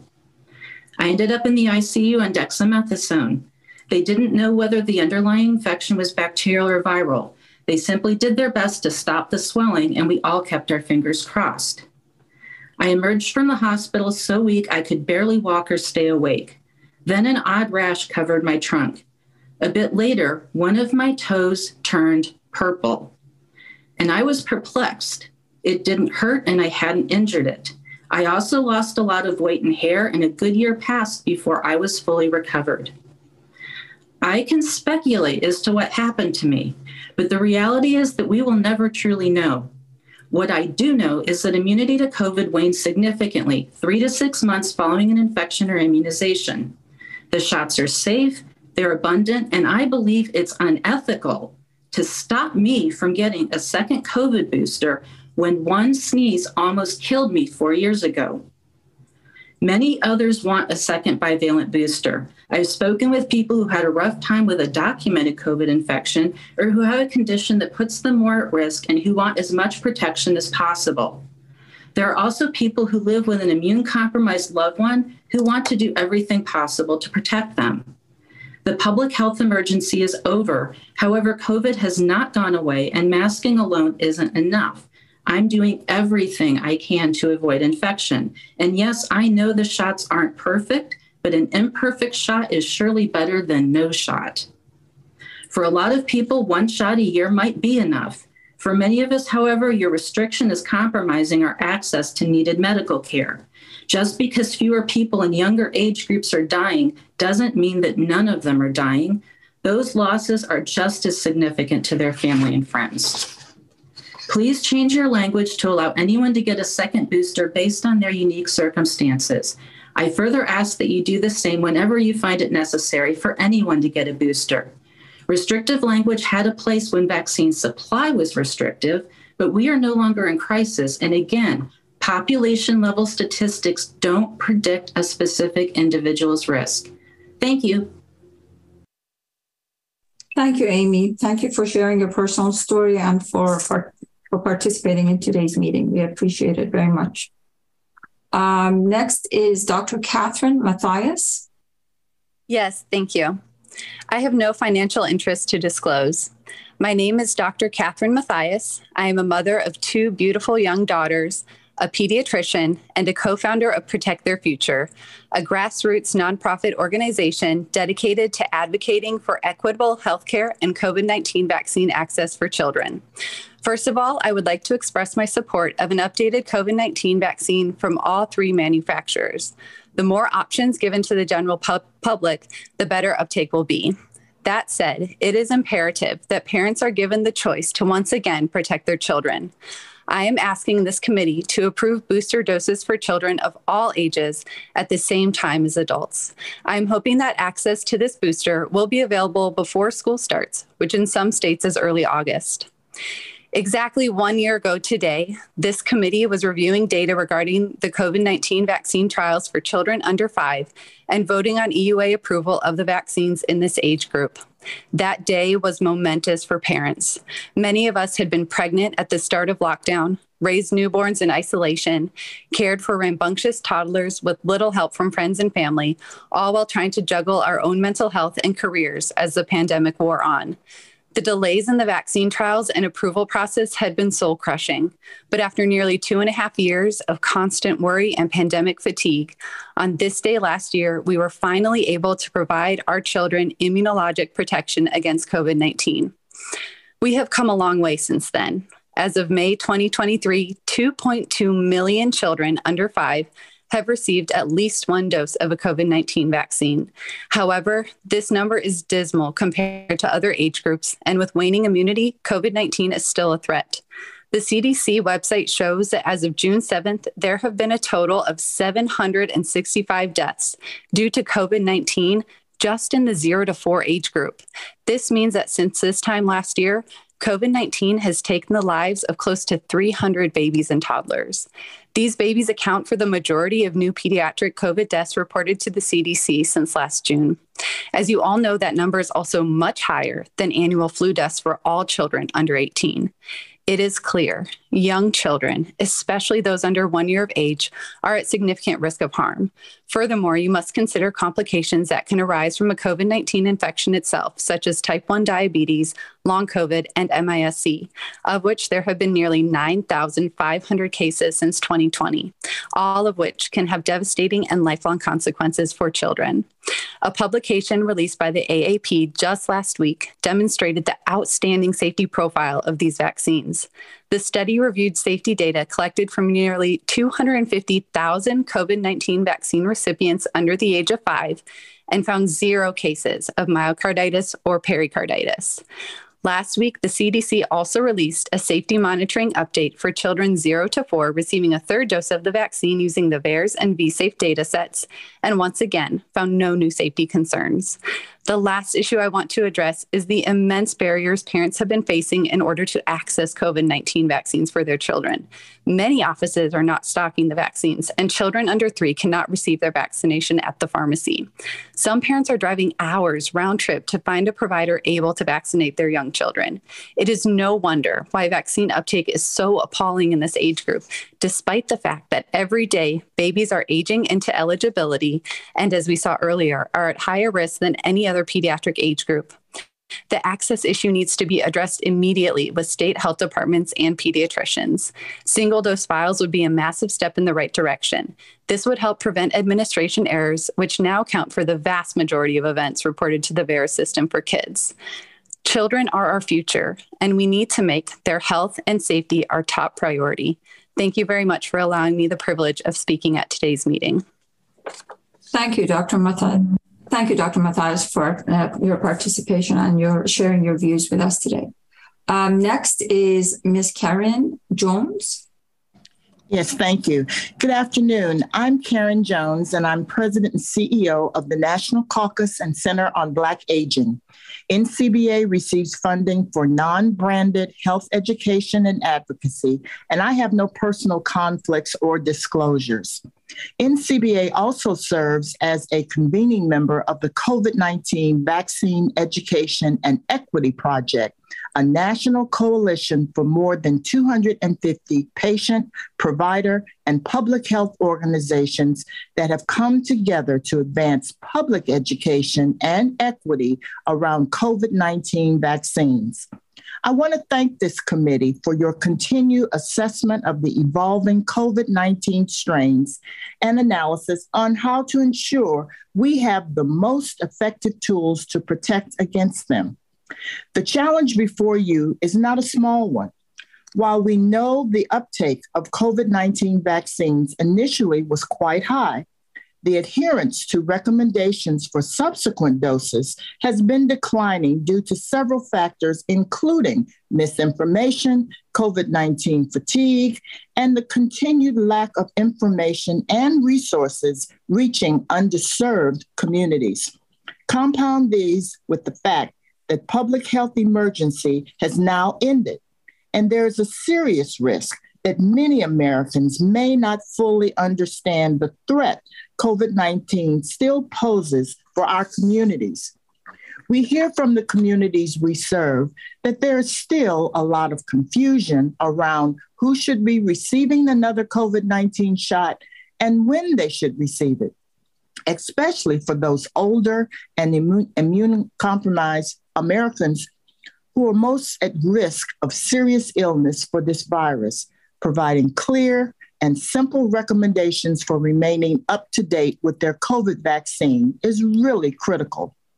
Last fall and winter, we were faced with quadruple threat of our respiratory systems as COVID-19, RSV, influenza, and pneumonia converged, and we saw increases in hospitalizations and deaths as a result. Now, we have an opportunity to get ahead of the upcoming respiratory virus season by informing the public now of the best ways to protect themselves before the season starts. We are extremely encouraged to see the FDA approve two new vaccines for RSV, and today are hopeful to hear this committee discuss the right approach for ensuring science is keeping up with the pace with the current strains of COVID. The community I represent is unfortunately still one of the hardest hit by this pandemic, which once again underscores the reoccurring and long lasting impact of healthcare inequity, older and underserved communities. During the 1918 flu pandemic, Black Americans were more likely to die compared to white Americans. And most recently, during the 2009 uh, H1N1 influenza pandemic, this population was more likely to be hospitalized and die than others. In our effort to reverse this trend, we focus on making sure that the information and the resources Americans need to make an informed decision about their health in reaching all populations. We leverage opportunities to ensure equitable access to these innovative tools, and we rely on the science and taking time to understand what may be holding people back from remaining diligent in protecting themselves against this virus. This committee can support our efforts by providing us with clear understanding of how the COVID 19 vaccines will evolve and why we should ensure we keep up to date with them. We look forward to continuing to follow this committee's recommendations, and we ensure that the latest information about the protective tools is made available broadly to every community so that individuals can be confident in their decision to stay up to date on their vaccines. Thank you. Thank you, Ms. Jones, for your participation today. We appreciate your presence. Um, next is Mr. Burton Eller. Good afternoon. I have no financial conflict to report. The Grange is the only national organization who has, over its 156 years of existence, has focused upon all life, uh, all aspects of rural life in rural America. In recent decades, advocating for access to quality health care has become a vital part of the work we do in small towns and rural communities throughout the country. We are most grateful for the opportunity to, to speak here today and to once again thank this committee and the FDA as a whole for their service in protecting the health of our country. As we have noted before, rural citizens face enormous health disparities by virtue of where they live. Among the more significant are Lack of access to care in rural America is estimated to account for 55% of preventable hospitalizations or deaths from all causes. On average, rural life is two years shorter than that of urban residents. Rural hospitals disappeared at an alarming rate. At least 200 have closed in less than 10 years, and that one third of those remaining have grim prospects for survival. Men, women, and children living in rural America have higher rates of illness for many conditions, from pneumonia and flu to certain types of cancer and obesity.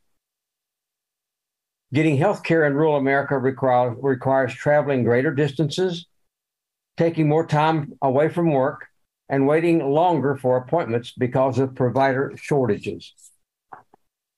The National Grange, its state granges, and its 1,400 local Grange chapters around the country work together to solve some systemic problems that negatively impact rural life, such as those I have just mentioned.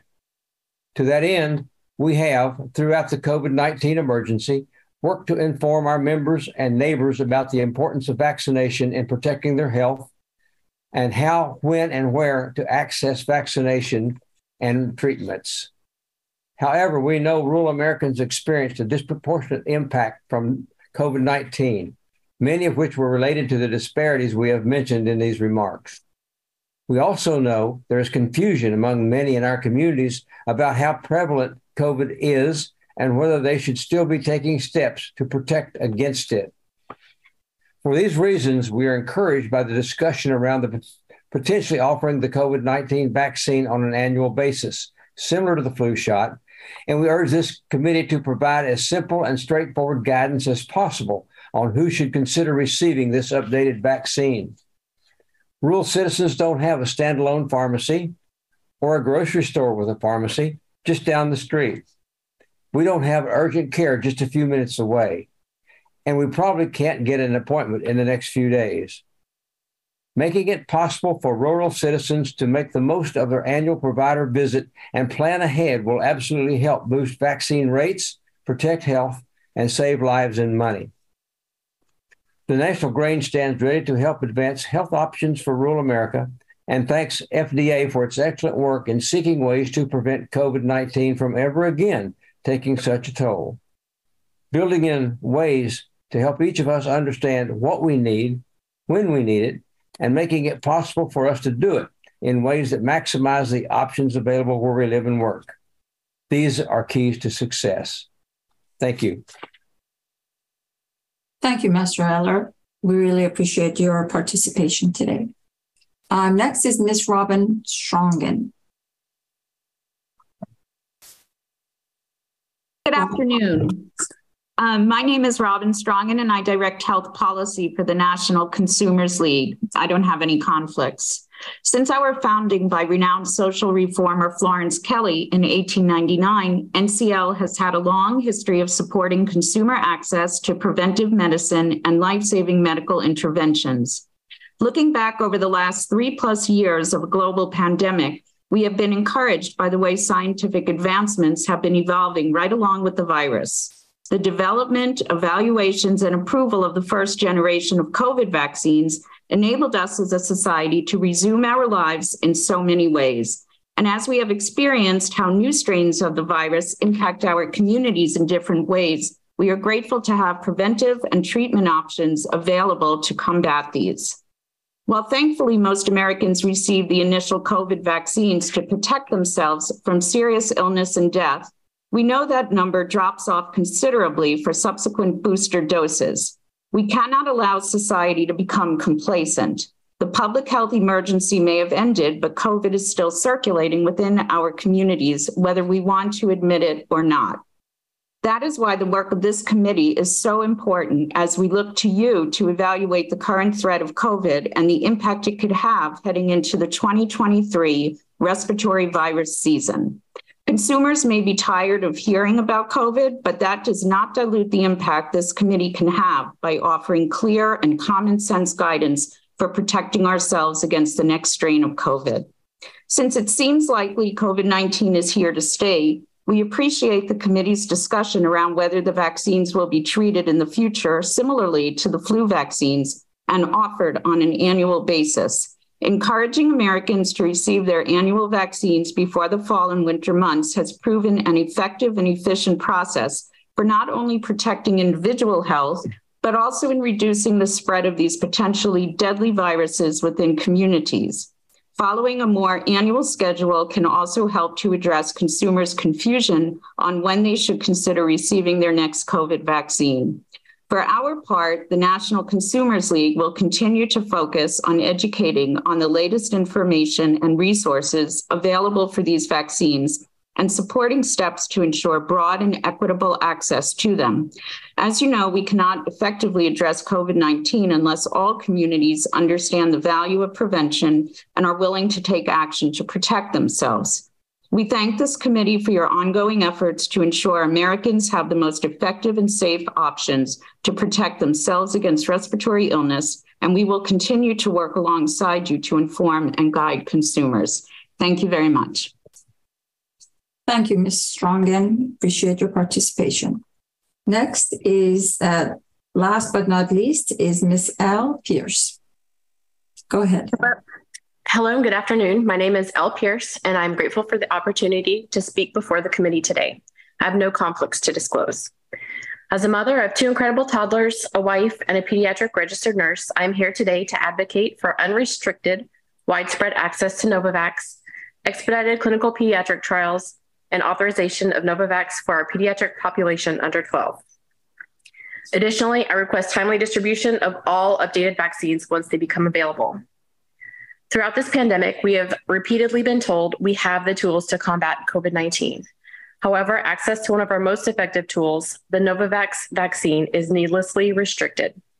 As we continue efforts to end the pandemic, it's essential to revise Novavax eligibility criteria to ensure access to as many individuals as possible, including those who wish to restart a Novavax primary series.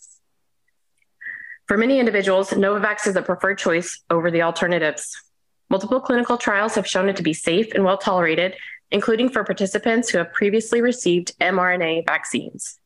Due to this evidence, numerous other countries have approved Novavax booster shots irrespective of prior mRNA vaccination status. For individuals unable to tolerate mRNA vaccines, such as those with PEG allergies, Novavax is the only option. Because Novavax uses a conventional protein based platform that is familiar to most people, it's also a viable alternative for those who are hesitant to receive mRNA vaccines. Novavax has the ability to alleviate strain on healthcare systems, save lives, reduce long term COVID complications, and help society regain a semblance of normalcy. It offers outstanding efficacy, safety, and adaptability, making it an indispensable tool in our fight against COVID 19. If our goal is to increase vaccination rates, we must eliminate bureaucratic roadblocks and simplify the process for those wishing to safeguard themselves. As we continue our battle against COVID, the United States must prioritize the health and well being of our vulnerable children. Despite prevailing misinformation that suggests children are spared from the virus, it's crucial to acknowledge that they are not immune to its impact. Considering this, I urge the medical and scientific communities to expedite clinical trials of Novavax for expanded pediatric use. With the vaccine's established record of safety and efficacy in adults, we have a solid foundation for evaluating its effectiveness in children. To accelerate the process, we should leverage knowledge and experience from previous trials, streamline protocols, and foster collaboration among researchers. By expediting Novavax pediatric trials, we can provide an additional layer of protection for our children. Due to the fact that COVID is not a seasonal virus, nor is it over or gone, I'm asking the committee to make the updated formulations of all COVID vaccines widely available and easily accessible as soon as they're available. Our children deserve protection before the school year begins this August. Anytime after that is too late. In summary, I'm respectfully requesting this committee immediately ease restrictions around eligibility for current and future Novavax formulations for the wider population. It's imperative we allow people to restart a new primary series with Novavax, irrespective of vaccine histories, and permit boosters without waiting for regulatory approval for individual shots. Finally, by extending Novavax access to our youngest children, we can protect them from the devastating effects of COVID 19 and contribute to the collective effort of overcoming this global crisis. Novavax merits your full attention and support. Thank you. Thank you, Ms. Pierce. Um, thank you, everyone, once again for participating in today's advisory committee and for sharing your views and comments. This concludes the open public hearing session for today. And now I hand over the meeting back to our chair, Dr. Monto. Dr. Monto. Thank you, uh, Suzanne. Next, we're going to hear the FDA presentation uh, considerations and recommendations for changes to COVID 19 vaccine strain composition. Jerry, Dr. Jerry Weir, Director, Division of Viral Products, FDA.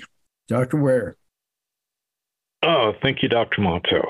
Um, the committee's heard a lot of data today. Um, I'm not going to add more data uh, for you to digest, but rather summarize at a fairly high level what you've heard, as well as briefly review the process that we've used at the FDA over the last few months to evaluate this data in support of strain selection. Uh, next slide starting with some background. Uh, the committees, most of you on the committee are the, have been here for the over the several years actually, and you're aware that we have met three times to date to discuss strain composition of COVID-19 vaccines in the U.S. We met first over a year ago on April 6, 2022, to have our initial discussion about the framework for updating COVID 19 vaccine composition process. At that initial meeting, there was general agreement that COVID 19 vaccine strain composition decisions should be data driven and that there should be evidence to indicate that a proposed modified vaccine composition would likely provide improved effectiveness compared to current vaccine compositions. We met again a few months later in June 20 on June 28, 2022, and at that time we discussed whether an updated COVID-19 vaccine strain composition was needed, and the committee voted to include a SARS-CoV-2 Omicron component for COVID-19 booster vaccines. At that meeting, there was a general preference for a bivalent vaccine containing the ancestral and the Omicron strains. More recently, in January, uh, in January 26, the committee met again and had additional discussions about the approach to the periodic updates of COVID 19 vaccine strain composition. To summarize briefly that meeting, there was, uh, as far as the strain composition discussion, there was general agreement that there should be a periodic assessment by the FDA and the VRBPAC to reassess the current vaccines and decide if improvement is needed. Also, that updating the strain composition of COVID 19 vaccines would likely be a continuous process. And further, that a late spring, early summer target for a VRBPAC, FDA VRBPAC review and recommendation seemed reasonable and practical for delivery of an updated vaccine for a fall vaccination campaign. So at this time, I want to step back to that June 28th meeting to review what we did at the time, uh, because I think it's both one, this is only the second time we've gone through the strain composition update decisions, but I think what we did at that meeting a year ago is instructive for what we did then versus uh, makes a nice comparison to the choices that we're faced with now. So you can go to the next slide. I have two or three slides about that meeting. Okay, as I said a minute ago, we met on June 26th 2022 to consider whether a change to the current COVID 19 vaccine strain composition was needed. The committee voted to recommend the inclusion of an Omicron component for booster vaccines in the United States. But also at that meeting, we discussed the evidence supporting a monovalent Omicron or a bivalent vaccine, which would be the prototype or the original strain plus Omicron. And the committee discussed the selection of specific Omicron sublineages to be included in the vaccine. Specific specifically, they discussed the possibility of including a BA1 component or a BA4, BA5 component. And a few days later, on June 30th, the FDA notified vaccine manufacturers of FDA's recommendation to develop a bivalent vaccine that included the original strain plus an Omicron BA45 as a booster dose to improve protection. The first bivalent vaccines from Moderna and Pfizer BioNTech were authorized for use in individuals 18 years of age and older and 12 years of age and older, respectively, on August 31st. So the next slide shows the situation we were faced with last June. Uh, on the left is a little hard for you to read, but it's a dendrogram that I showed uh, at that time at the meeting. And what that showed, similar to what is you see on the right with the variant proportions, was that the virus was evolving as Omicron since the emergence of Omicron uh, into both BA1 and BA2 viruses and our discussion at the time concerned the selection of Omicron sublineage variants BA1 versus BA45. The reason that that was the choice that we were confronted with was because at the time of this meeting, manufacturers had produced and evaluated BA1 vaccines in clinical trials, and they were prepared to supply a BA1 containing vaccine for 2022 and 2023. It's also true that uh, at the time, we did not have perfect global alignment. The WHO had recommended a BA1 vaccine, as had our European colleagues. But the fact is that at the time we were having this meeting in June, BA1 was no longer in circulation at that time. It had been supplanted by other BA2 derived viruses. And this is shown in more detail on the next slide. Uh, this is a sort of a linear representation of the spike protein with listed amino acids. Um, the reason that the change from BA1 to BA to BA45 was such a was the decision that we had to make. As I said, we, we had data for BA1. Manufacturers were prepared to make this, but BA1 not only didn't exist, but BA1 was a lot different than BA2 and the derivatives that were coming from BA2. Specifically, if you I have them listed on the right of this there were major differences between BA1 and BA2 spike proteins. Uh, nine amino acid changes, three deletions, and one addition in BA1 that were not present in BA2, seven amino acid changes, and one deletion in BA2 were not in BA1. So these two Omicron derived viruses were quite different from each other. On the other hand, there were fairly minor differences between BA2 and the BA2 derivatives, BA2.12.1 and BA4.5. Uh, those are shown in near the bottom of the slide on the left. You see that BA 2.12.1 only had two changes relative to BA2, and BA45 only had three or four. It actually had one deletion that was present in BA1. So that was the situation we were faced with. BA1 was extinct, or essentially extinct, it didn't exist, and BA2 derivatives such as BA4, BA5 were predominant, uh, were the predominant circulating strains. So if we move to the next slide, we'll talk about now where we are today both a year both a year ago and now, uh, we listed considerations for modifying COVID-19 strain compositions for uh, for COVID-19 strain composition decisions.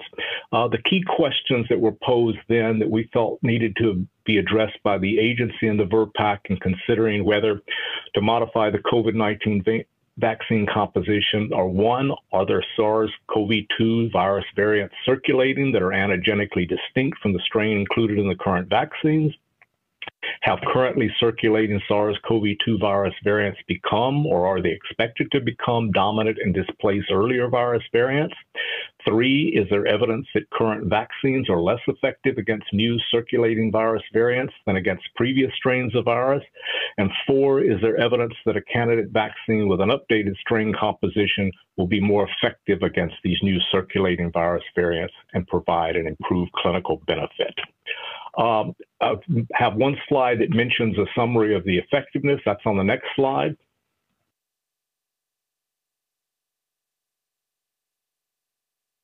Okay, so you, you've heard a lot of data already about this from our CDC colleagues, as well as you heard data from each of the manufacturers as far as the current effectiveness of authorized COVID-19 vaccines and the need for a periodic strain update. Uh, first of all, observational effectiveness data strongly suggested that updating the composition of the COVID 19 vaccines in 2022 from the original monovalent to a bivalent containing the original and Omicron BA4, BA5 components offered benefit and protection from COVID 19 disease caused by Omicron. I think the data is pretty clear that there was a, a, benefit to this. Nevertheless, as you also heard today, there appears to be an inverse relationship between the time since vaccination and vaccine effectiveness, such that bivalent COVID 19 vaccine effectiveness against evolving Omicron sublineages appears to wane over time. Uh, this appears from the data that presented by CDC that this may be even more true against virus variants such as XBB derivatives. Uh, three, the data indicate that bivalent COVID 19 vaccines elicit improved variant specific neutralizing antibody titers, but these antibody titers also decrease over time after vaccination, and they are substantially lower against more recently circulating strains of virus like the XBB lineage viruses. Taken together, as far as effectiveness, the available data suggests that an updated strain composition of COVID 19 vaccines that will close, more closely match currently circulating XBB lineage viruses may be, may be beneficial. Next slide. Okay, so in January, uh, we outline some we outline the approach that we would use for vaccine strain composition recommendations. And as we outlined and proposed at that meeting, the evidence used to determine the need for updating the strain composition of COVID-19 vaccines would ideally include multiple types of and sources of data. Over the last few months, the FDA has reviewed various types of data as listed below, and I'm going to walk through these in the next few slides. Uh, we've reviewed this data. We've engaged in key partners generating this data, and that included both mac- vaccine manufacturers, other government agencies, as well as experts in the field. Uh, but if you break it down, the type of data can be grouped into a few categories. One is virus surveillance and genomic analyses to identify emerging new virus variants, uh, antigenic characterization of viruses to identify antigenically distinct variant viruses, post vaccination human serology studies to evaluate the antibody responses generated by current vaccines against more recently circulating virus variants such as XBB lineage viruses, and finally, preclinical immunogenicity studies to evaluate immune responses generated by new candidate vaccines, for example, those expressing or containing updated variant spike components against antigenically distinct circulating virus variants. In addition to all of reviewing all of these types of data, FDA reviewed the discussions and recommendations put forth by other regulatory groups and public health agencies. And finally, the FDA has discussed manufacturing timelines with each of the manufacturers of authorized and approved COVID 19 vaccines to understand the impact of a strain composition recommendation on vaccine availability. So I'm going to give you a quick high level overview of, of our review of each of these types of data.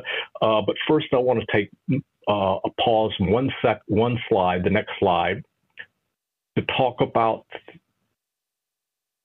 about the role and the use of virus neutralization data to inform vaccine strain selection. The reason for this is because in much of the types of analysis that we do and the types of data we look at, virus neutralization data plays a key role. Virus neutralization data are routinely used to establish antigenic relationships among contemporary viruses. We also use virus neutralization data in post vaccination studies, and we also use neutralization data to evaluate candidate vaccines in preclinical studies. Although other immune mechanisms are important for protection, and protective neutralization titers are unknown and are likely to vary among virus platforms and for different virus variants. Neutralization has been shown to correlate with protection for all spike-based vaccines.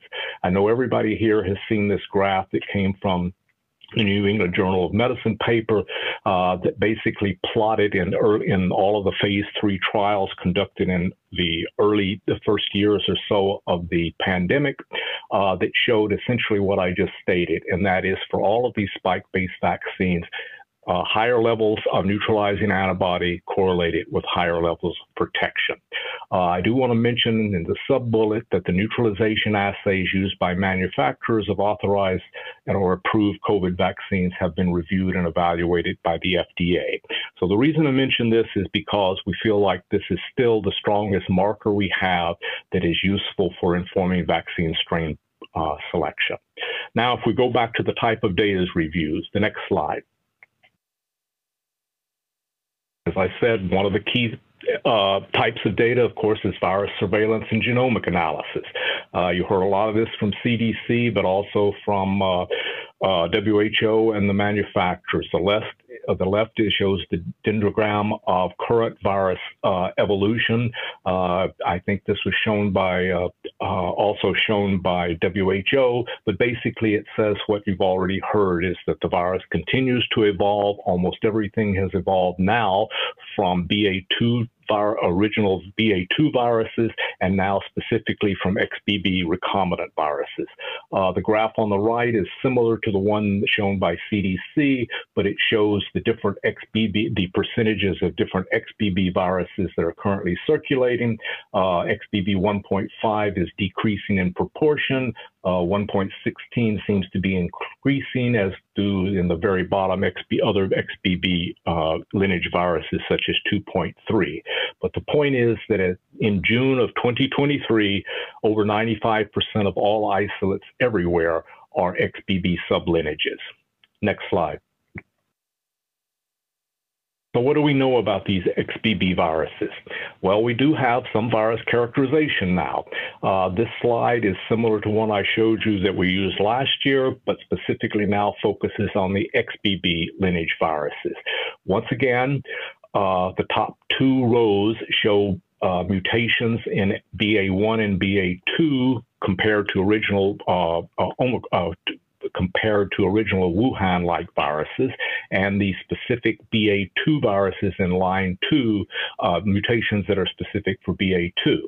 Now, as you've already heard, and you know by now, XBB is a recombinant of two BA2 derived viruses, BA2.10.1 and BA2.75, although there are substantial spike amino acid com- changes compared to BA2, including multiple RBD mutations. Um, in response to a question that was brought up earlier in the day, and I think it was by Dr. Meissner, uh, recombinations have occurred before this XBB. Uh, they've occurred throughout the pandemic. It's just that until this, these particular recombinants appeared, the other uh, recombinants that were, were, were isolated did not appear to take off. So anyway, it is a fairly common uh, phenomenon among coronaviruses. Um, Finally, in this slide, XBB has continued to evolve with accumulation of small numbers of mutations in the spike N-terminal domain and the RBD. Uh, this is shown in green at the bottom. Uh, first of all, the first line it shows the XBB mutations compared to BA2, which, as I said, are quite a few amino acid changes compared to BA2, and hence uh, BA 4.5 that were in last year's vaccine. Uh, XBB 1.5 uh, has a couple uh, has a couple of amino acid changes compared to the original XBB uh, derived XBB virus, and then XBB 1.16 and XBB 2.3 have other amino acid changes. Uh, these differ from XBB 1.5 by one amino acid each in the RBD, and I, I box those in the uh, in the uh, bottom two rows. Uh, but of course, what that means is XBB 1.16 and XBB 2.3 differ from each other by two key amino acids in the RBD. Uh, the next slide shows a final little summary slide of what we know about virus characterization about the XBB lineage uh, SARS-CoV-2 viruses. Uh, as I've already mentioned, genomic analysis suggests a close relationship among the XBB lineage viruses. Antigenic characterization of circulating XBB lineage viruses is limited to a few recent studies, but also suggests antigenic similarity among the XBB lineage viruses. In one study, sera from XBB 1. XBB.1 infected hamsters, which is a monospecific sera, neutralized XBB1 and XBB1.5 and XBB1.16 pseudoviruses to a similar extent, but poorly neutralized pseudoviruses expressing earlier spike proteins. Uh, this particular reference and the, and the key uh, uh, graphs from that study have been shown twice already this morning. So I'm sure you've seen that. Uh, several studies, including those presented at VRBPAC by manufa- this VRBPAC at manufacturers of authorized or approved COVID-19 vaccines, show substantial decreases in neutralizing antibody response against XBB subvariants. Data from preclinical studies, and I'm going to talk just a bit more about preclinical studies as well as uh, uh, as, as well as clinical studies in a minute. But data from preclinical studies with XBB 1.5 and 1.16 candidate vaccines, which were conducted by manufacturers of the authorized approved vaccines, indicate substantial cross neutralization between XBB 1.5 and 1.16. Cross neutralization was also observed against XBB 2.3, although it's a somewhat more limited data set, although actually there's more data that's been generated since I made this slide, and that was presented by the different manufacturers uh, earlier today. Uh, and finally, there's preliminary data from one clinical study with an XBB 1.5 candidate vaccine that also indicates substantial cross neutralization between XBB 1.5 and XBB 1.16. If we go to the next slide, this is a high level summary of post vaccination human serology studies. Uh, Post vaccination human serology studies are used to evaluate antibody responses that are generated by current vaccines against more recently circulating virus variants. The COVID 19 vaccine manufacturers are well positioned to generate the robust data needed from post vaccination human serology studies. Just want to remind you that sera are available only from recipients of current vaccines or infected individuals. In other words, except for the one study that Moderna uh, uh, described, there is none of these have exposure, none of these subjects and the sera from these subjects have exposure to an XBB vaccine, and there's only limited exposure to any XBB lineage viruses in this study. The neutralization titers measured in this post-vaccination human serology studies against new virus variants, such as the XBB 1.5 and 1.16, can only indirectly suggest similarities or difference between two variants. Uh, the data presented at the VRBPAC by these manufacturers of authorized approved COVID-19 vaccines indicate that recent virus variants, uh, particularly the XBB descendant lineage viruses, are especially resistant to neutralization by antibodies elicited by prior vaccination and or infection. Uh, besides the results presented by the manufacturers, there are similar results showing substantial reductions in neutralizing antibody titers against XBB lineage viruses in recipients of current vaccines that have been reported in many other studies. And I think uh, the WHO presentation lists several of these. I've listed only one more, and this was results from an NIH COVAIL clinical trial. And the only reason I mention that is because the assays they use are also assays that have been submitted and reviewed by the agency. Next slide. Okay, this one is I wanted to mention about, uh, talk briefly about high level view of the preclinical immunogenicity studies with new candidate vaccines. Preclinical immunogenicity studies are used to evaluate immune responses generated by new candidate vaccines, those expressing or containing updated variant spike components, and used to evaluate against antigenically distinct circulating virus variants. Preclinical immunogenicity data, which is almost always neutralizing antibody can provide an indication of how well antibodies to the spike of one strain will cross neutralize other variant strains of SARS-CoV-2 and thus help inform strain selection in combination with other data. It is not predictive of protection. It just gives us an indication of cross neutralization.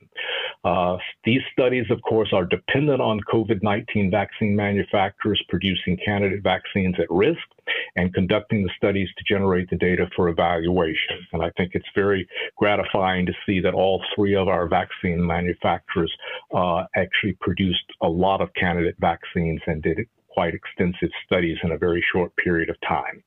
Uh, the data presented by these manufacturers indicate that updated XBB monovalent formulations of candidate vaccines elicit stronger neutralizing antibody responses against XBB descendant lineage viruses than current bivalent vaccines.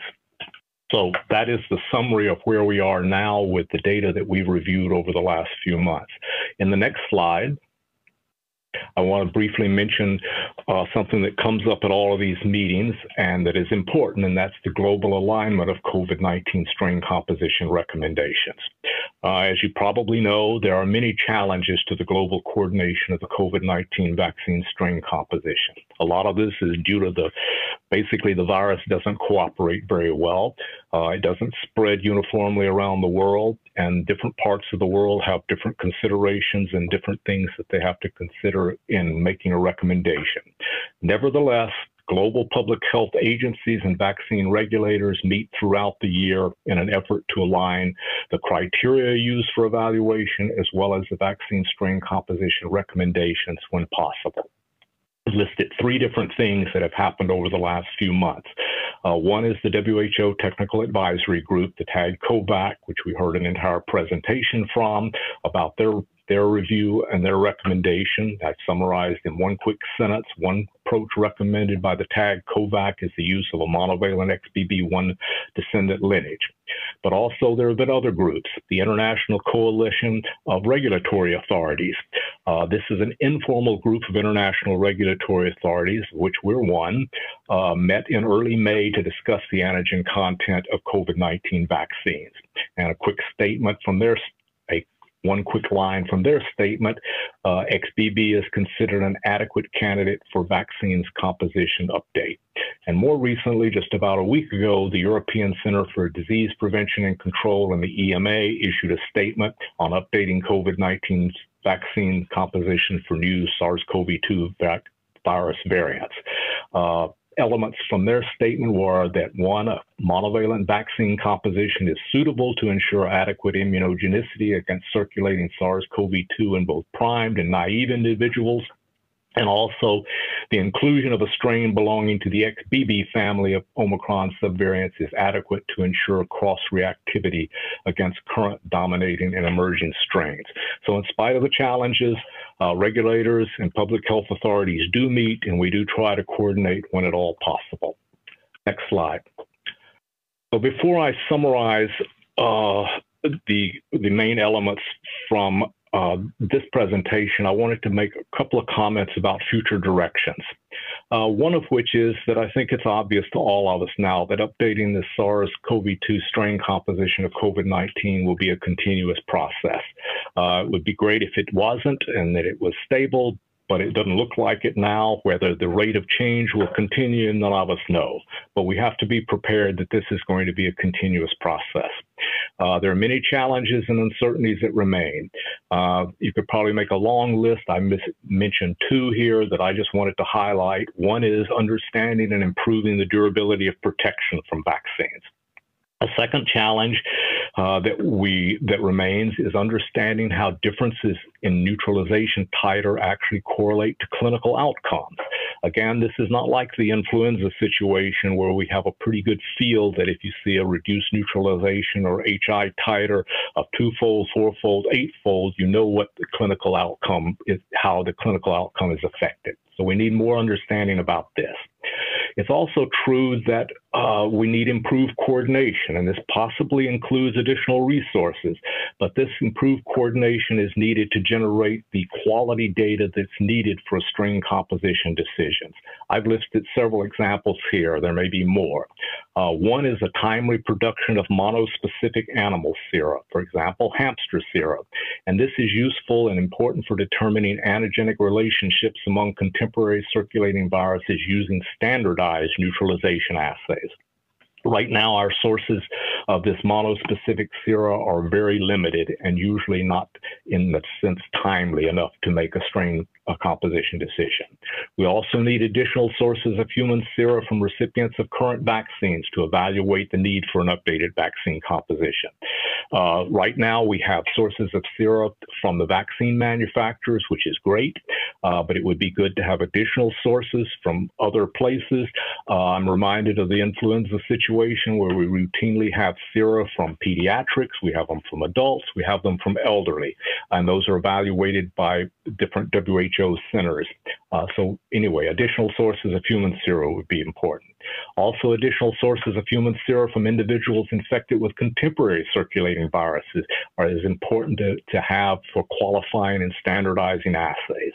And finally, the last one that I've listed here, which is a bit aspirational, I'll admit, is that there needs to be a better and independent and reliable risk assessment of circulating virus variants to focus resources and better predict the need for an updated vaccine composition. So I'm almost at the end. The next two slides are a quick summary of where we are and everything you've heard. By several measures, including escape from antibody neutralization and waning protection, current COVID 19 vaccines appear less effective against currently circulating virus variants, for example, the XBB lineage viruses, than against previous strains of viruses. The manufacturers of authorized approved COVID 19 vaccines have been evaluating updated candidate vaccines at risk, and as they've all stated at this meeting, they are prepared to provide an updated vaccine for 2023 2024. But as you've also heard, some of these manufacturing timelines may be impacted by the final choice of vaccine antigen. Uh, next slide. Last three summary points.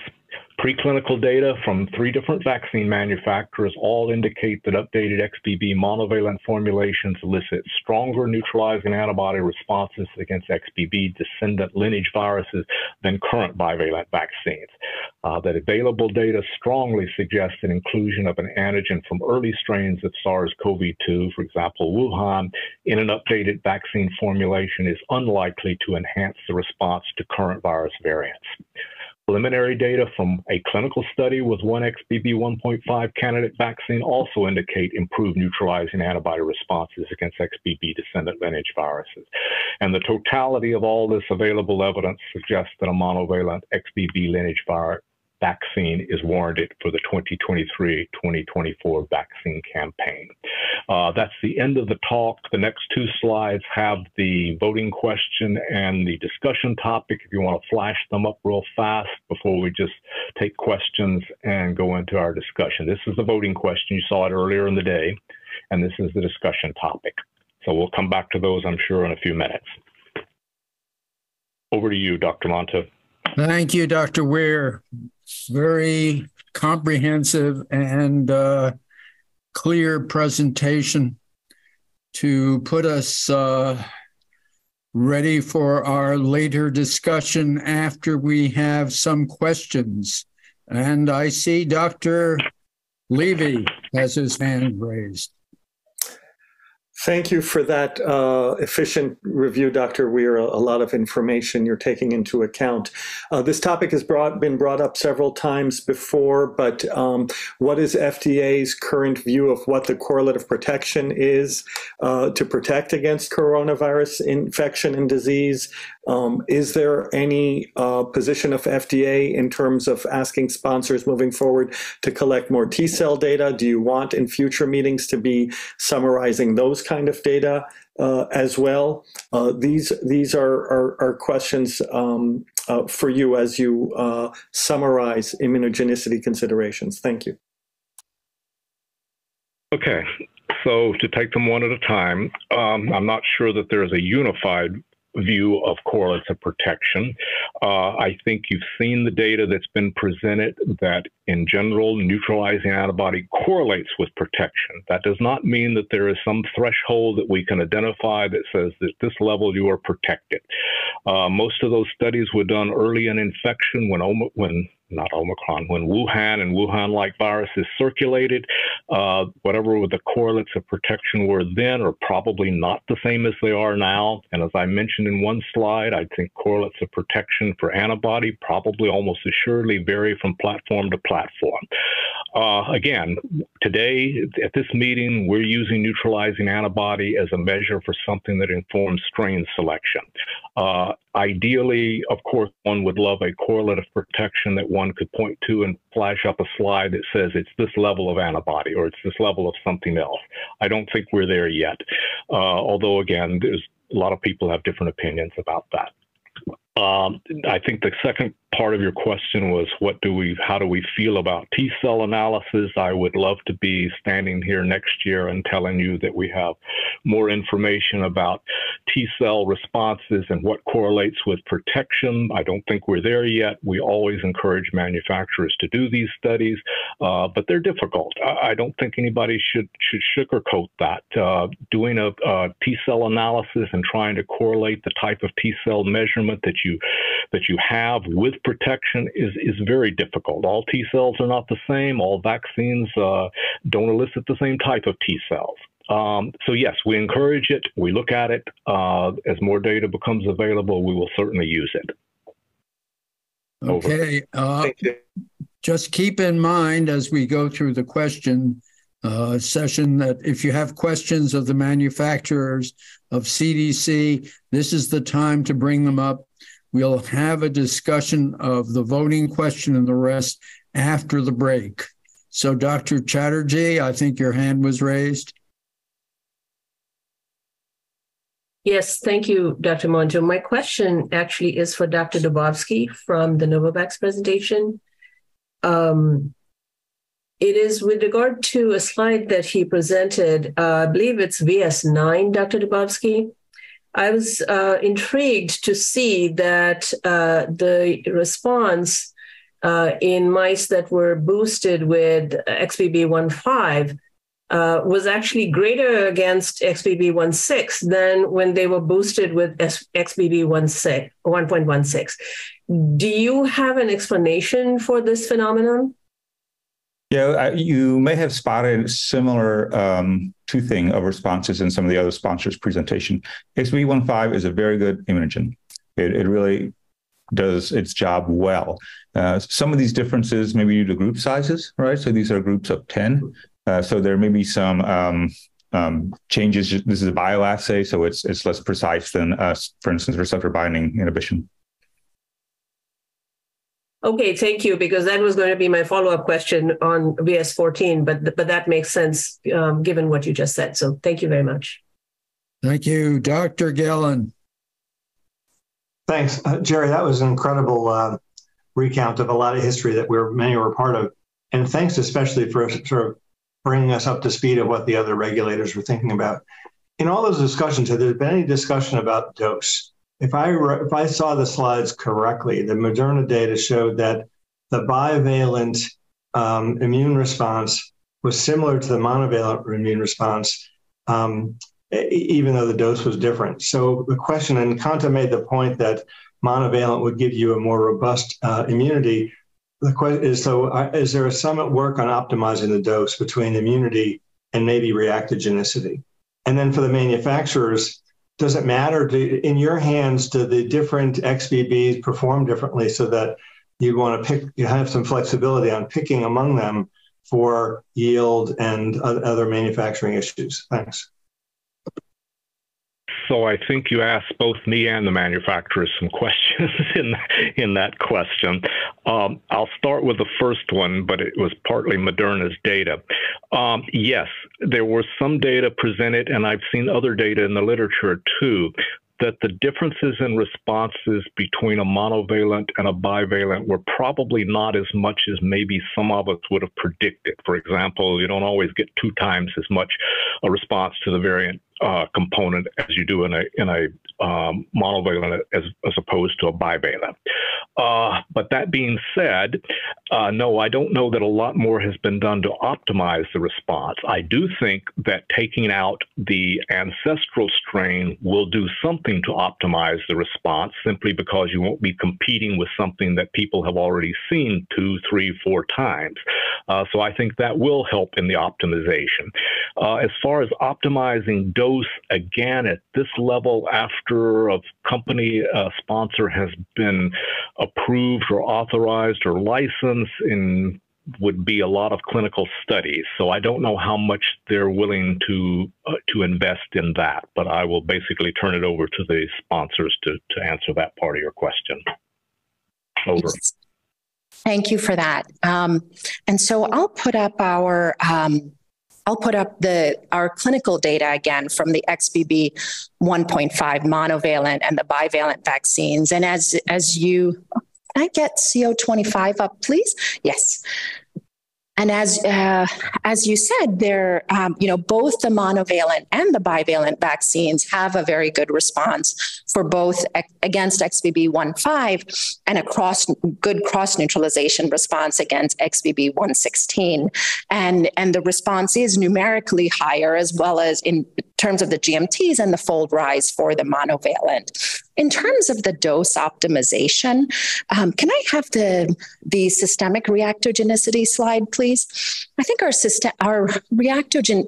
So both of these doses are our standard 50 microgram dose for the booster, and if I have this slide up as well, our systemic uh, our reactogenicity for these vaccines is actually quite um, is um, it, the reactogenicity is well tolerated. And it's very similar to that which we had for the bivalent vaccine booster as well as the monovalent vac- vaccine booster. So overall kind of very consistent at, uh, with a very good immune response for the monovalent xbb15 vaccine. Thank you. I think pfizer wishes to comment, please? Kena Swanson, Pfizer. If I could have slide one up, please. Just to follow up on the question around the mono versus bivalent, these are the preclinical data showing XBB 1.5 monovalent versus 1.5 bivalent. And this is a fourth dose booster. So, in the context of two original uh, vaccine doses, followed by the current bivalent BA45. So trying to more faithfully reproduce the current immunological setting. So in that context, we do also see a trend for higher neutralizing titers with the monovalent formulation compared to bivalent. And going back to the prior clinical data that we've generated, um, we've seen this also in humans when we initially evaluated the Omicron BA1 monovalent versus bivalent vaccine. And the question around the dose level, we have evaluated 30 microgram versus 60 microgram. There is a subtle trend of higher neutralizing titers going from 30 to 60 microgram, but it's not a substantial increase. So I think the collective data is showing that the current dose level is sufficient for the variant adapted vaccines. Thank you. Okay, uh, Dr. Offit. Yes, thank you. So, so um, these vaccines will be available presumably in the next few months. The, the data that we don't currently have is we we don't have either immunogenicity data or safety data from either Novavax or Pfizer. Um, we don't have concomitant use data for either influenza vaccine, which is likely to be given around the same time, or for older Americans, the RSV vaccine. And we don't have uh, dosing data for young children who would be at risk and would benefit. So, my question, I guess, to the FDA and to Jerry is what exactly is the standard that you're going to be holding these companies to to, to provide that information before clinicians are, are being asked to give this vaccine? Thank you. Dr. Weir? Yeah. Um, okay. So that's a little different from from what we're talking about today about what should be in the vaccine. But it is true that as we outlined in January, we expect an extensive data package from each manufacturer. Once a recommendation is made, an extensive data package from each manufacturer to support their vaccine. Uh, things that you mentioned, like concomitant studies, all of those would be discussed with manufacturers. They would be prepared, I'm sure, to do the studies that we would need to evaluate that type of, of situation. Uh, forgot the second part of it. Well, so do- dosing for children. Was there any interest in in uh, in providing dosing for children? Uh, yeah, so that again, I can turn to my other FDA colleagues, but those discussions are underway between the agency and each manufacturer about uh, doses for different age groups. Um, so yeah, but those data will you're you're, Jerry, you're anticipating those data would be in hand by the time this vaccine was rolling off the shelves. Is that fair? Uh, I'm not sure I can comment right now on the timelines of all of this. Sorry, I don't know if Anybody else, uh, Jerry? would have something about the timelines for that or not. We do have a lot of submissions in house on different age groups and different doses and things that are under review now. Okay, can we should we park that uh, oh, that that uh, question and uh, come back to it later if there is an answer?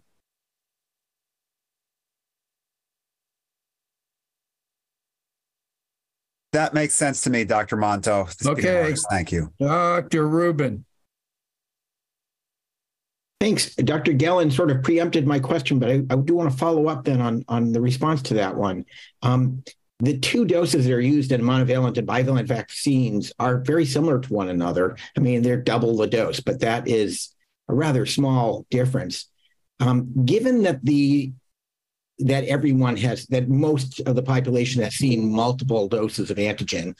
In traditional immunology, if you wanted to improve the quality of antibody, you'd lower the dose of antigen rather than increasing it within this narrow range. So, really, I think it's a question for the manufacturers. Do lower doses actually give you better responses in some of the models that you're using now, given the three or four, uh, you know, the three doses, three prior doses, and the uh, and and exposure to natural infection? interesting question about dose finding. Do the manufacturers have any interest in replying? Jerry, do you? No, I think you've probably seen everything with candidate vaccines that there is, but I'll turn it towards the manufacturers to see if they've evaluated something that they didn't present. Pfizer? Put me up. Hi. So I, Early on in the evaluation of the original BNT162b2 vaccine, we did evaluate lower doses at the 10 microgram level in adults. And we did see nice increased response going from 10 to 30 microgram. Now, going into more of the variant adapted vaccine clinical experience, we've really focused on looking at whether 30 or moving up to 60 microgram, but not going down um, in the dose level because the, the, if we're seeing, we're not seeing saturation um, going from the 30 to 60 micrograms. So it suggests that 30 microgram is a reasonable dose level. That's fair. But of course, the individuals now have seen a lot more doses of antigens. So it's not the same as when you did the initial studies where I, I did, I do, we, I do recall those data. Um, and I wonder if it would be the same now. Well, I think if we're moving toward more of a monovalent XBB, that will be much more of a new antigen component containing vaccine. So I think it would be in a good position to see reasonable responses with that composition. Does Moderna want to reply? Yeah. Yeah, you know, we have done our, we have worked to kind of keep the doses consistent to facilitate the, um, to facilitate, to facilitate the licensure and kind of implementation across the populations. You're right. I mean, we have the 50 micrograms for the monovalent and a total 50 for the bivalent, which has the 25 of the uh, XBB1.5. And, and there we do see the benefit of of some benefit of the monovalent. Um, yeah, I don't know that I can comment on whether a, a lower dose of, of the monovalent would um, would be would be further improved. I'm not I'm not sure. And Dr. Dubovsky, do you want to add to this? Yeah, when in the early days we did dose finding in the seronegatives, and there we found that a low dose, a five microgram dose, performed comparably to a 25 microgram dose. I think we're in different times now. Uh, everyone's been exposed or vaccinated, and I and I draw experience more toward influenza, where we know that uh, higher doses in people who've been exposed many times actually lead to a, a better immune response.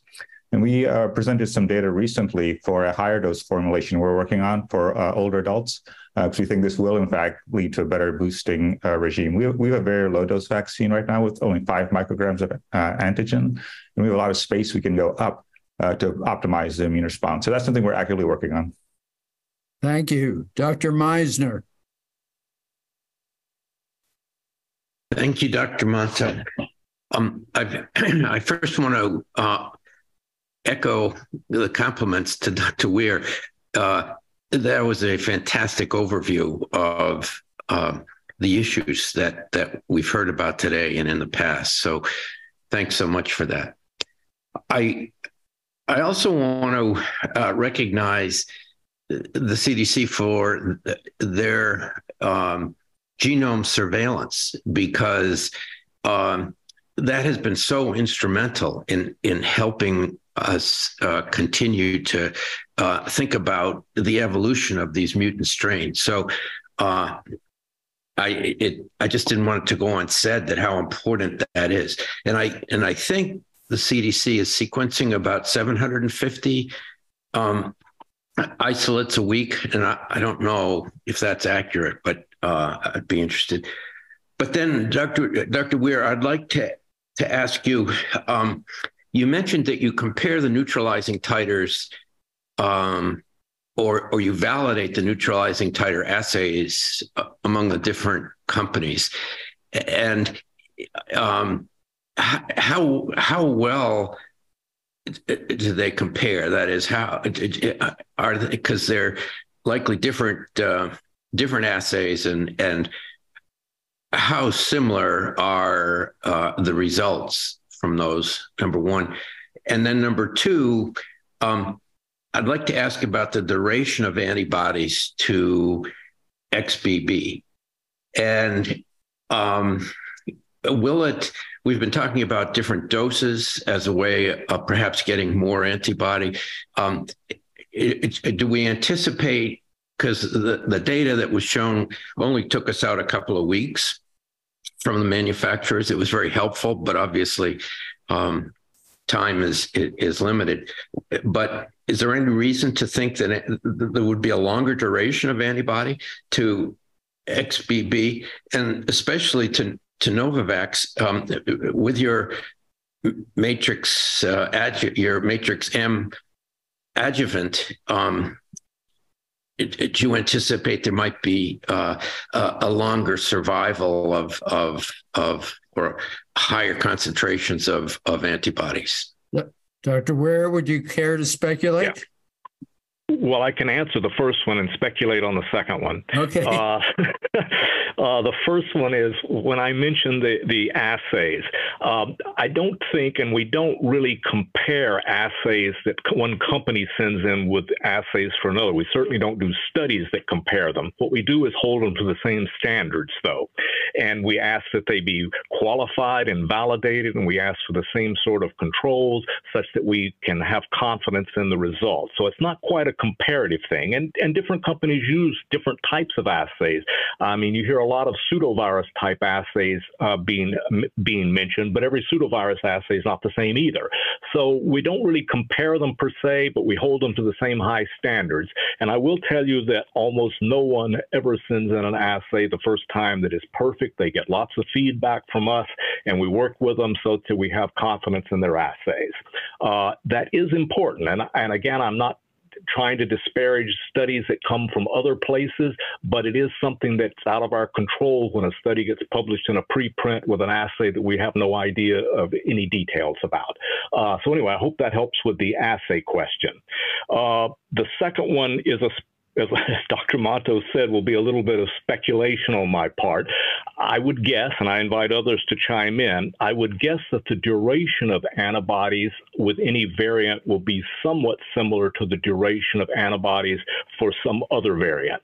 Uh, that being said, I think the higher the titer, the if even if the duration is about the same and, and call it a decay, it's not really quite a decay, but the diminution of the response goes down over time. If you start at a higher level, then it you have something detectable for a longer period of time. So that would be my guess.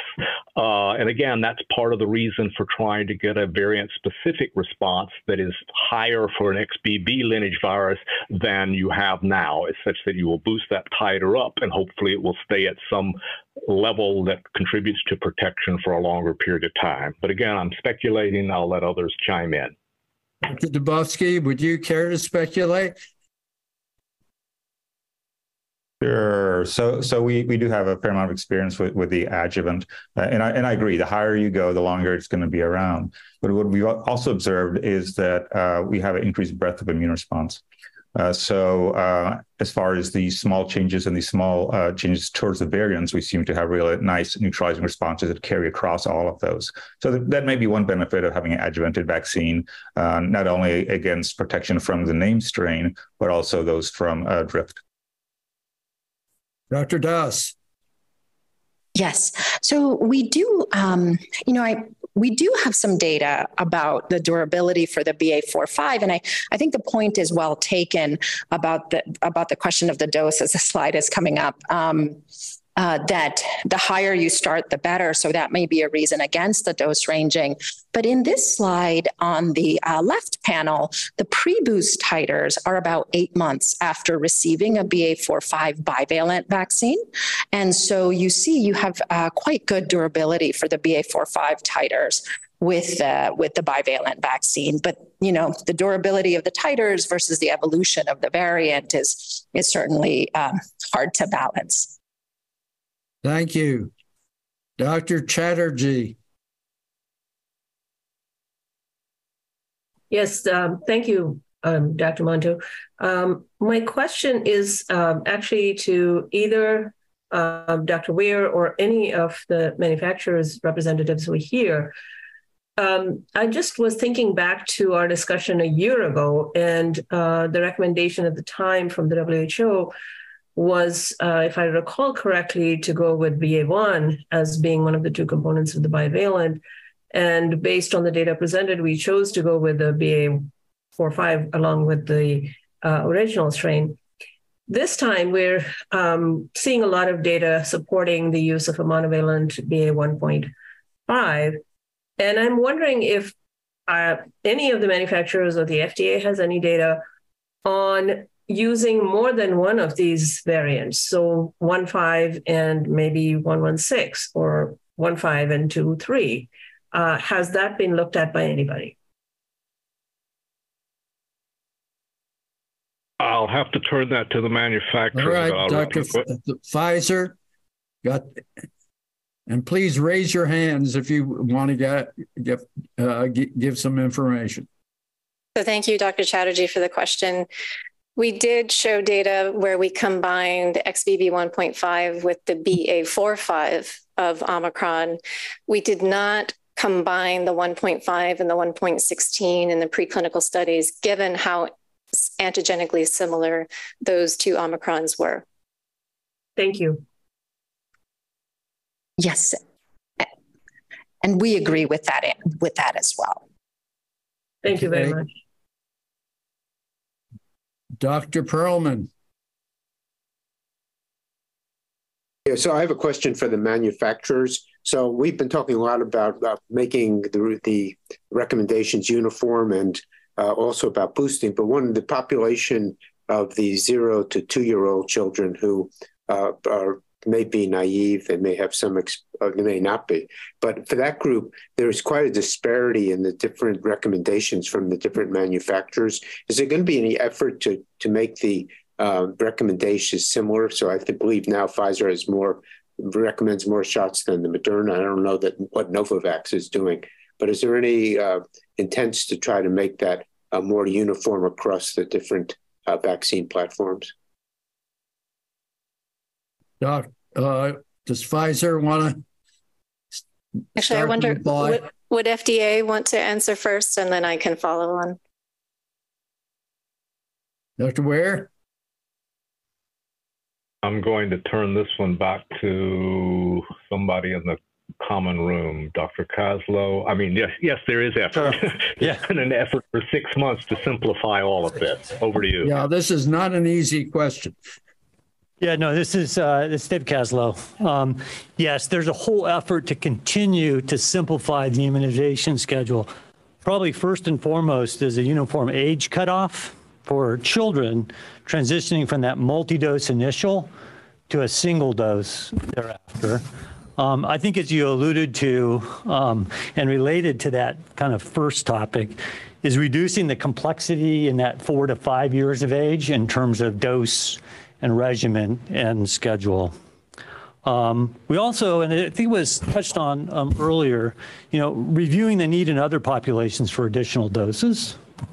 And, um, and lastly, um, looking at schedules in individuals with certain kinds of, um, of immune compromise. So those are all under active consideration and um, will certainly be impacted by some of the decisions and the decisions and recommendations that come out of this this VRBPAC. So, yes, work in progress. Thank you. Uh, Dr. Dubovsky, do you have something to add?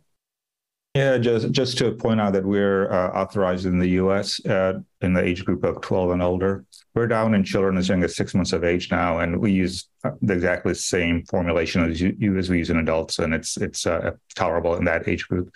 So uh, as those studies conclude, and we file for uh, authorization approval in the U.S., I think we'll have a solution that'll be quite good for those kids. And Pfizer.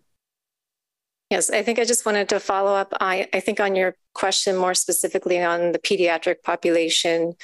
And we do have ongoing studies evaluating the current bivalent BA45 vaccine as both a two and three dose series. So we will have forthcoming data to understand if in future um, the current primary three dose series for the youngest age group could transition to a two dose series. And Dr. Das, did you have something additional? Yes, please. So we do have the data for a bivalent vaccine as a primary series, as a two-dose primary series, and we do support FDA's efforts certainly for harmonization. We've heard that this is a complex um, this is a complex situation, particularly for children, and whatever we can do to simplify is important. Okay, thank you. I it's three o'clock Eastern. Uh, I see three hands raised from the committee. Uh, are these questions for uh, either the manufacturers or uh, Dr. Weir? Because we have a long discussion ahead of us. Dr. Levy, is this a question? Yes, just just just briefly. I know our purpose here is to focus on the composition of the vaccine for the fall. Um, I, you know, Dr. Offit brought up the topic of vaccine safety. We don't want to lose sight of that. Uh, we haven't heard a lot today about any updates regarding safety surveillance on the mRNA or Novavax vaccines uh, from CDC or the sponsors. There's not time now to take a deep dive, but I'm wondering if they would comment because it's been a while since VRBPAC has met, whether any new signals emerge or whether everything is more or less as we last left it in the realm of safety. Thank you. That would be a question I hope for CDC because they can give yes. an answer yes. for all the vaccines.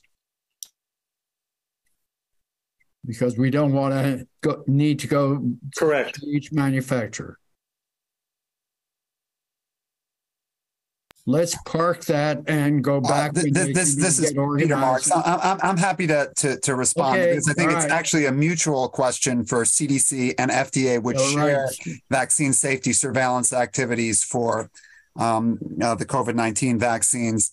Um, so um, I think it's fair to say that there are no significant new safety signals that have be, been confirmed uh, since the last updates presented to the committee. And Dr. Kaslow, do you want to just confirm that my memory of that is correct?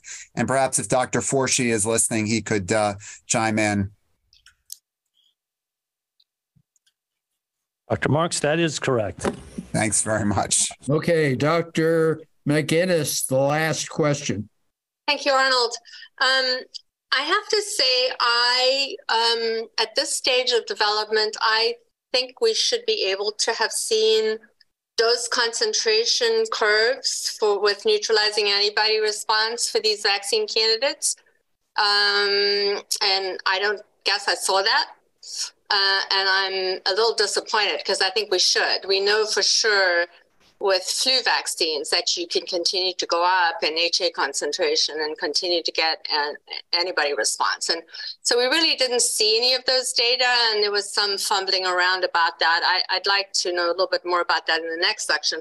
And then just one question we've spoken that this is not flu, that we don't know its seasonality, that yet we're calling it a 23 24 vaccine decision. And I'm wondering if some other nomenclature is maybe more suitable for um, these candidates um, because it may not be a year. I mean, maybe we're going to be chasing this one. And so I'm just wondering about the nomenclature that has been selected. Dr. Thank Weir, you. would you care to answer before we go on break? Yeah, I mean, we can take that back and discuss if there's a better way to, to phrase it. But back to what you mentioned earlier, Dr. McInnes, about feeling locked in. I don't think you should feel locked in in the sense that what we're doing is only locking in our course of action now for how to proceed. And if something changes in six months or four months or nine months, we will adjust to it. And we will come back to this committee. The manufacturers have shown that they're willing to respond. And I know you folks in the committee are. And so, yes, although we take, we, we start now with the expectation that this is for 2023 24, we will adjust as needed. Over. Thank you. Just one quick response to Jerry. I get it, Jerry. I know you'll do what we need to do.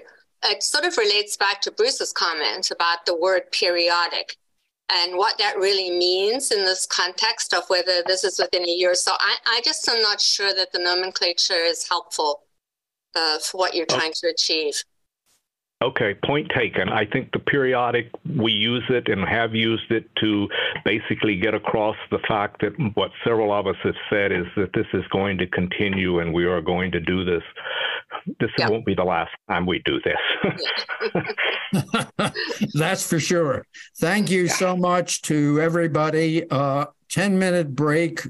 We come back at 3:15 for the discussion of the voting question. 315 Eastern.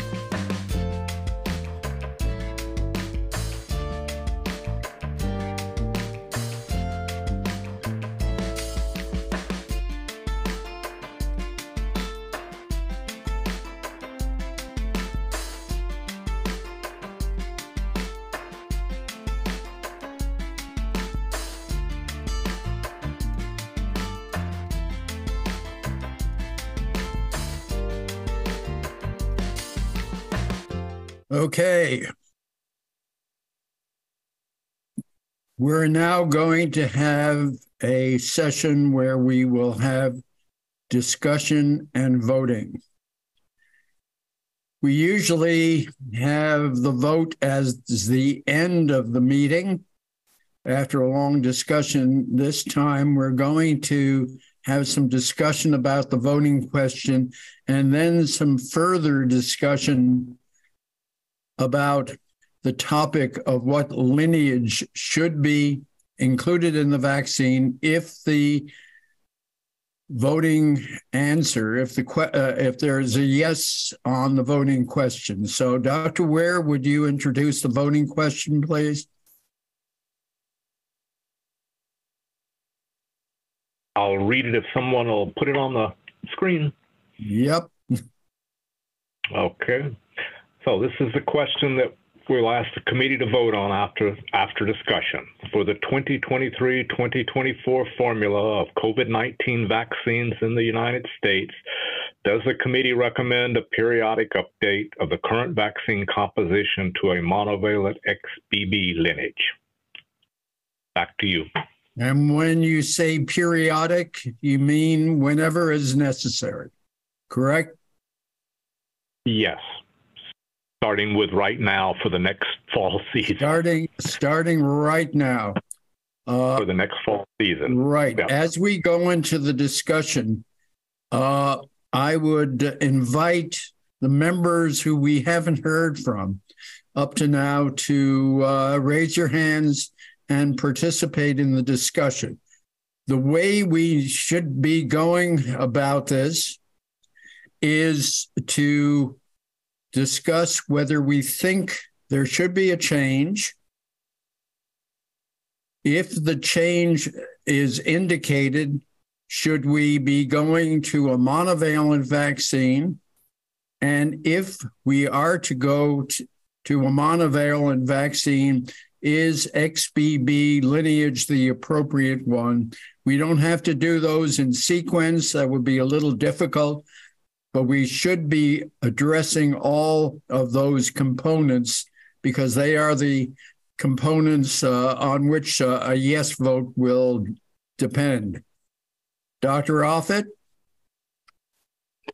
Yes, thank you. Um, well, I, I certainly think that the we should update this vaccine. I certainly think that Wuhan 1 no longer needs to be in this vaccine and to include a circulating currently circulating strain makes sense.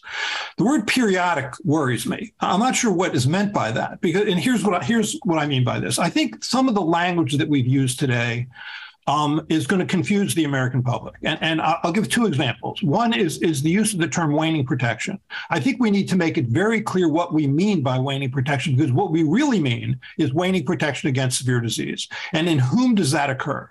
This virus drifts, no doubt about it, and, and it drifts away from protection against mild disease, but it does not drift away from protection against severe disease in people who are otherwise healthy and say less than 75. So I think that's number one. Number two, we've used the word occasionally earlier on, the word campaign was used. That implies sort of a yearly flu like campaign. And I don't, I just, this gets to Ofer Levy's question earlier. Um, there's abundant evidence on T cells, both cytotoxic T cells and T helper cells from Alessandro Sette and Daniela Weiskopf and and uh, and uh, others at, at, UCSD as well as John Wherry at Penn. Recently, a paper in, uh, out of Australia in Immunity that clearly shows the relationship between the the uh, activation and differentiation of, of, helper T cells and cytotoxic T cells in prevention against severe disease, and the epitopes that are recognized by those cells are generally conserved. So, so the epidemiology is consistent with the immunology, which is that when Omicron came into this country and we saw a wave of infections, we didn't see as much of, a, of an increase in hospitalizations and deaths. So I think, I, I mean, I'll take myself as an example, then my rant is over and you can ignore me. But I think that, I mean, I had three doses of Wuhan 1. In May 2022, I had a, a mild two day illness, probably with BA2.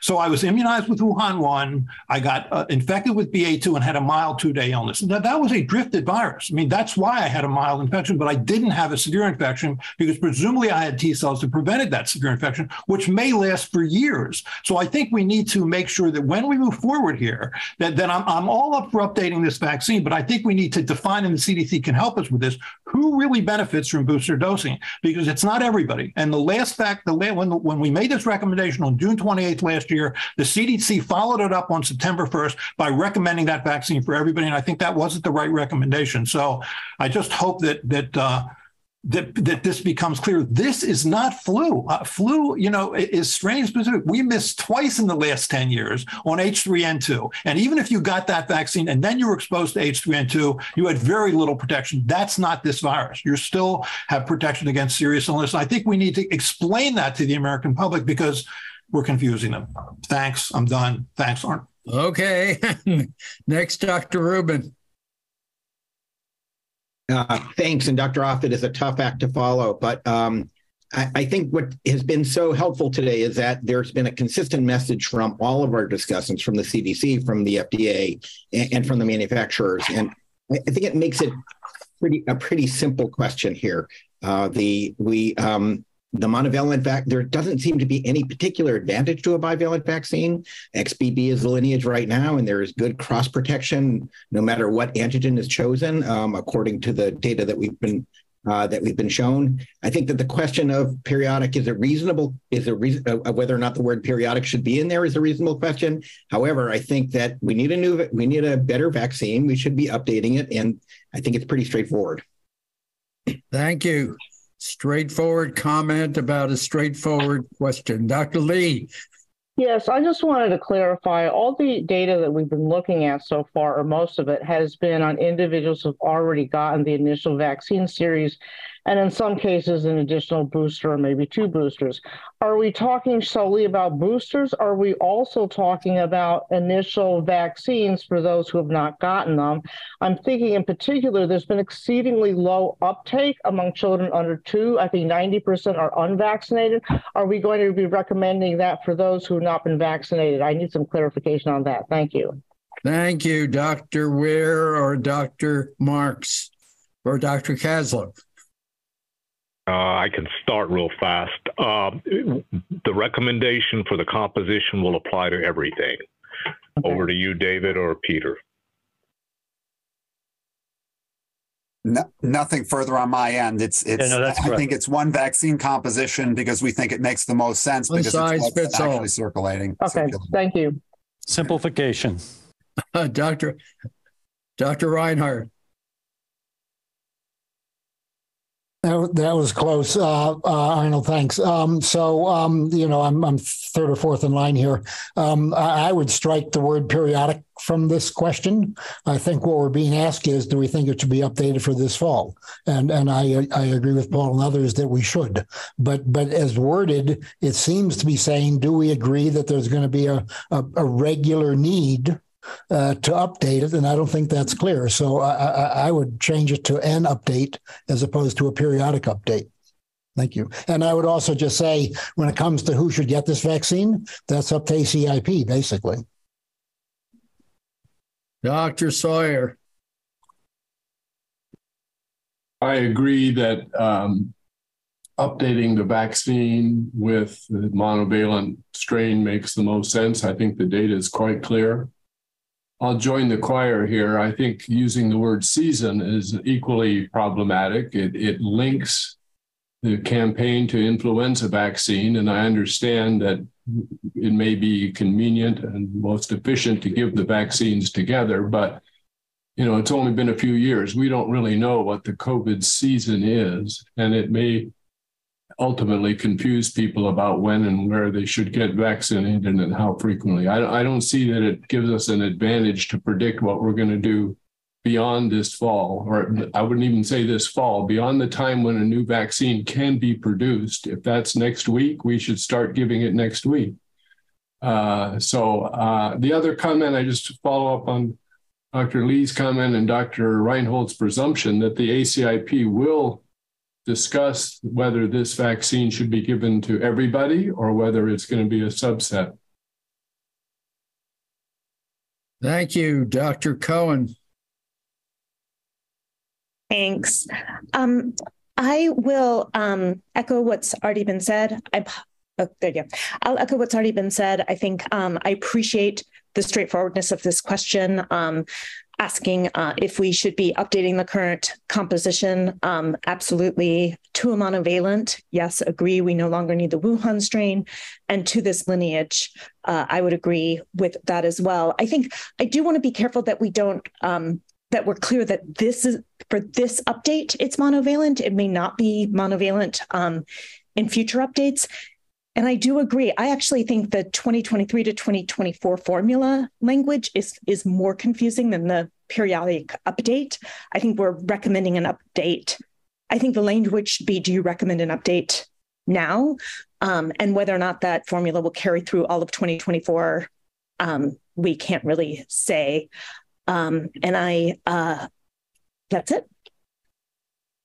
Thank you. Dr. Marks, would you uh, like to yeah, I, I hate to be contrarian, but you know, from a public health perspective, people need to be able to understand what we're actually doing. And there's only so fast that our manufacturers can actually change things. So, in order to make a few hundred million doses of vaccine, uh, in, essentially, practically, we're going to have one update per year, barring a heroic effort to deal with a strain that pops up that is essentially so different that it requires us to mobilize tremendous resources to address that strain change. So, for practical purposes, what we're talking about here, I think we, I, we can strike periodic, but for practical purposes, so that the manufacturers can get on with this and actually label the vaccines it's the 2023 2024 formula um, that they're making right now, and that's what's planned. That doesn't mean, just like for pandemic influenza, that something couldn't happen that could make us need to intercede here. And so I, I think this is I, I I I'm really having trouble understanding the committee's need to bristle against something that's similar to influenza. People understand a yearly influenza vaccine. At this point, it may not be yearly, but for all intents and purposes, it looks like probably by next fall, there'll be further drift from this. Um, uh, uh, and we may have to come back here. Um, so um, I, I think this is our best effort to try to help make things clear. And I have to say, we have to do better because we have not done a good job to date communicating to the American public what's going on here because they're still not getting these vaccines in, in the way we'd like to potentially see people, even those over the age of 65, get vaccinated. So this was our effort to try to clarify things. And yes, I think periodic was just meant to mean that this is not going to be what we end up with today after today will not be the final it's not like mmr this is not going to uh, uh, be the final formulation for this vaccine forevermore. It will probably require another update at some point. Thanks very much. Thank you, Dr. Bernstein. Well, uh, thank you, Dr. Monto. Um, coming after that uh, statement, I, I, actually respectfully uh, don't agree with the discussion that uh, Dr. Marks just said. I mean, I, I, it's not clear to me that this is a seasonal virus yet. And I, I do agree that it seems like all the stars are aligning for a monovalent vaccine rather than a bivalent uh, product. It's not clear to me, thinking from a public health perspective, how how much uh, complexity will be eased as we try to move forward with this because I think implementation, who gets what, and the number of doses and all, and the communication in the public arena will be incredibly challenging, uh, primarily for the ACIP, I believe.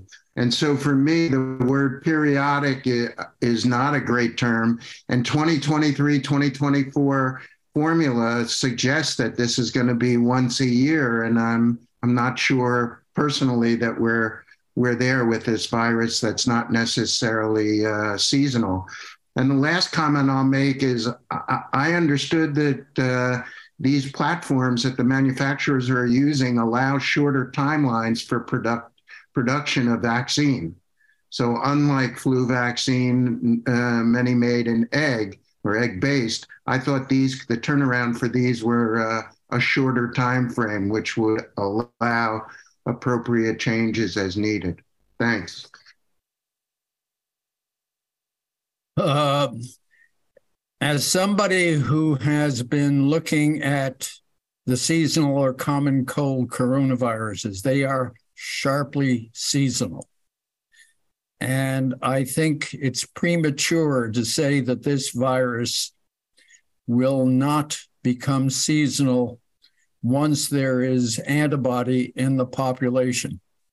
So I agree, we're not there yet, but we may be. And uh, to say that uh, it's not going to follow a familiar pattern may be premature as well. My two cents. Dr. Pergam.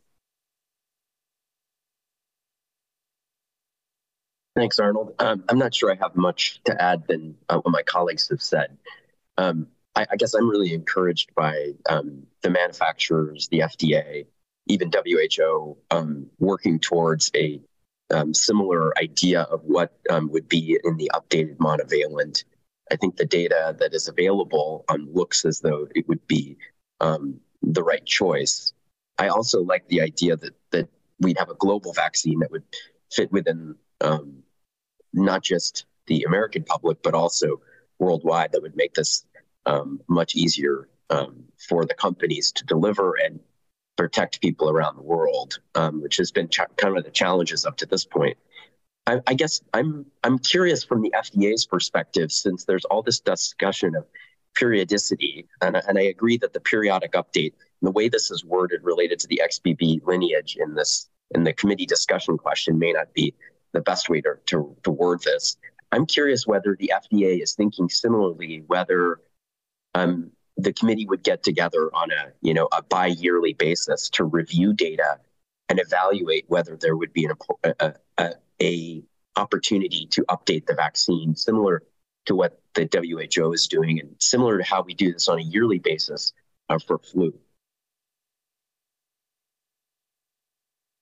Dr. Marks, do you yeah, uh, well, you know, actually, we don't do it on a yearly basis for flu at FDA. We actually do it twice yearly because we actually well, also do it true. for the Southern Hemisphere. True. So, um, yeah. uh, we would probably, I, I, think we agree with you completely that we would probably follow the WHO um, here and probably look at this twice yearly uh, as well, uh, because it probably does make sense. Um, uh, and I think our, our sponsors would probably like us to do this as well because uh, I think Dr. Rye's point was very well taken. Um, uh, that that um, uh, that that um, we need to uh, think about not just the northern hemisphere, but uh, the southern hemisphere, uh, middle latitudes as well. Dr. Gellin. Dr. Monto, can I, yeah. can I make a quick comment? This is yes, Jerry. please.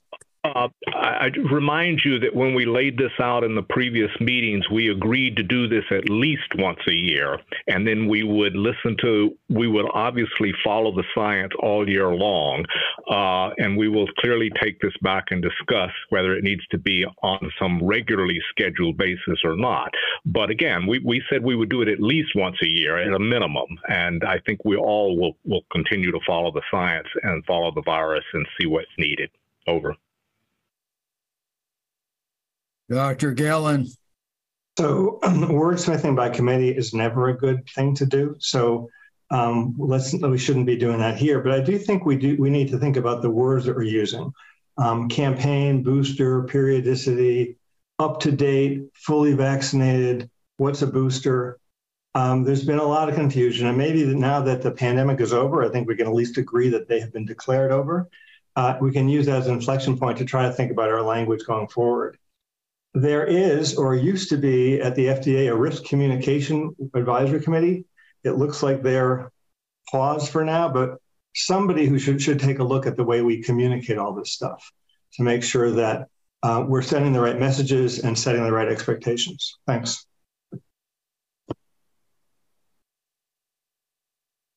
Dr. Levy. Yes, thank you. Uh, can you hear me okay? We sure can. Okay. So we can't see you. Okay, you could see me now. Just getting my light on. So I think our, our discussion reflects uh, the challenges of where we are now. We have safe and effective vaccines that are saving lives. We have some degree of public confusion, and we have a virus that continues to change and uncertainty about how often we're going to have to update the vaccine. And so, in that framework, I, I, am I'd love to hear from FDA uh, whether they continue to advocate with the other branches of our government regarding ongoing um, innovation in this space. Uh, can we develop pan coronavirus vaccines? Can we develop vaccines that are adjuvanted and provide uh, a longer and more durable and broader immunity? Um, there are certain plans for, for ongoing research, clinical research. I'm not sure the commitment is still there on the preclinical end. And I'm, I, would love to hear from, from Peter Marks and others how they view the bigger picture here. Because if we're in a pattern where we have to keep making changes, chasing variants, it's a difficult pattern. Dr. Marks, do you wish to comment? It's not on the voting topic. Uh, you know, I, I, I think I think if the if the question is, do we think that we need a better generation of COVID? Is that is that? I mean, I think I think no one will disagree, and I certainly won't, yeah. that we need a better generation of of, of vaccines um, that would offer a a better breadth, duration, depth of protection. Uh, but I think we're here right now with what we have. Uh, and until uh, we see that next generation come, which probably is at least um, at, at, least probably two years away at the, at the yeah. rate we're going. Yeah, no, thank we, you. We have we have a bridge that we need. Is that is that what you meant? I mean, yeah, that, yeah, and, I and totally acknowledge this, and I think. Yeah. Um, and Dr. Levy, that's a cross government question as well. Yeah, well, I, and I, and I think we're, we're, hoping that well, we're hoping question. that that people will continue to work on these. And I think that was uh, there's been a fair amount of discussion around the government about trying to keep this moving through BARDA and their efforts and uh, uh, and others because it is it is I think a critical thing that we try to to move these forward. Thank you. And that was as much for the US public. I mean, between us, I think we know these things, but I think there's a lot of, you know, people are tired of the pandemic. People feel like we have vaccines, we're done. But I think our discussion here reflects the challenges ahead and the need for further innovation. Thank you. Dr. Sawyer, and I urge those who have not raised their hands to do so. We have a recycling of the same questioners, and some of our members have not been heard from. I'll be very brief. I just want to raise another point about the confusion the language may create. It'll depend on what ACIP recommends, but the use of seasonality and campaign automatically links this vaccine to influenza because that's the only virus for which we have a seasonal campaign at the moment, RSV pending. And so I, I, do think if ACIP were to recommend this vaccine only for a subset of the population, and we're using this word campaign to talk about something influenza that everybody gets, is going to create confusion. And vice versa could happen if people, uh, if a subset of the population is recommended to get COVID vaccine, that same subset or those not in that subset may assume they no longer need influenza vaccine. So I think the language is important. Dr. Chatterjee. Thank you, Dr. Monto. Um, I thought I might uh, try to offer a friendly amendment to the language of the voting question, if that is allowed, uh, to say something like for the 2023, no mention of 2024, for the 2023 version of COVID 19 vaccines in the US, does the committee recommend an update of the current vaccine composition to a monovalent XBB lineage? I believe that would take out some of the language that is troubling to my uh, fellow committee members. And I'd just like to point out there's been, yes, a number of people have mentioned seasonality and, and, and campaigns and things, but those words do not appear in the current version of the voting question. So it is important, I think, to communicate um, clearly and, and better with the public at large uh, to explain exactly what we're talking about here. But I believe that if we change the wording in the way that I suggested, that might take away some of the concerns that have been raised. Dr. Marks? Um, sorry, I, I, would respectfully say that we we will be stuck with this for 2023, 2024, because the manufacturers will, as as as Novavax has said, if we decided, for instance, now even that um, we were going to change the composition, this this vaccine will be used into 2024. So um, with all due respect, I think we are selecting something that will be used in 2023, 2024. And for reasons that have to do with how we've worked with the manufacturers, I, th- I think we're we're selecting something that that barring some new major development that requires agile public health response, we're dealing with a a, a, a vaccine that will be used from 2023 in through to 2024. Um, for practical purposes. It's not. I, I and and I take. I very well take the point here that we don't want to talk about seasonality. That we don't want to talk about periodic. But for practical purposes, this is the vaccine composition for 20. I mean, if we want to say that we would that, that do we believe in a monovalent XBB vaccine uh, for uh, the 2023 2024 vaccine composition, leaving aside periodic and leaving aside anything else. I think I can certainly live with that. Um, but I think it, it, for practical purposes, it's 2023, 2024. And I'll, I'll, turn it over to Dr. Kaslow to see if he has any. I'm happy, happy if you disagree, uh, David, but uh, let's let's just uh, try to make sure we're we're on the same page on this. I, I'm just wondering if we're all conceptually on the same page and we're, we're dealing with, you know, um, word details and, and, and that sort of thing. I think what we'd really like to hear is, is conceptually, are we all on the same page, which is we're going to move. First, we need a periodic update. Second, it's time to move from the current bivalent to monovalent. Yes, we may need to move to a bivalent in the future if the evidence suggests that, but the evidence today suggests that it's a monovalent. And, um, and that monovalent should probably be in the XBB lineage. And to Dr. Marks's point, the opportunity to change this again in 2023 or early 2024, I think, is remote. Remote, but possible if there are dramatic developments. That is correct. Okay. I mean, I think I think we have commitment from the government to obviously we'll mobilize just like we would for influenza.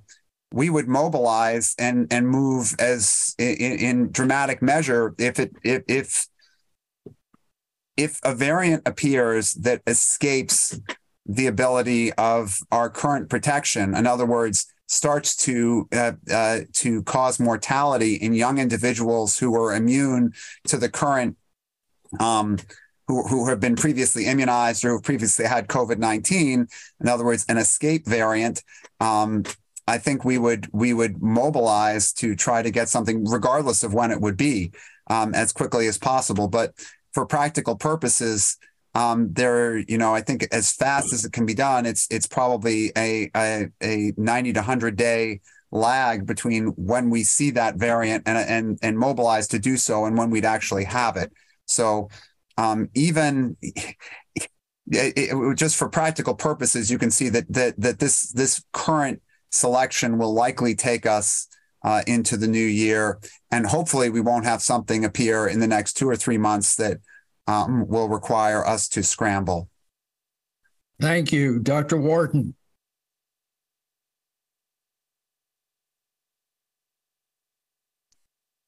Thank you. Uh, I just wanted to support the voting question. I'm. I think moving to a monovalent is is uh, a good idea at this point. There's no reason to continue using the Wuhan strain, and I think the evidence is good that the X, the currently circulating XBB is the correct strain to use. Thank you, and let's follow Dr. Wharton's example and stick to the discussion of the voting question, Dr. Hildreth.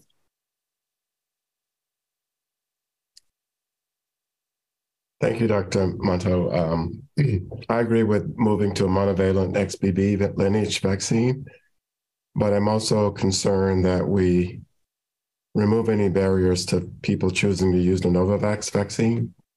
Because I think there's great value in a heterologous approach to vaccination. So even those who've gotten the mRNA vaccine should have access to the Novavax if they choose to do so, as I would if I have the ability to do that. And I know what you just said, but I do want to mention the fact that now that the public health emergency has been declared over, I want to make sure that there's uh, provision made for those who don't have medical insurance to actually have access to the vaccines, because if they don't, don't have access, then we can't have the public health benefit that we're all hoping for here. So those are those are my comments. Thank you. Thank you. Very important comments. Dr. Berger. Thanks. I will try and make my comments very specific to the three questions you asked, Arnold, and I do have a question for FDA after that. Uh, so, so should there be a change? Clearly, the, the data suggests that the old variants are no longer circulating. XBB is, so yes, um, it makes sense. Um, should it be monovalent? It, it, seems like that gives us a, a good um, response, uh, and, and, there doesn't seem to be an advantage over the bivalent. So yes, I, I, I do do think it should be monovalent. And your last question is, should it be XBB? As I said at the beginning, yes. Um, I do have a question for FDA along these lines, though, and, especially in terms of the transparency that Peter you were you were saying. Uh, I, I, think the data that we're, we've seen so far, at least presented, suggests that the current vaccine actually is no longer detecting the current circulating viruses. And I'm wondering if FDA plans to make you know say anything about the currently available vaccines before this i'll use the terminology that's here which is the 2023-2024 formulation that will consist uh, presumably of the monovalent xbb lineage. Question for fda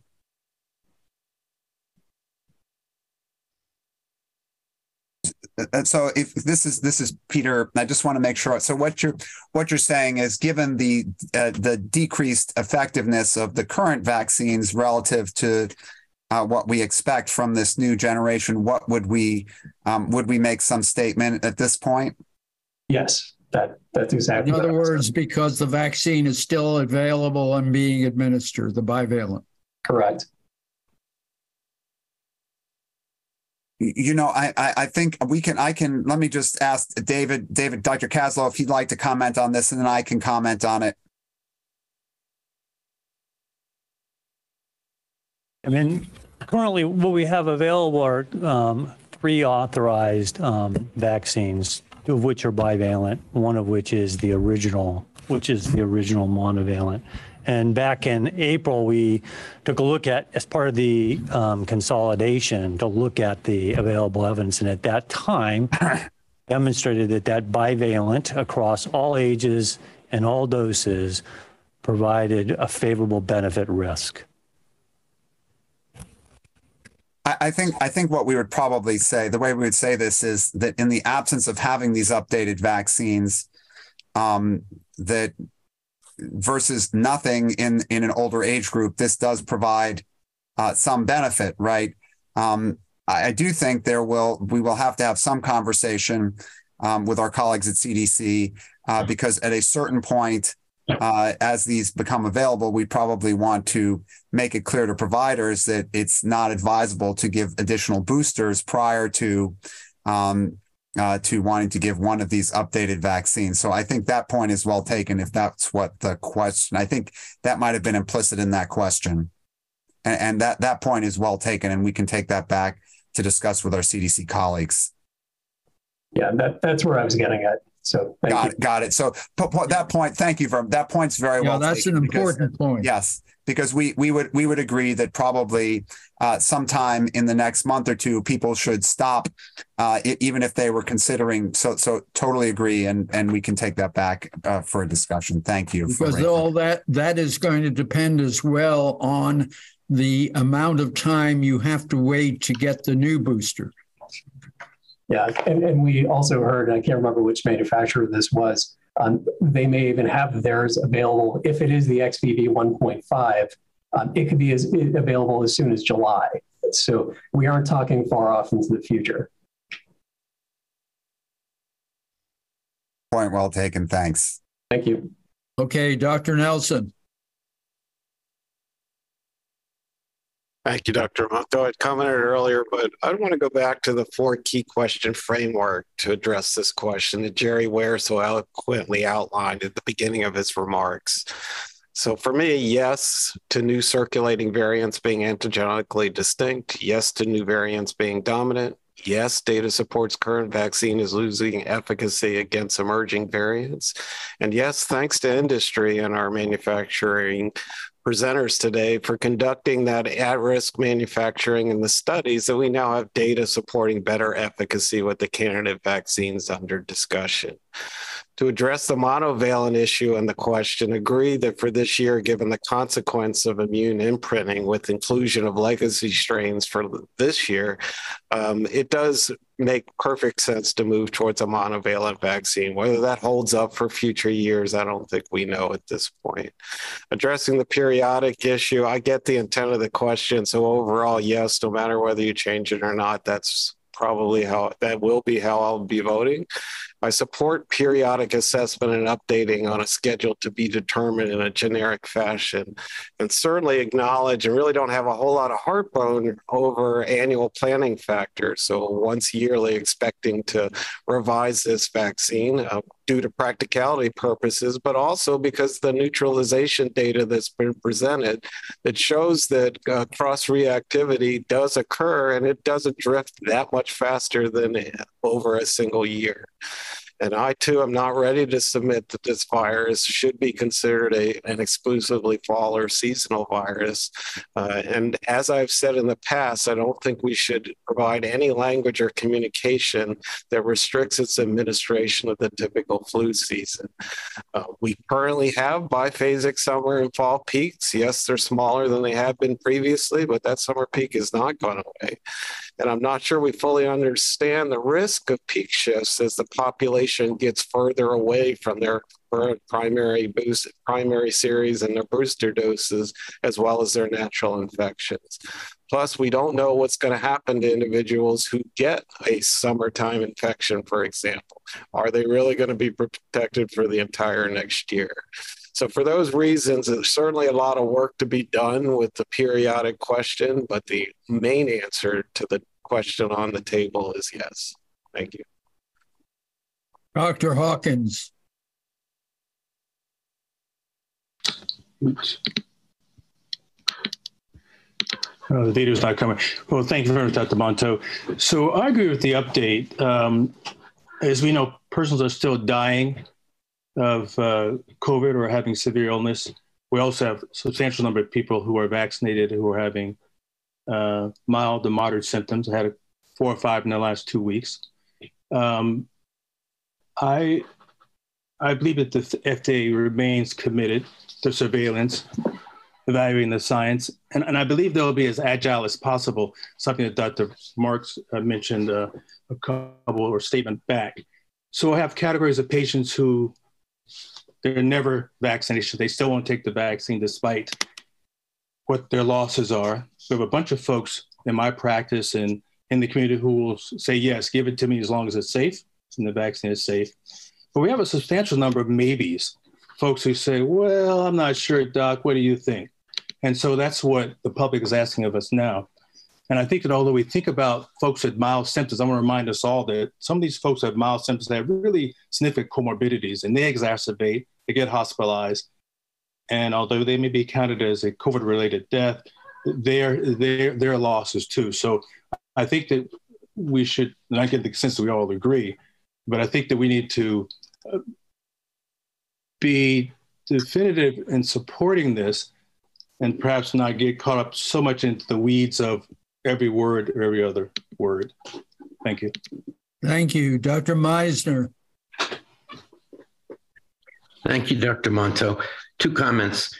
Um, first of all, um, Dr. Levy raised an important point, but I, uh, as Dr. Mark said, um, BARDA is laser focused on next generation uh, vaccine and spending an enormous amount of time and effort uh, on what we can do to improve the current generation of vaccines. Secondly, um, I think that the reluctance among many people at this stage to get the vaccine is based on the reducing rates of s- severe disease.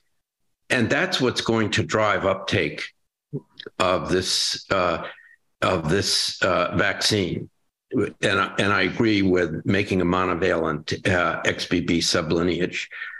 But that's what's going to drive uptake. If this virus continues to decline in disease severity and in rates and approaches the four seasonal coronaviruses, then it's going to be difficult to convince many people uh, to get this vaccine. So I think that also has to be factored into the language that that that comes from the CDC. It has to be realistically aligned with hospitalizations and severe disease and death. Thank you. Thank you, Dr. Meissner. Dr. McInnes. Thank you, Arnold. Um, I I support um, the recommendation of an update uh, to the monovalent XBB. I do. I remain. Um, I, I don't like the periodic there. I think it's confusing two issues. I think this is a recommendation for an update. The second point is that periodic updates of available data for future strain changes should be continued. So I think these are two thoughts. I think that second sentence isn't necessary. It's what you do all the time. But if you want it there, but I don't like a periodic update to a monovalent XBB lineage. I don't think it makes sense. Thank you. Thank you, Dr. Kim. Well, thank you. Uh, uh, I'm a part of the unanimity of this committee in thinking that the monovalent uh, XBB lineage update is, is necessary, uh, given the evidence that's uh, that's presented to us today. Um, but uh, but perhaps uh, perhaps uh, as a, as a as a minority on the on the use of 2023 or 2024, and possibly the use of the the, the the term periodic. I I it, you know, it wasn't that long ago that we were actually talking and and uh, talking about the twindemic um, and and discussing the need to get uh, get try to get ahead of the curve.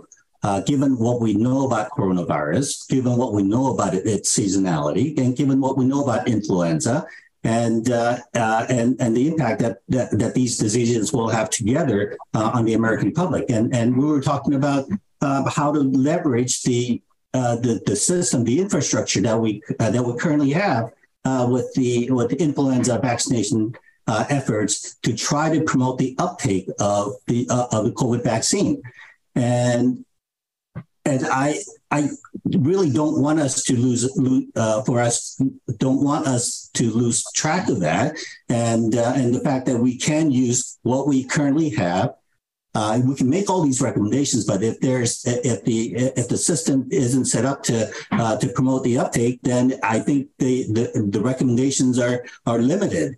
Um, so I actually am in favor of uh, of um, using some of the language that we are using for influenza uh, to see about uh, see about adding adding more oomph to the campaign uh, to promote the uptake of the COVID vaccine along the lines of uh, influenza vaccine and anything else that we might need deem necessary uh, based on what we currently know, not necessarily based on what we expect to happen or hope to happen or things that might happen down the line. So uh, so I, I, think we, we really do need to uh, to try to be consistent with our messaging, and that has been our message uh, in the in the last two three years. Thank you, Dr. Kim and Dr. Perlman. Last question before we vote. No more, no additional hands raised. Voting is going to come. Yeah, so I just wanted to comment because I agree with both the the uh, input or the goal of this question and also the some of the caveats that have been raised by uh, the committee. I think that one thing I'd like to just agree with even more is the comments that Dr. Offit and Dr. Meissner made about who should get this vaccine, because this is part of the messaging. And in the rest of the world, I believe I don't I didn't hear Dr. Subbarao talk about this, but I believe even the WHO said that only select populations should get the vaccine. And so we we have to deal, I think, with both the worldwide situation and the fact that uh, so few people are getting boosted with the bivalent vaccine. So I think the messaging that the FDA and the CDC do together is really critical in moving forward. I don't know that if this virus keeps circulating to high levels, it may well be that people are boosted all the time and that the need for a vaccine will be less apparent uh, for those people, not for everybody. But anyway, that's all. Thank you, Dr. Perlman. So now, can we pull up the voting question so I can read it? Uh, Dr. Monto, this is Peter Marks. Um, yep. it, it, it, because I, I think I think we can certainly make one change to this to try to make it a little bit simpler for people who may be having heartburn. I, I and, and not that I, uh, not not that I want to deny the makers of calcium carbonate products um, some uh, uh, some uh, takers, but maybe we could remove the uh, the word periodic there. Just recommend an update of the current vaccine composition, and that that way some people might just feel better about this. I, right, it really is unnecessary. Right. Okay. Dr. Monto, if you would be kind, let me read my um, my um, um, statement, and then we will have you read the voting question. Does that make sense? So, um, so uh, we have 10 regular members and 11 temporary voting members. A total of 21 will be voting in today's meeting. Um, as you can see the names on the slide.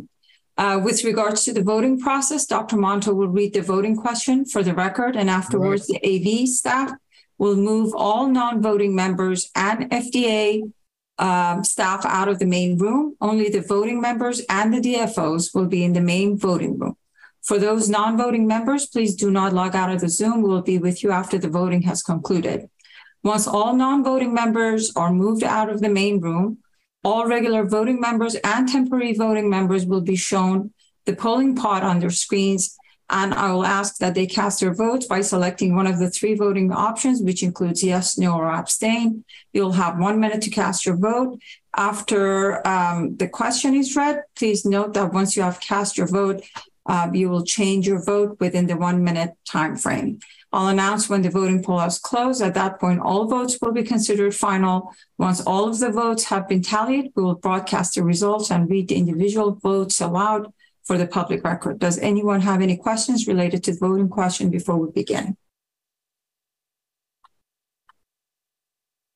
If not, um, Dr. Monto, if you would be kind to please read the voting question for the record. Okay, are you going to put it up? There it is. Okay. For the 2023 2024 formula of COVID 19 vaccines in the US, does the committee recommend an update, no word periodic, an update of the current vaccine composition to a monovalent XBB lineage? Yes, no, or abstain? Great. Thank you. At this point, I ask the AV team, please go ahead and move all non-voting members out of the main room. Uh, please don't log out of the Zoom. We'll be with you in a few minutes.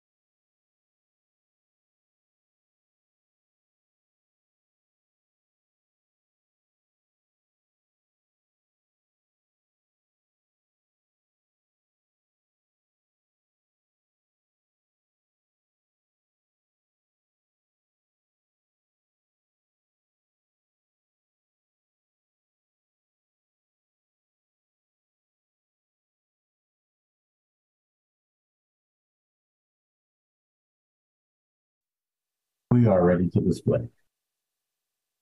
Great. May I see the Excel sheet, please?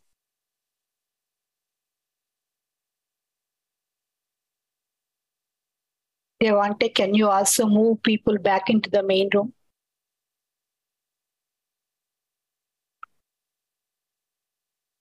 I need the Excel display so for the public to see.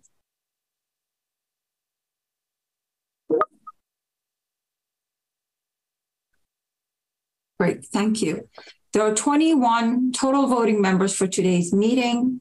The vote is unanimous. We have 21 out of 21 yes votes. Um, here are the voting responses for each voting member. I'll read them aloud for the public record. Dr. Archana Chatterjee, yes. Dr. Mark Sawyer, yes. Dr. Amanda Cohn, yes. Dr. Stephen Pergam, yes. Dr. Michael Nelson, yes. Dr. Paul Offit, yes. Dr. Eric Rubin, yes. Dr. Jeanette Lee, yes. Dr. Arnold Monto, yes. Dr. Arthur Reingold, yes. Dr. Cody Meissner, yes. Dr. Bruce Gellin, yes. Dr. Adam Berger, yes. Dr. Stanley Perlman, yes. Dr. James Hildreth, yes. Dr. Melinda Wharton, yes. Dr. Randy Hawkins, yes. Dr. Ofer Levy, yes. Dr. Henry Bernstein, yes. Dr. David Kim, yes. Dr. Pamela McInnes, yes. This concludes the voting portion for today's meeting. I'll now hand over the meeting back to Dr. Monto for the committee for the vote explanation and discussion topic. Thank you so much, Dr. Monto. Thank you. And uh, if any of the committee wishes to explain their vote, please raise your hands. I'm not going to go around and call on everybody because we have the discussion topic to get to yet, which is going to require uh, some of our time. So if you'd like to explain your vote, please raise your hand. Dr. Cohn. Thanks. I just, I think, um, as you can see by the vote, um, this was really very well presented and very straightforward in terms of the data uh, informing this particular question around the actual um, composition of this vaccine. Um, I do just want to say that I really appreciate FDA um, and Dr. Marks's explanation around this expectation that we should only anticipate a, a, a, strain change under normal circumstances once a year. I think that actually helps frame this better in the future. And I hope that we can get to a place where there's at least a regularly scheduled knowing in advance when you're going to review um, the data with the committee um, uh, so we can get in a pretty um, uh, a, a, regular routine of of looking at this. So thank you. Thank you. Now let's move to the discussion topic. Dr. Weir, would you like to introduce that?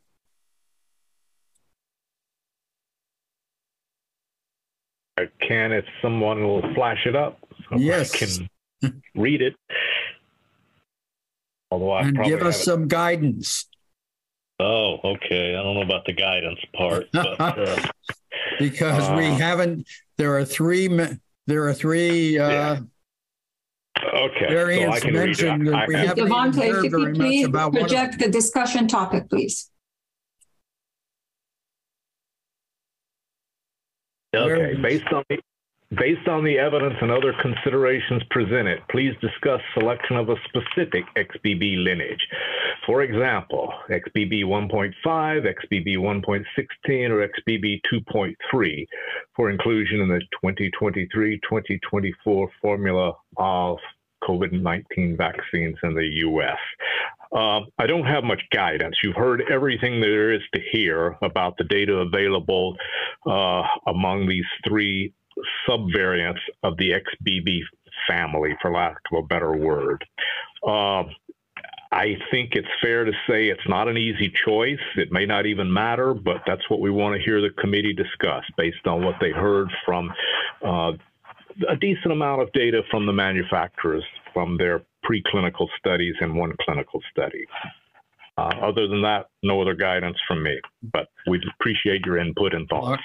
Over, for over. guidance, what if we decide that we don't have sufficient information to make a recommendation? You, what would you, you do say, then? You can say that, and that's fine because you've already made a recommendation that the vaccine should be monovalent and XBB. Uh, you can make any comment, recommendation you want. We will take that into consideration and huddle again and see what we could, the best we can come up with to talk to the manufacturers. My final question: Do you have, uh, do you envision a situation where one manufacturer may choose one variant and another manufacturer choose another, or do you wish all of the manufacturers to use the same variant? I wish they would all use the same. And before today, I would have said that's more of a possibility than after what I've heard today. But again, I guess any of this could happen. Dr. Marks. Yeah, no, I, I think uh, ideally we'd like to have the composition be similar. And I think it's not unreasonable um, in order to guide the discussion at this hour. I, I, think what you heard from the manufacturers um, is that um, uh, that the XBB 1.5 looks like it, it, it seems to be um, at the front of the line because of some of what uh, what is available in terms of its manufacturing and and its properties. So it might be helpful to hear a discussion of anyone who thinks about that we should consider the other variants uh, instead, I, because I think that if, if everyone, uh, just by way of full transparency, if everyone says that there's uh, there's no uh, preference in the committee. My guess is that I, I, although I can't say for sure, but my guess is we would go back and and go towards XBB 1.5. So might be good to hear discussion of of any any thoughts for things other than 1.5. In part because uh, that would allow the composition to be similar for all of the vaccines to be made available in a very timely manner. Um, uh, and because the data seem to show that that that that uh, particular variant seems to have very good neutralization against uh, across this this group of XBB variants, including 2.3. Over. Thank you. That's exactly what I was hoping you would say, Doctor Doctor Rubin. Well, there's not that much to add to uh, to that. Um, the data we've been presented with show us really no difference among any of these. And it comes down then, I think, and they're reassuring, in fact, that uh, there is a lot of cross neutralization uh, for uh, at least in the animal models for 1.5 and 1.116, and in the clinical uh, uh, and in the uh, small number of patients who've gotten them. Given that, it's a practical question. Um, the um, manufacturers have already been working with 1.5 and in some cases 1.16. Um, and the uh, WHO has given a sort of iffy endorsement of either one. Um, it seems like we should just follow, go practically, and uh, whatever is simplest and best aligned. Thank you, Dr. Pergam. Yeah, I, I tend to agree. I think you know it sounds like um, we would like to have a, a similar approach in terms of uh, the worldwide, you know, um, uh, vaccine component if possible. I think we're in a different situation than we were last time um, when we were talking about, um, you know, BA1 versus BA four five, where we actually had some data that suggested that BA four five might be a better choice. And we made that decision based on early data. Um, I don't think it seems as though the XBB viruses are that much different. My only question, and I think this is important, is if the vaccine is available and manufacturers can get it out, let's say at the end of July, when would be the time that we would make this available for the public, knowing that there is waning of immunity if we're thinking of, again, this, if we're going to put coronavirus or SARS CoV 2 in a seasonality um, and look for a fall winter season, what would be the timing of when we would roll this out? I think is, a, is the question that I think will be important to be thinking about. That's not up to us; it's up to ACIP and others. But I think it is going to be an important decision. It, it's a very important question, but the problem is uh, I don't know that there's a very clear answer. I, I think the best. I, I, think the best I can s- suspect, and and I, will ask Doctor uh, Doctor Kaslow uh, to comment too. Is given there's the manufacturing issues, and then there's the supply issues, and uh, other uh, regulatory issues. Um, my guess is we're, we're, we're looking at something in the September timeframe uh, for seeing a rollout, but don't hold me exactly uh, exactly to it. But I think September ish sounds correct. Dr. Kaslow, thoughts? That's what I agree with you, uh, Dr. Marks. Um, and to get back to an earlier conversation, I mean, there's other evidence gaps that need to be filled in order to get these up approved, and some of them may still be in the authorized versus uh, approved status. So September sounds, just just so right. you just so you just so you know that our short term recall is in is intact. Um, I think from Dr. Pergam's question, uh, that does mean that we will recognize that in the not too distant future, we have to work with our CDC colleagues to make some statement about whether people should uh, continue to further get the uh, current uh, vaccine. So we'll take that back. So don't worry, that that that is on the list. Thank you. Thanks. Dr. Wharton. Uh, thank you. What we what we've seen suggests that um, there's not there's not much difference uh, in terms of the immune response with these uh, three specific lineages. Um, the that the 1.5 looks good. Uh, it seems like it's the most feasible to get across the finish line. Um, early without resulting in delays in availability. And um, the vaccine we can use is the vaccine that we can get. And so it, it feels like this would be a, a good choice. And it's, and it's great that we've actually been able to see as much information today about it as we've been able to see, including the, the one clinical study. So um, thanks to everybody for providing uh, a, a pretty robust body of data for review today. Dr. Sawyer. Putting aside the discussion of seasonality and periodicity in campaigns, uh, I do, we all expect this infection to come back in the wintertime. So I, I agree with Dr. Hildreth's comments that it's important that people have the choice and that we have as many vaccines as possible. Given the timeline for the Novavax product, I would argue that we should at least include 1.5 in, among the recommended strains because that's the one they've already started producing. I'm indifferent as to whether we allow the other manufacturers to use 1.16 or 2.3. Thank you, Dr. Gellin. Yeah, echoing sort of what Peter was saying, I, I think consistency is a good thing. Um, but I would look to, I mean, I, I, was glad Jerry gave us the language from the other regulatory bodies. We might want to look at some of those because for the most part, they um, implied fle- the flexibility. So I think as uh, Dr. Rubin was saying, I think it is a practical one for which one of these work best in the hands of the manufacturers. But I, would also want to make sure a couple of things that there are systems in place down the road to actually evaluate if there are differences, what we might learn from them during the season. Um, and as far as labeling, you hate to have people say, well, I got 1.16 and you got this. So, so somehow we should signal that these are interchangeable, whatever the right word is, so that these are seen as equivalent. Thanks. Dr. Nelson. Thank you, Dr. Monto. I would throw in my support for 1.5, five rationale for it. First, we heard data today that 1.5 is the best immunogen overall of the three under consideration. Uh, there's good cross neutralization data is number two. Number three, inferring from the presentations, the three manufacturers clearly are preferred to proceed with this particular variant and can make it available, which improves accessibility. Number four, given that we are committed to be making evidence based decisions, overall, the greatest data is indeed available for 1.5 and not some of the newer variants that are on the table. And then the fifth one is this issue of harmonization that uh, both globally and uh, nationally. So thank you. Dr. Levy. I would agree with my other colleagues that uh, the XBB 1.5 makes sense for the reasons stated.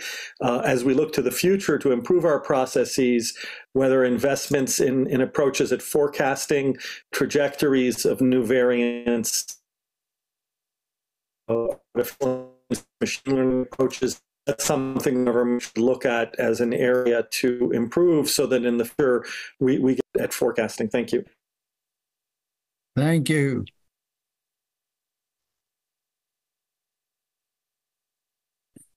Dr. Perlman. Yeah, so so I agree with that recommendation too. I think one point is that we may well in the next month find that XBB 0.1.16 or XBB 0.2.3 become more dominant than XBB 0.1.5.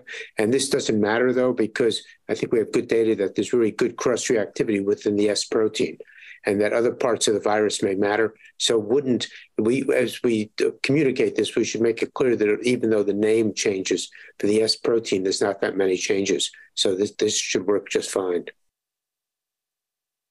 Thank you.